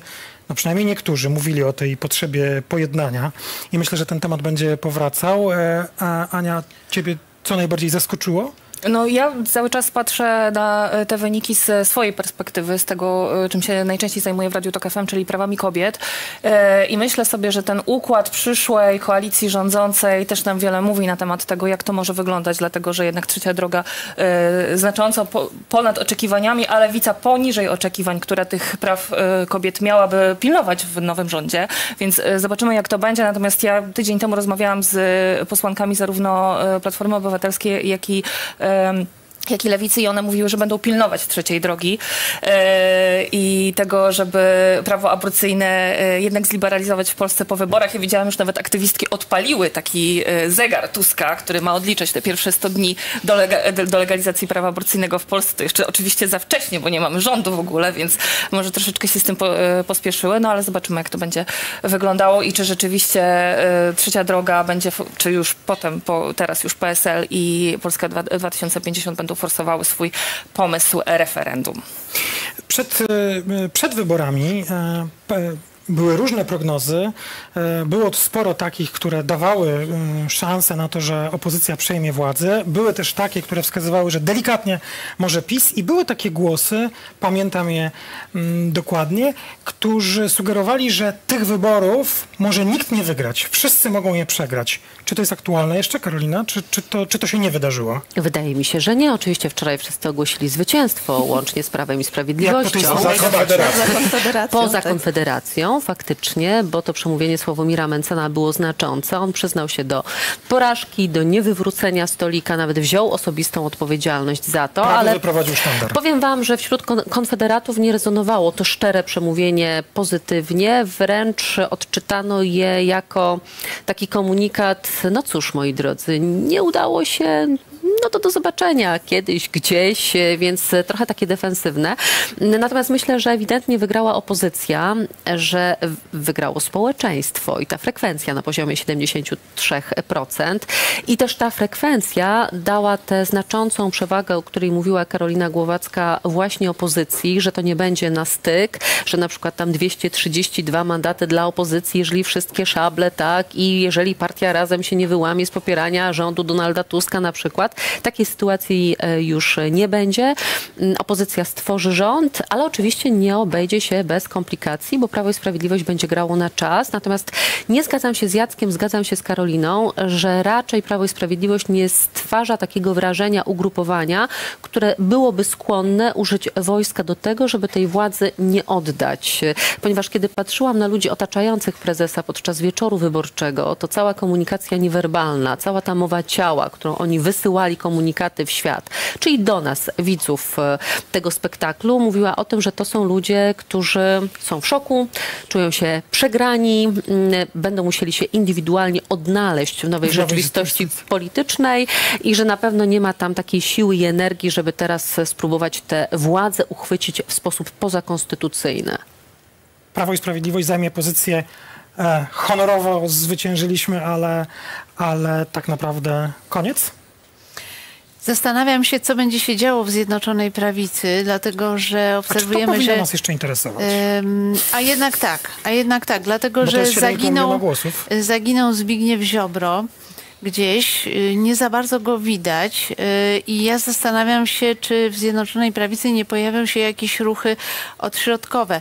To ma pewne znaczenie, także dlatego, że y, przypomnę, że PiS przed wyborami m, przygotował mnóstwo takich bezpieczników dla siebie, to znaczy zagwarantowania sytuacji, że nie będą rozliczani. Chodzi mi na przykład o zmiany w przepisach dotyczących prokuratora krajowego i wielu innych na przykład przepisów przepisach y, wykluczających odpowiedzialność karną w różnych sytuacjach. To w słynnych ustawach Mm, covidowych mieliśmy Więc- mnóstwo takich bezpieczników. Y, Więc myślę, że mm, to jednak y, ma znaczenie, bo może się okazać, że przy poszczególnych głosowaniach nagle mm, większość forsująca jakiej, jakąś zmianę no, może być y, bardzo różna, dlatego, dlatego tego bym y, nie lekceważyła, ale jeżeli pozwolisz, to chciałam dwa słowa do tego, co powiedziała Anna Piekutowska, że zegar już y, ruszył.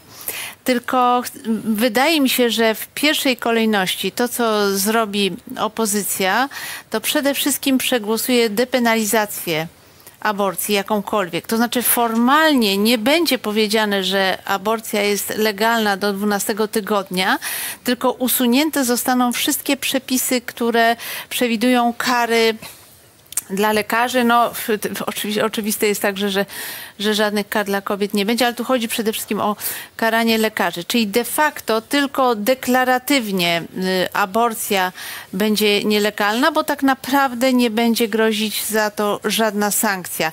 I wydaje mi się, że ten przepis należy y, uchwalić czym prędzej jako pierwszy etap, a Myślę, że takich potem... pomysłów, co będzie pierwsze, będzie naprawdę Pan dużo. prezydent zawetuje A potem już... A to wcale nie jest takie pewne. Karolina Głowacka, Anna Piekutowska, Karolina Lewicka, Dominika Wielowiejska, Jacek Żakowski. To jest poranek wyborczy. E, Słuchacze Radia Tok FM zapraszamy do wysłuchania informacji. Poranek wyborczy. Grzegorz Schetyna powiedział kiedyś, że wybory wygrywa się w Końskich, a nie w Wilanowie. Tak naprawdę jest tak, że wybory się wygrywa i w Końskich, i w Wilanowie, i w każdym z 30 tysięcy obwodowych komisji wyborczej w Polsce, i w tych małych wsiach, i w wielkich e, miastach. I o tym, jak sytuacja powyborcza wygląda w właśnie w polskich regionach, w polskich miastach porozmawiamy z ludźmi, którzy się na tym, tą lokalną politykę e, śledzą codziennie. Są to szefowie lokalnych redakcji Gazety Wyborczej z Rzeszowa, z Krakowa oraz ze Szczecina. Mam nadzieję, że się słyszymy i że się widzimy. E, Jako e, pierwsze miasto odwiedzimy Rzeszów, gdzie jest e, Magda Mach, naczelna wyborczej w Rzeszowie. Mm, Podkarpacie jest jeden z bastionów PiSu, a w Podkarpaciem jest gmina Jeżowe na północy waszego województwa, która jest tradycyjnym bastionem, em, bastionem PiSu. Wiem, że już sprawdziliście, jakie były tam wyniki i porównaliście je z tym, jak ta gmina głosowała w roku 2019. Tak, Podkarpacie y, obroniło swój status z bastionu PiSu niestety. To może być na pewno dla wielu y, wyborców rozczarowujące, ale już y, widać, że ten y, bastion PiSu zaczyna się kruszyć, y, zaczyna pękać. Pokazały to wyniki exit polu już, które w porównaniu do wyników wyborów sprzed czterech lat są o 10 punktów procentowych gorsze dla PiSu. 4 lata temu były 62%, w tym roku Exit Poll pokazuje 52%. I pokazuje to y, wynik Jeżowego, który, które już zostało policzone, tam już jest oficjalny wynik. Y, jest dokładnie taka sama różni- różnica na niekorzyść y, PiSu. 4 lata temu zagłosowało tam 86% y, mieszkańców tej gminy. W tym roku zagłosowało 76%, czyli dokładnie 10 punktów procentowych y, mniej. Magda, z czego, Ustaliliśmy może, też z czego już twoim nawet. zdaniem może no wynikać? właśnie. Z czego twoim zdaniem może wynikać ta zmiana? Demobilizacja e, wyborców PiSu na Podkarpaciu? My odwiedzaliśmy Jeżowe i, i inne takie gminy, e, które słynęły jako bastion PiSu przed wyborami. Rozmawialiśmy z mieszkańcami tych gmin e, i oni sygnalizowali nam niezadowolenie z powodu rządów PiSu. Było tych głosów całkiem sporo. One były czasami mówione szeptem, sygnalizowane tylko, ale były. E, Niestety część mieszkańców mówiła, że mimo tego niezadowolenia rządami PiSu oni i Mam tak zagłosują na PiS. e, i jeśli chodzi, bo gdzieś e, tutaj głos dociera. Mam nadzieję, że Państwo słyszeli Magdę. Magda, musimy, e, postawimy kropkę w tym miejscu. Przenieśmy się do e, Krakowa. W Krakowie jest Michał Olszewski, szef wyborczej Kraków. Kraków e, e, jest miastem bardziej liberalnym, region jest e, miastem bardziej tradycyjnym, gdzie także PiS do tej pory miał e, bardzo wysokie notowania. Jak to wygląda w tych, e, według tych e, wstępnych, częściowych wyników, które już znamy? Jeśli chodzi o całe województwo, to tutaj y, schemat jest podobny do tego, o którym przed chwilą powiedziała Magdalena Mach y, i widzimy, że y, identyczne, identyczny schemat do tego podkarpackiego dzieje się w Małopolsce. To znaczy, o ile w 2019 roku w wyborach całym województwie mm, PiS y, otrzymał poparcie w wysokości 50, na poziomie 52%, tak w tym roku według tych cząstkowych wyników, które mamy, otrzymał poparcie na poziomie 41%. I teraz nasuwa się pytanie, mm, mm, co się stało z tymi 10%, skoro znowu PiS w Małopolsce y, wygrywa i to wygrywa, w, można powiedzieć, w sposób, w sposób zasadniczy. Odpowiedzi trzeba szukać w takich gminach jak Laskowa. Mm, Laskowa w 2019 roku poparła w y, Prawo i Sprawiedliwość na poziomie 81%. W tym roku y, PiS otrzymał tam zaledwie, można powiedzieć, 68%. Ta różnica wynika z tego, że pojawiło się, pojawiła się dwójka graczy politycznych. Drugie miejsce w Laskowej, bardzo konserwatywnym regionie zajęła trzecia droga, a trzecie miejsce Konfederacja. E, bardzo dziękuję Michał. I króciutko, e, są jakieś zaskoczenia, jeśli chodzi o pewne personalne możliwości, jeśli chodzi o uzyskanie mandatu e, na Podhalu. Czy to prawda, że ważą się losy Andrzeja Guta-Mostowego? Tych zaskoczeń jest znacznie więcej. Owszem, ważą się losy Andrzeja Guta Mostowego, ale przez to, że e, na Podhalu wylądował jako spadochroniarz z Krakowa Ryszard Terlecki i konkurencja tam była niezwykle silna, bo konkurowali między sobą e, Arkadiusz Mularczyk, Ryszard Terlecki, Anna Paluch, Andrzej Gut Mostowy i kilkoro jeszcze innych prominentnych polityków i polityczek e, PiSu, no to sprawiło, że oni musieli Dzięki. się po prostu powycinać. E, e Dzięki Michał. E, przenosimy się do Szczecina. E, Jurek Połowniak, e, szef wyborczej w Szczecinie. Zachodnia Pomorskie. Znacz zawsze dobre wyniki Platformy Obywatelskiej, Koalicji Obywatelskiej. Teraz chyba są jeszcze lepsze niż te, które widzieliśmy w roku 2019. Tak, no trzeba mm, pamiętać, że Pomorze Zachodnie to są dwa okręgi wyborcze i inaczej troszeczkę głosuje okręg szczeciński, inaczej koszaliński. E, bo w Szczecinie zawsze e, e, koalicja obywatelska uzyskiwała dobre albo bardzo dobre wyniki. W Koszalinie było różnie. I w tej chwili też jest taka sytuacja, że koalicja obywatelska osiąga 40% wynik w okręgu szczecińskim podczas gdy PiS właściwie traci nawet w stosunku do tych pierwszych wyników y, opublikowanych w nocy i ma już teraz y, około 27% poparcie w okręgu szczecińskim. Natomiast w Koszalinie sytuacja jest y, odwrotna, bo PiS ma 37% poparcie, a koalicja około 30%. Króciutko, Persaldo, e, jeśli chodzi o podział mandatów, e, wiele wskazuje pół na pół? Jeśli chodzi o Platformę? E, w okręgu szczecińskim e, koalicja weźmie 6 z 12 mandatów. E, lokomotywami Musimy... są tutaj. Musimy kończyć. Bardzo Wam dziękuję. Więcej informacji w serwisach lokalnych wyborczej. Piszemy tam cały czas o tym, jak kampania wyborcza wygląda, także w miastach, także w regionach. Bardzo Państwu dziękuję. Poranek wyborczy.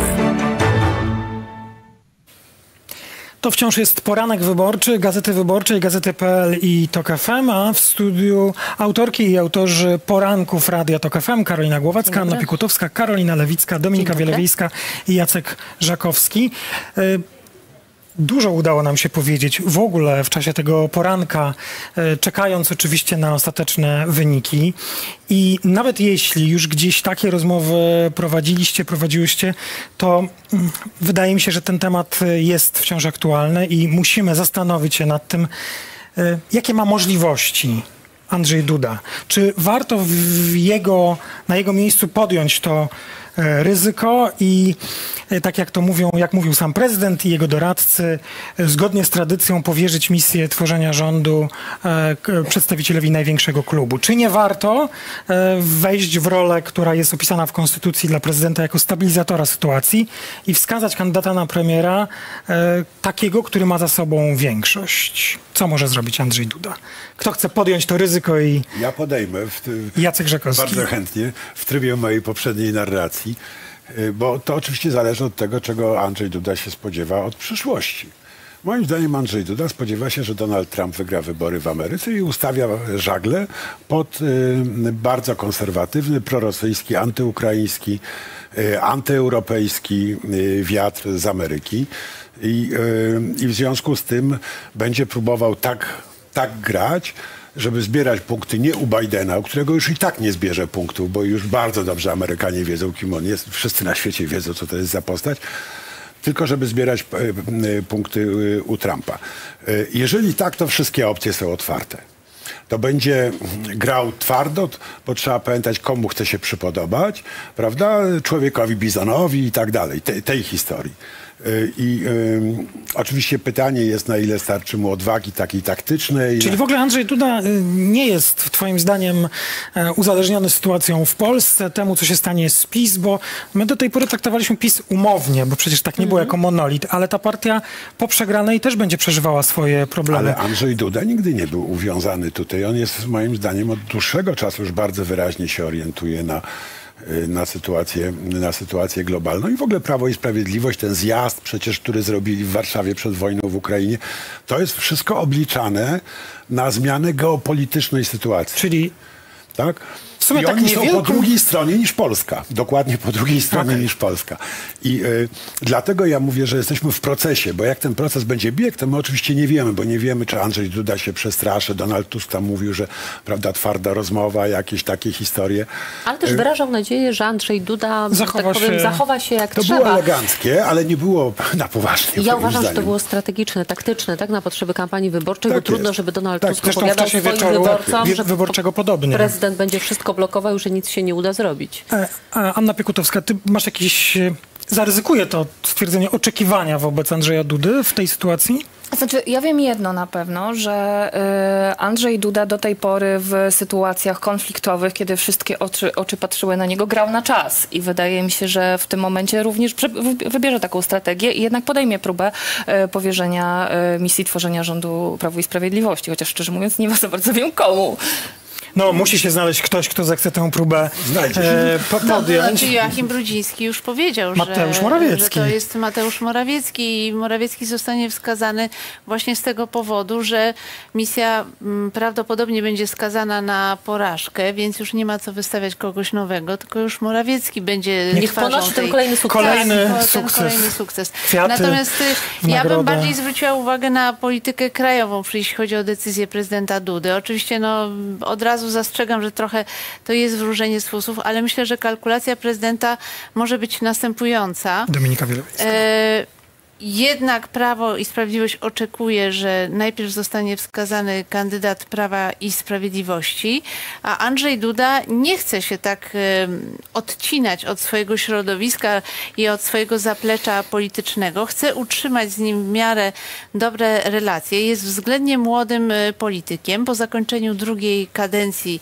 myślę, że będzie chciał być e, aktywny w ten czy inny sposób i to powoduje, że jednak będzie wykonywał ruchy ustalone z politykami Prawa i Sprawiedliwości. Ale wszystko, co teraz powiedziała Dominika, mogłoby zadziałać na korzyść e, tego drugiego scenariusza. Andrzej Duda jest młodym politykiem, który chciałby się jeszcze odnaleźć e, w być może polskiej polityce, a e, to dosyć chyba dobrze tak prawdziwie powiedział wczoraj prezydent Kwaśniewski. Ten moment, w który teraz weszliśmy, to jest czas prezydenta. To jest dokładnie ten moment, w którym prezydent musi się zachować jak prezydent i po prostu zarządzić e, stabilnością kraju, więc równie dobrze mógłby powierzyć misję temu, kto będzie miał za sobą parlamentarną większość. Karolina Głowacka, wierzysz w, taki, w taką możliwość? Nie. To znaczy Nie. jestem przekonana, że Andrzej Duda powierzy e, misję tworzenia rządu komuś z Prawa i Sprawiedliwości z tej oto przyczyny, że nawet jeśli myśli długodystansowo o tym, żeby zostać zapamiętany w jakimś sensie jako, nie wiem, mąż stanu albo osoba łącząca te środowiska, to uzna, że ten miesiąc, dwa to zostanie mu e, zapomniane. Natomiast w tym momencie jego zaplecze polityczne, wyborcy PiSu absolutnie by nie rozumieli, dlaczego postępuje inaczej. Skoro ten argument o tym, że powierzamy em, misję stworzenia rządu liderowi czy komuś wskazanemu przez partię jednak zwycięską, wydaje się być bardzo logiczny dla dużej grupy wyborców i trudno byłoby mu to w jakiś sposób e, wytłumaczyć. Oczywiście, że byłoby lepiej, gdyby e, usiądnięto do stołu, ustalono, kto ma większość i ten proces przekazywania władzy był jak najbardziej sprawny, ale nie wierzę, że to się wydarzy.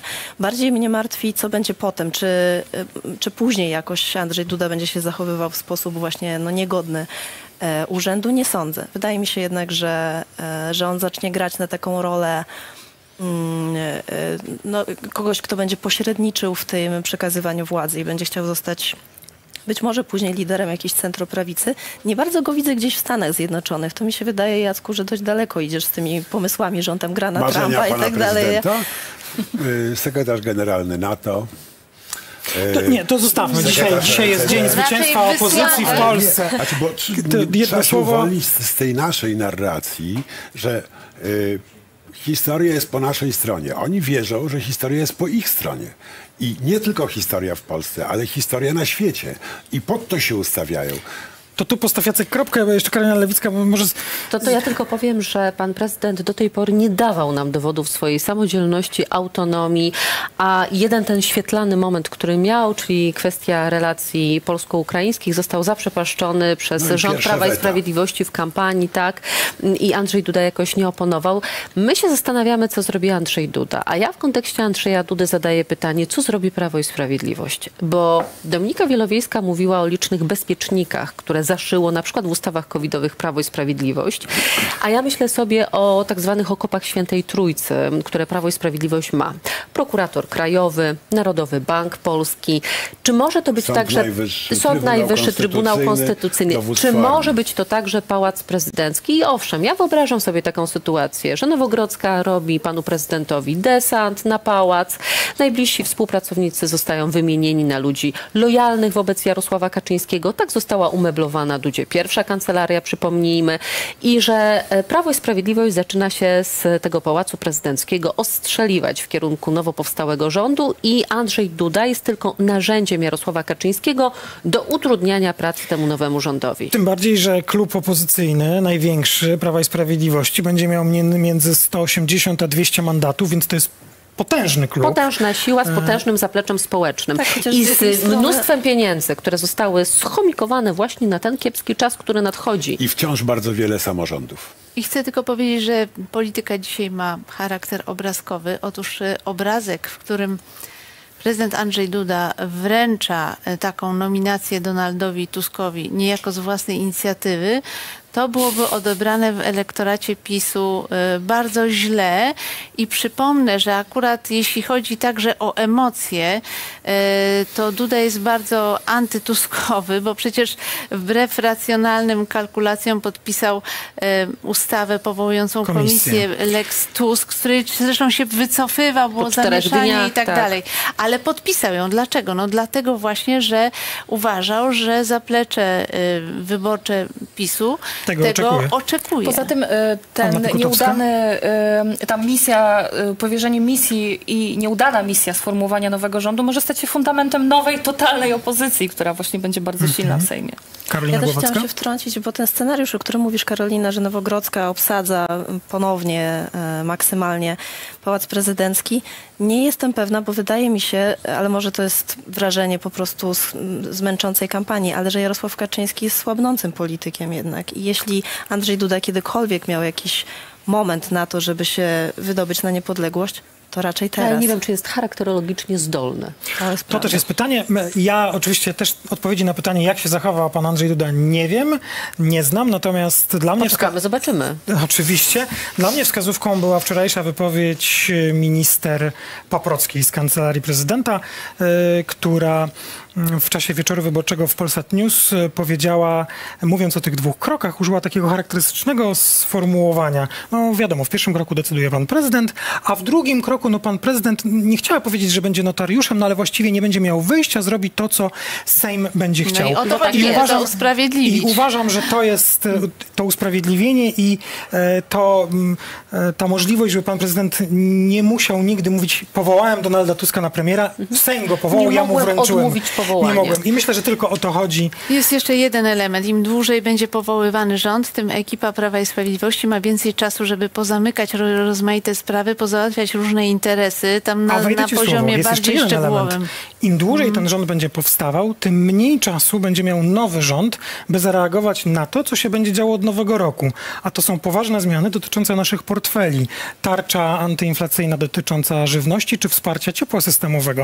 To są decyzje, które trzeba podejmować i warto byłoby mieć na nie trochę więcej czasu. Ten nowy rząd czasu nie dostanie. Jacek, mam wrażenie, wyjął konstytucję. No tak, bo wiecie, no jak znamy Andrzeja Dudę przecież i jego historię z sędziami, tak? Jest dokładnie ten sam przypadek w drugim kroku powoływania rządu. Yy, artykuł 154 punkt 3.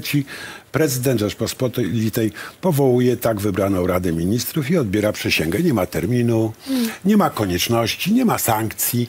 Czyli Terminy są gdzie indziej zaszyte. zwróćmy, zwróćmy Ale uwagę... będzie musiał dotrzymać tych terminów. Wielokrotnie tak sądziliśmy. Y, Więc y, ja tylko zwracam uwagę na to, że tak, to jest naprawdę gra jak kosmos. To znaczy wszystkie opcje są otwarte i od tego, jak różne osoby będą się zachowywały, jaki będzie ostateczny wynik wyborów, kto ostatecznie znajdzie się w Sejmie, jak to nie i tak dalej. Od tych detali zależy, w którą stronę ta rakieta będzie, y, będzie zmierzała, łącznie z takimi właśnie tragicznymi zdarzeniami, jak to, że pan prezydent powie, no i co? No i co? No jednak e, gdzieś ponad 11 milionów głosów za tą opozycją dotychczasową, a być może nową koalicją stoi, więc ja myślę, że też Andrzej Duda nie będzie mógł tak Pamiętajmy, wszystkiego że Prawo i Sprawiedliwość i Andrzej. Duda to są ci politycy, którzy obrażali wyborców swojej Trwa konkurencji. poranek I co oni wyborczy. teraz mówią? Słuchacze Radia Tok FM zapraszam do wysłuchania informacji. Poranek wyborczy. Dzień dobry Państwu, Bartosz Wieliński z Gazety Wyborczej. E, proszę Państwa, widzieliśmy gigantyczną mobilizację naszej e, Polonii. Oglądaliśmy wczoraj zdjęcia tłumów e, Polaków stojących przed komisjami wyborczymi w różnych miastach świata, począwszy od Korei, skończywszy na Lizbonie czy Madrycie. No nie wiemy do końca, jak zagłosowała Polonia, ponieważ większość głosów jest ciągle jeszcze liczona i zadajemy sobie też pytanie, ile z tych głosów zostanie e, przemielonych, zniszczonych, bo takie prawo nam e, PiS wprowadził. Natomiast wiemy, jak głosowała Polonia w USA i z tego głosowania możemy wyciągnąć już e, pewne wnioski. Ze mną w studiu jest Maciej Czarnecki, dziennikarz Witam działu serdecznie. zagranicznego Gazety Wyborczej. Witaj Maćku. Gdzie jesteśmy, jeśli chodzi o wybory w Stanach Zjednoczonych? Polskie wybory w Stanach Zjednoczonych. Jeśli chodzi o Stany Zjednoczone, wszystko już wiadomo. Tak. 52 obwody, mamy już wyniki z 52 Hmm. obwodów, a więc wszystkich. No i rzeczywiście, tak jak powiedziałeś, gigantyczna mobilizacja, frekwencja ponad 40% większa Hmm. niż w 2019 roku, kiedy głosowało 29,5 tysiąca, w tej chwili mamy 43,5 tysiąca ludzi, którzy zagłosowali. E, No, najwięcej głosów, e, tak jak w 2015, tak jak w 2019 dostało Prawo i Sprawiedliwość, ale e, ta partia słabnie procentowo, znacznie. E, To jest e, 40% dla Prawa i Sprawiedliwości, 35,5% dla e, Koalicji Obywatelskiej. Jeżeli zliczyć wszystkie głosy opozycyjnych trzech op- e, partii opo- opozycji demokratycznej, e, no to wychodzi nam, że ponad 50% dostała właśnie ta opozycja, więc to jest duża zmiana. E, Przypomnijmy, że w 2019 Prawo i Sprawiedliwość miało 53% w- Stanach Zjednoczonych, w 2015 73%. Więc widać, że e, naprawdę potężna mobilizacja. O tym zresztą już mówiły e, różne organizacje opozycji demokratycznej w USA. Or- Organizowano różne spotkania, profesor Mhm. Bodnar tam jeździł. E, Także no, przyniosło te efekty. No właśnie, wydawałoby się, że mimo wszystko jednak ten tradycyjne, te tradycyjne bastiony Polonii w Stanach Zjednoczonych no, są mają no, niezmienne przekonania polityczne. Tak? Wydawało się, że jest jakiś monolit e, takiego mocnego polskiego, tradycyjnego konserwatyzmu, zresztą pochodzącego stąd, skąd się nasi imigranci w głównej mierze e, wywodzili. Co się stało z Polonią, że tak zmieniła swoje preferencje No polityczne? to nie jest tak, że te bastiony jakoś znikły zupełnie, Mhm. bo 40% dla PiSu jednak świadczy o tym, że dość dużo ludzi tam zagłosowało na Prawo i Sprawiedliwość, ale y, kluczem jest tu właśnie ta mobilizacja. Ci nowi wyborcy, młodzi wyborcy, którzy poszli do urn, najwyraźniej y, no, przestraszyli się tego, że Polska opuści rodzinę demokratycznych narodów, że przestaniemy być częścią Zachodu, że wyjdziemy z Unii Europejskiej i ta cała y, narracja, y, która była w Polsce bardzo mocno też y, no, przebiła się po prostu do Stanów Zjednoczonych. Taki mamy świat Mhm. zglobalizowany. I to też nie jest tak, że ci ludzie jakoś wcześniej ich nie było, tak? Bo z, badań na przykład Instytutu Piastowskiego w Michigan wynikało już robionych i w 2009, 2010, 2016, 2020, oni ankietowali Polonię i im wychodziło cały czas, że e, Platforma Obywatelska ma nawet więcej e, zwolenników niż PiS. Tylko ci ludzie nie do końca można było do nich dotrzeć, nie do końca głosowali, nie do końca byli zmobilizowani. Teraz e, udało się do nich dotrzeć. No tak, bo słyszałem o ludziach, którzy jechali naprawdę bardzo daleko, żeby dotrzeć do, do lokalu wyborczego, jednak liczba lokali wyborczych no, ciągle była ograniczona. Tak? Ja słyszałem o ludziach, którzy też specjalnie przylecieli do Polski i Mhm. e, głosowali gdzieś w Polsce, więc tak naprawdę te głosy, e, jeszcze pewnie te głosy trzeba doliczyć do tych głosów Mhm. e, Polonii amerykańskiej, chociaż oficjalnie ich oczywiście nie doliczamy, Tak. bo oni głosowali w polskich okręgach. E, Także widać, że, że ta Polonia naprawdę no, nie jest takim bastionem PiSu, jak to stereotypowo się zwykło Mhm. myśleć. A jak komentarze w amerykańskich mediach, szeroko rozumianych oczywiście po wyborach w Polsce? Czy tak podobnie jak w Europie jest to temat, który się dyskutuje, temat, który wywołuje jakieś emocje w Stanach? Jeszcze dość ostrożne, bo Mhm. e, wszyscy pamiętają, jak się trochę przejechali na komentarzach po exit polu na Słowacji. Mhm. E, To po pierwsze. Po drugie, Ameryka patrzy na Bliski Wschód, zdecydowanie Tak. to jest temat numer jeden, ale z tych komentarzy, które są, no widać, że tutaj nomen omen Ameryki nie odkryjemy. Konserwatywne media nie są oczywiście zadowolone z tego wyniku wyborów. Breitbart, czyli Mhm. portal Tak. były Steve'a Bannona, byłego doradcy Donalda Trumpa, pisze, że co prawda PiS wygrał wybory, ale rząd stworzy prawdopodobnie globalista Tusk. E, Natomiast no, liberalne media e, są bardzo zadowolone z tej drogi, którą obrała Polska. E, Uważają, oceniają, że Polska jest na dobrej drodze, że populizm został pokonany, osłabiony, że to jest bardzo dobra wiadomość dla demokracji w ogóle na świecie, bo docenia się tą rolę Polski i kluczową rolę Polski, jeśli chodzi o bezpieczeństwo w naszej części Europy. Mhm. Czy po prostu trumpizm pokonano w Polsce? Tak, czytałem też takie komentarze. No oczywiście, że tak, bo to są nurty ze sobą zbieżne, e, kuzyni polityczni, także myślę, że e, na pewno to jest też dobra wiadomość dla administracji Bidena, która będzie miała Mhm. łatwiej, e, będzie miała bardziej wiarygodnego partnera do tego, żeby dogadywać się w, w Warszawie niż, niż obecnie. Mhm. No właśnie, relacje polsko-amerykańskie, no, mieć taką sinusoidę. Po e, przegranej Donalda Trumpa nasz prezydent nie gratulował długo Joe Bidenowi. Te relacje osiągnęły jakieś no, minimum. Potem politycy musieli się spotykać na korytarzu w kwaterze głównej NATO. Od wybuchu wojny w Ukrainie te relacje były coraz jakoś bliższe, cieplejsze. Biden był dwa razy w Polsce, a teraz co się w tym będzie działo? Tak, no dla obu stron te kwestie bezpieczeństwa są absolutnie kluczowe, tak? Także dla Polski e, gwarancje ze strony Stanów Zjednoczonych z artykułu 5, które były nawet za Trumpa, e, który e, podważał jednak wartość współpracy transatlantyckiej. Dla Amerykanów nasza rola z punktu widzenia na położenie ge- geograficzne, więc spodziewałbym się, że teraz to jest dla nich, tak jak powiedziałem, dobra wiadomość i będą mieli na pewno znacznie bardziej wiarygodnego partnera i ta współpraca transatlantycka będzie się rozwijała. E, Wiadomo, że na, ostatnich, e, na ostatniej prostej kampanii wyborczej rząd PiSu zepsuł stosunki z Ukrainą, próbując ugrać coś na antyukraińskich nastrojach w Polsce. No i teraz zadaniem nowego rządu w Polsce będzie poprawa tych relacji i e, powrót do tego, żebyśmy byli e, naprawdę adwokatem e, Ukrainy w Europie, więc myślę, że to jest też dobra wiadomość dla Ukrainy i dla jej proeuropejskich aspiracji. Jasne. Bardzo dziękuję. Naszym gościem był Maciej Czarnecki z Gazety Wyborczej. Bartosz Wieliński. Dziękuję Państwu. No, do zobaczenia. Poranek wyborczy. W poranku wyborczym mm, kontynuujemy naszą dyskusję w gronie Karolina Głowacka, Anna Piekutowska, Karolina Lewicka, e, Dominika Wielowiejska i Jacek Żakowski. E, No dobrze. Właściwie e, może w listopadzie, a pewnie raczej w grudniu, może na początku, a może w połowie miesiąca powstanie ten rząd dzisiejszej czy wczorajszej jeszcze opozycji. Sejm zacznie działać, jest większość. Jak to powinno wyglądać? Co powinno być priorytetem? To, co jest zapisane w programach, co trzeba teraz złożyć i kompromisowo ustalić, że jest to program koalicji tworzącej nowy rząd, i jednocześnie to, co możemy schować do szuflady, albo właściwie otworzyć taką szufladę z napisem rozliczenia, jak to powinno wyglądać? Co tu będzie ważniejsze? No bo chyba bez tych rozliczeń, o których zresztą liderzy też mówili się, nie obędzie, ale z drugiej strony chyba nie da się opinii publicznej wyborców i wyborczyń zająć wyłącznie rozliczeniami, no bo w sumie dosyć dużo tych obietnic zostało złożonych. Ale Karolina. to nie będzie tak, że najpierw zrealizujemy sprawę A, potem sprawę B, potem C, D. To będzie działo się równolegle na wielu płaszczyznach, więc z jednej strony będą szły rozliczenia, z innej będzie odblokowywany KPO, bo rozumiem, że te pieniądze są nowemu rządowi bardzo, bardzo potrzebne, są też potrzebne Polsce. Inna sprawa, będzie trwała odbudowa na przykład polskiej dyplomacji, Czyli wszystko w stosunków tym samym czasie. międzynarodowych. Tak, oczywiście politycy będą nagłaśniać e, różne projekty, które, które obiecali swojemu elektoratowi. Rozumiem, że na przykład kwestia praw aborcyjnych tak, zostanie podbita, nagłośniona, e, wyeksponowana, ale będą różni ludzie w różnych miejscach y, i to będzie bardzo wiele wątków, które będą działy się jednocześnie.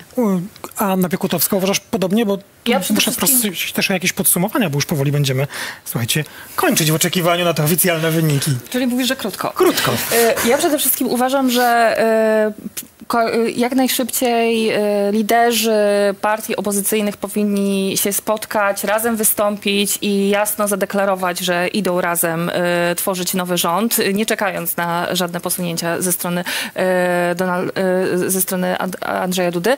Więc myślę, że to jest kluczowe i to jest priorytetowe. I myślę, że nie ma chyba jednak rządzy krwi, patrząc po sondażach wyborczych i po tym, jak duży wynik PiS uzyskał e, i presji na rozliczenia. Myślę, że najważniejsze będą chyba jednak te rzeczy, żeby się dogadać i stworzyć ten nowy rząd, co uważam, że wcale nie będzie takie znowu łatwe, e, a dopiero potem zająć się tematami takimi jak rozliczenia.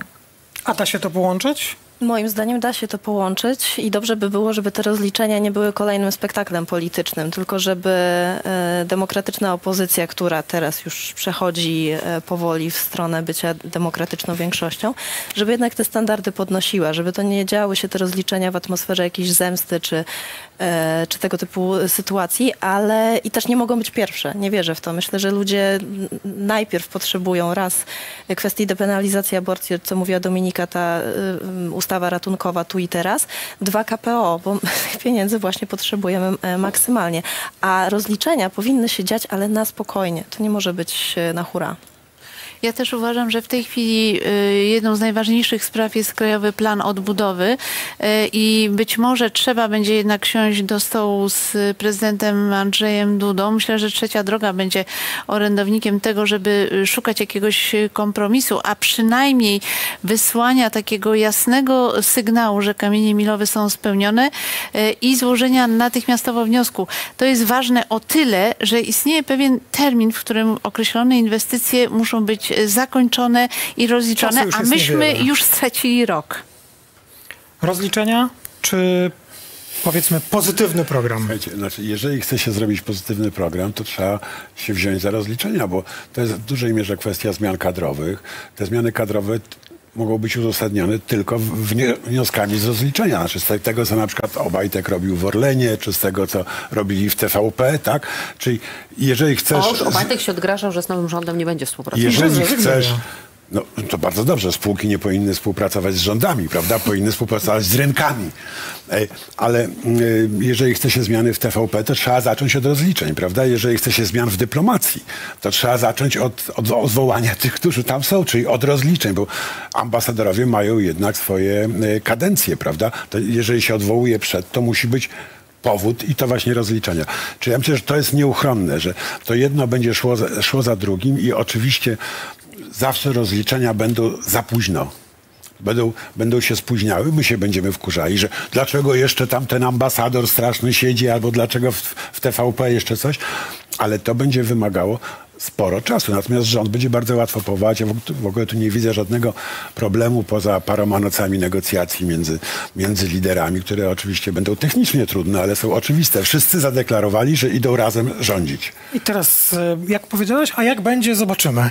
Albo inaczej. Czas zmiany, pokaże. zmiany, Czas zmiany. pokaże. Będzie telepało bardzo długo. I to chcieliśmy e, powiedzieć. Karolina Głowacka, bardzo dziękuję. Anna Dziękuję. Piekutowska, bardzo Dziękuję. dziękuję. Karolina Lewicka, dziękuję, Dziękuję. bardzo. Dominika Wielowiejska, również dziękuję. I Jacek Żakowski. Ale poranka wyborczego to jeszcze nie koniec. Poranek wyborczy.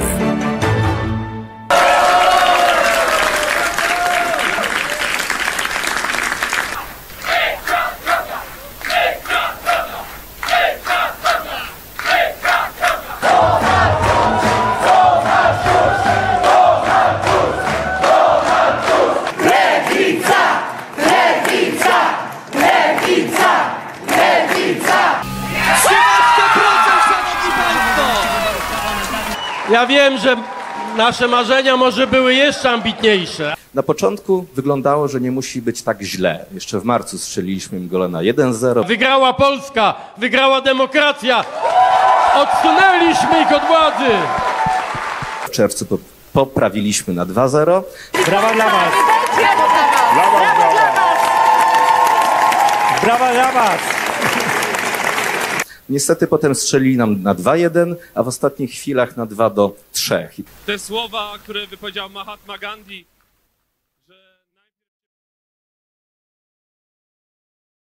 Poranek wyborczy. Ostatnia odsłona poranka wyborczego Gazety.pl, Gazety Wyborczej i TOK FM. Widzieliśmy się po szóstej. Roman Imielski, Jacek Gądek, Dominika Wielowiejska. Jest tuż przed dwunastą. E, Trochę więcej wiemy. E, My tutaj przez cały czas, e, podpowiem, podglądamy te wyniki, które spływają z Państwowej Komisji Wyborczej, by obserwować indywidualne wyniki kandydatek i kandydatów. No ale na takie podsumowania i jednoznaczną informację, kto się dostał, kto nie, jest oczywiście zbyt wcześnie.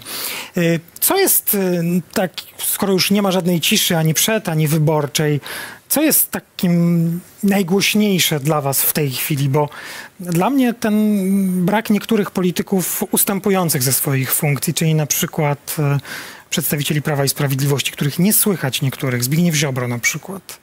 To jest zaskakujące na tyle godzin po wyborach. Mm, No, uważam, że to, że, iż, to, że Zbigniewa Ziobry nie było na wieczorze wyborczym wynikało z tego, że dzisiaj następuje w suwerennej Polsce pewna kalkulacja, jaką drogę obrać. Mimo wszystko trzeba uznać, że istnieją dość duże różnice zdań między takimi politykami jak Zbigniew Ziobro a Mateusz Morawiecki. Im obydwu nie jest y, po drodze. Dlatego myślę, że tutaj y, rozważane są bardzo różne, mm, bardzo różne Nawet z, scenariusze. taki z odłączeniem?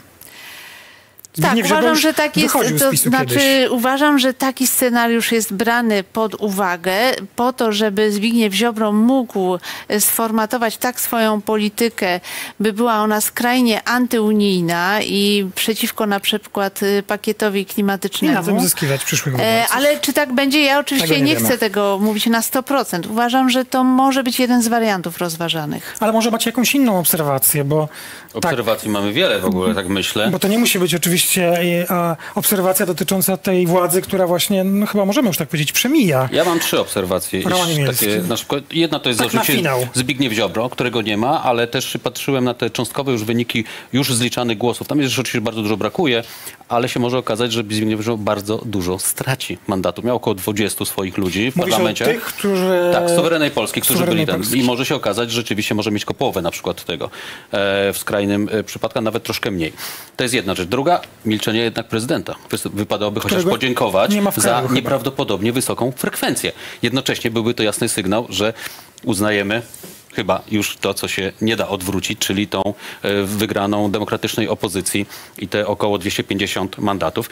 Ale trzecia rzecz, której mi brakuje, to ja myślę, że to powinno być naprawdę bardzo szybko e, zorganizowane, to znaczy wspólnego wystąpienia liderów demokratycznej opozycji, którzy mówią tak, jesteśmy dogadani, rząd powołujemy szybko, mamy kandydata na premiera, jest to, nie wiem, Donald Tusk.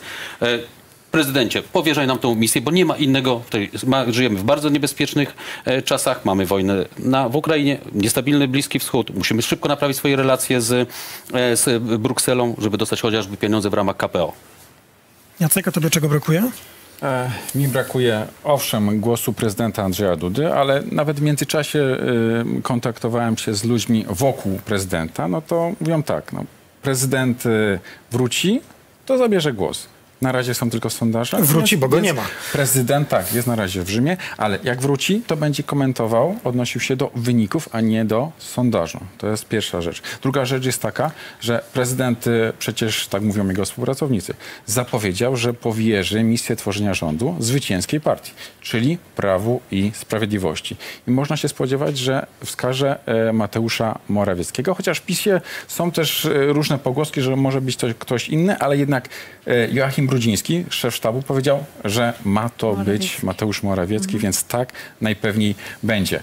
Rzecz, myślę, fundamentalna z punktu widzenia nowego rządu, rządu opozycji, bo to ch- chyba się nie zmieni, to po prostu nie ma szansy się zmienić, to jest to, żeby odblokować KPO. Donald Tusk w zasadzie obiecywał i mówił, że to jest jedna z najważniejszych rzeczy. Tuż po przejęciu władzy odblokować górę pieniędzy na KPO i Donald Tusk musi to zrobić. Tak, musi to zrobić, tylko zwracam uwagę, że na poziomie praktycznym jest to bardzo trudne bez udziału Andrzeja Dudy i Trybunał Julii Przyłębskiej może to blokować, więc myślę, że tutaj też jest kwestia zaufania Komisji Europejskiej, która zdaje sobie sprawę z tych trudności, które nowy rząd będzie miał, ale dorzucę jeszcze coś w sprawie prezydenta. To już Mianowicie- ostatnia rzecz.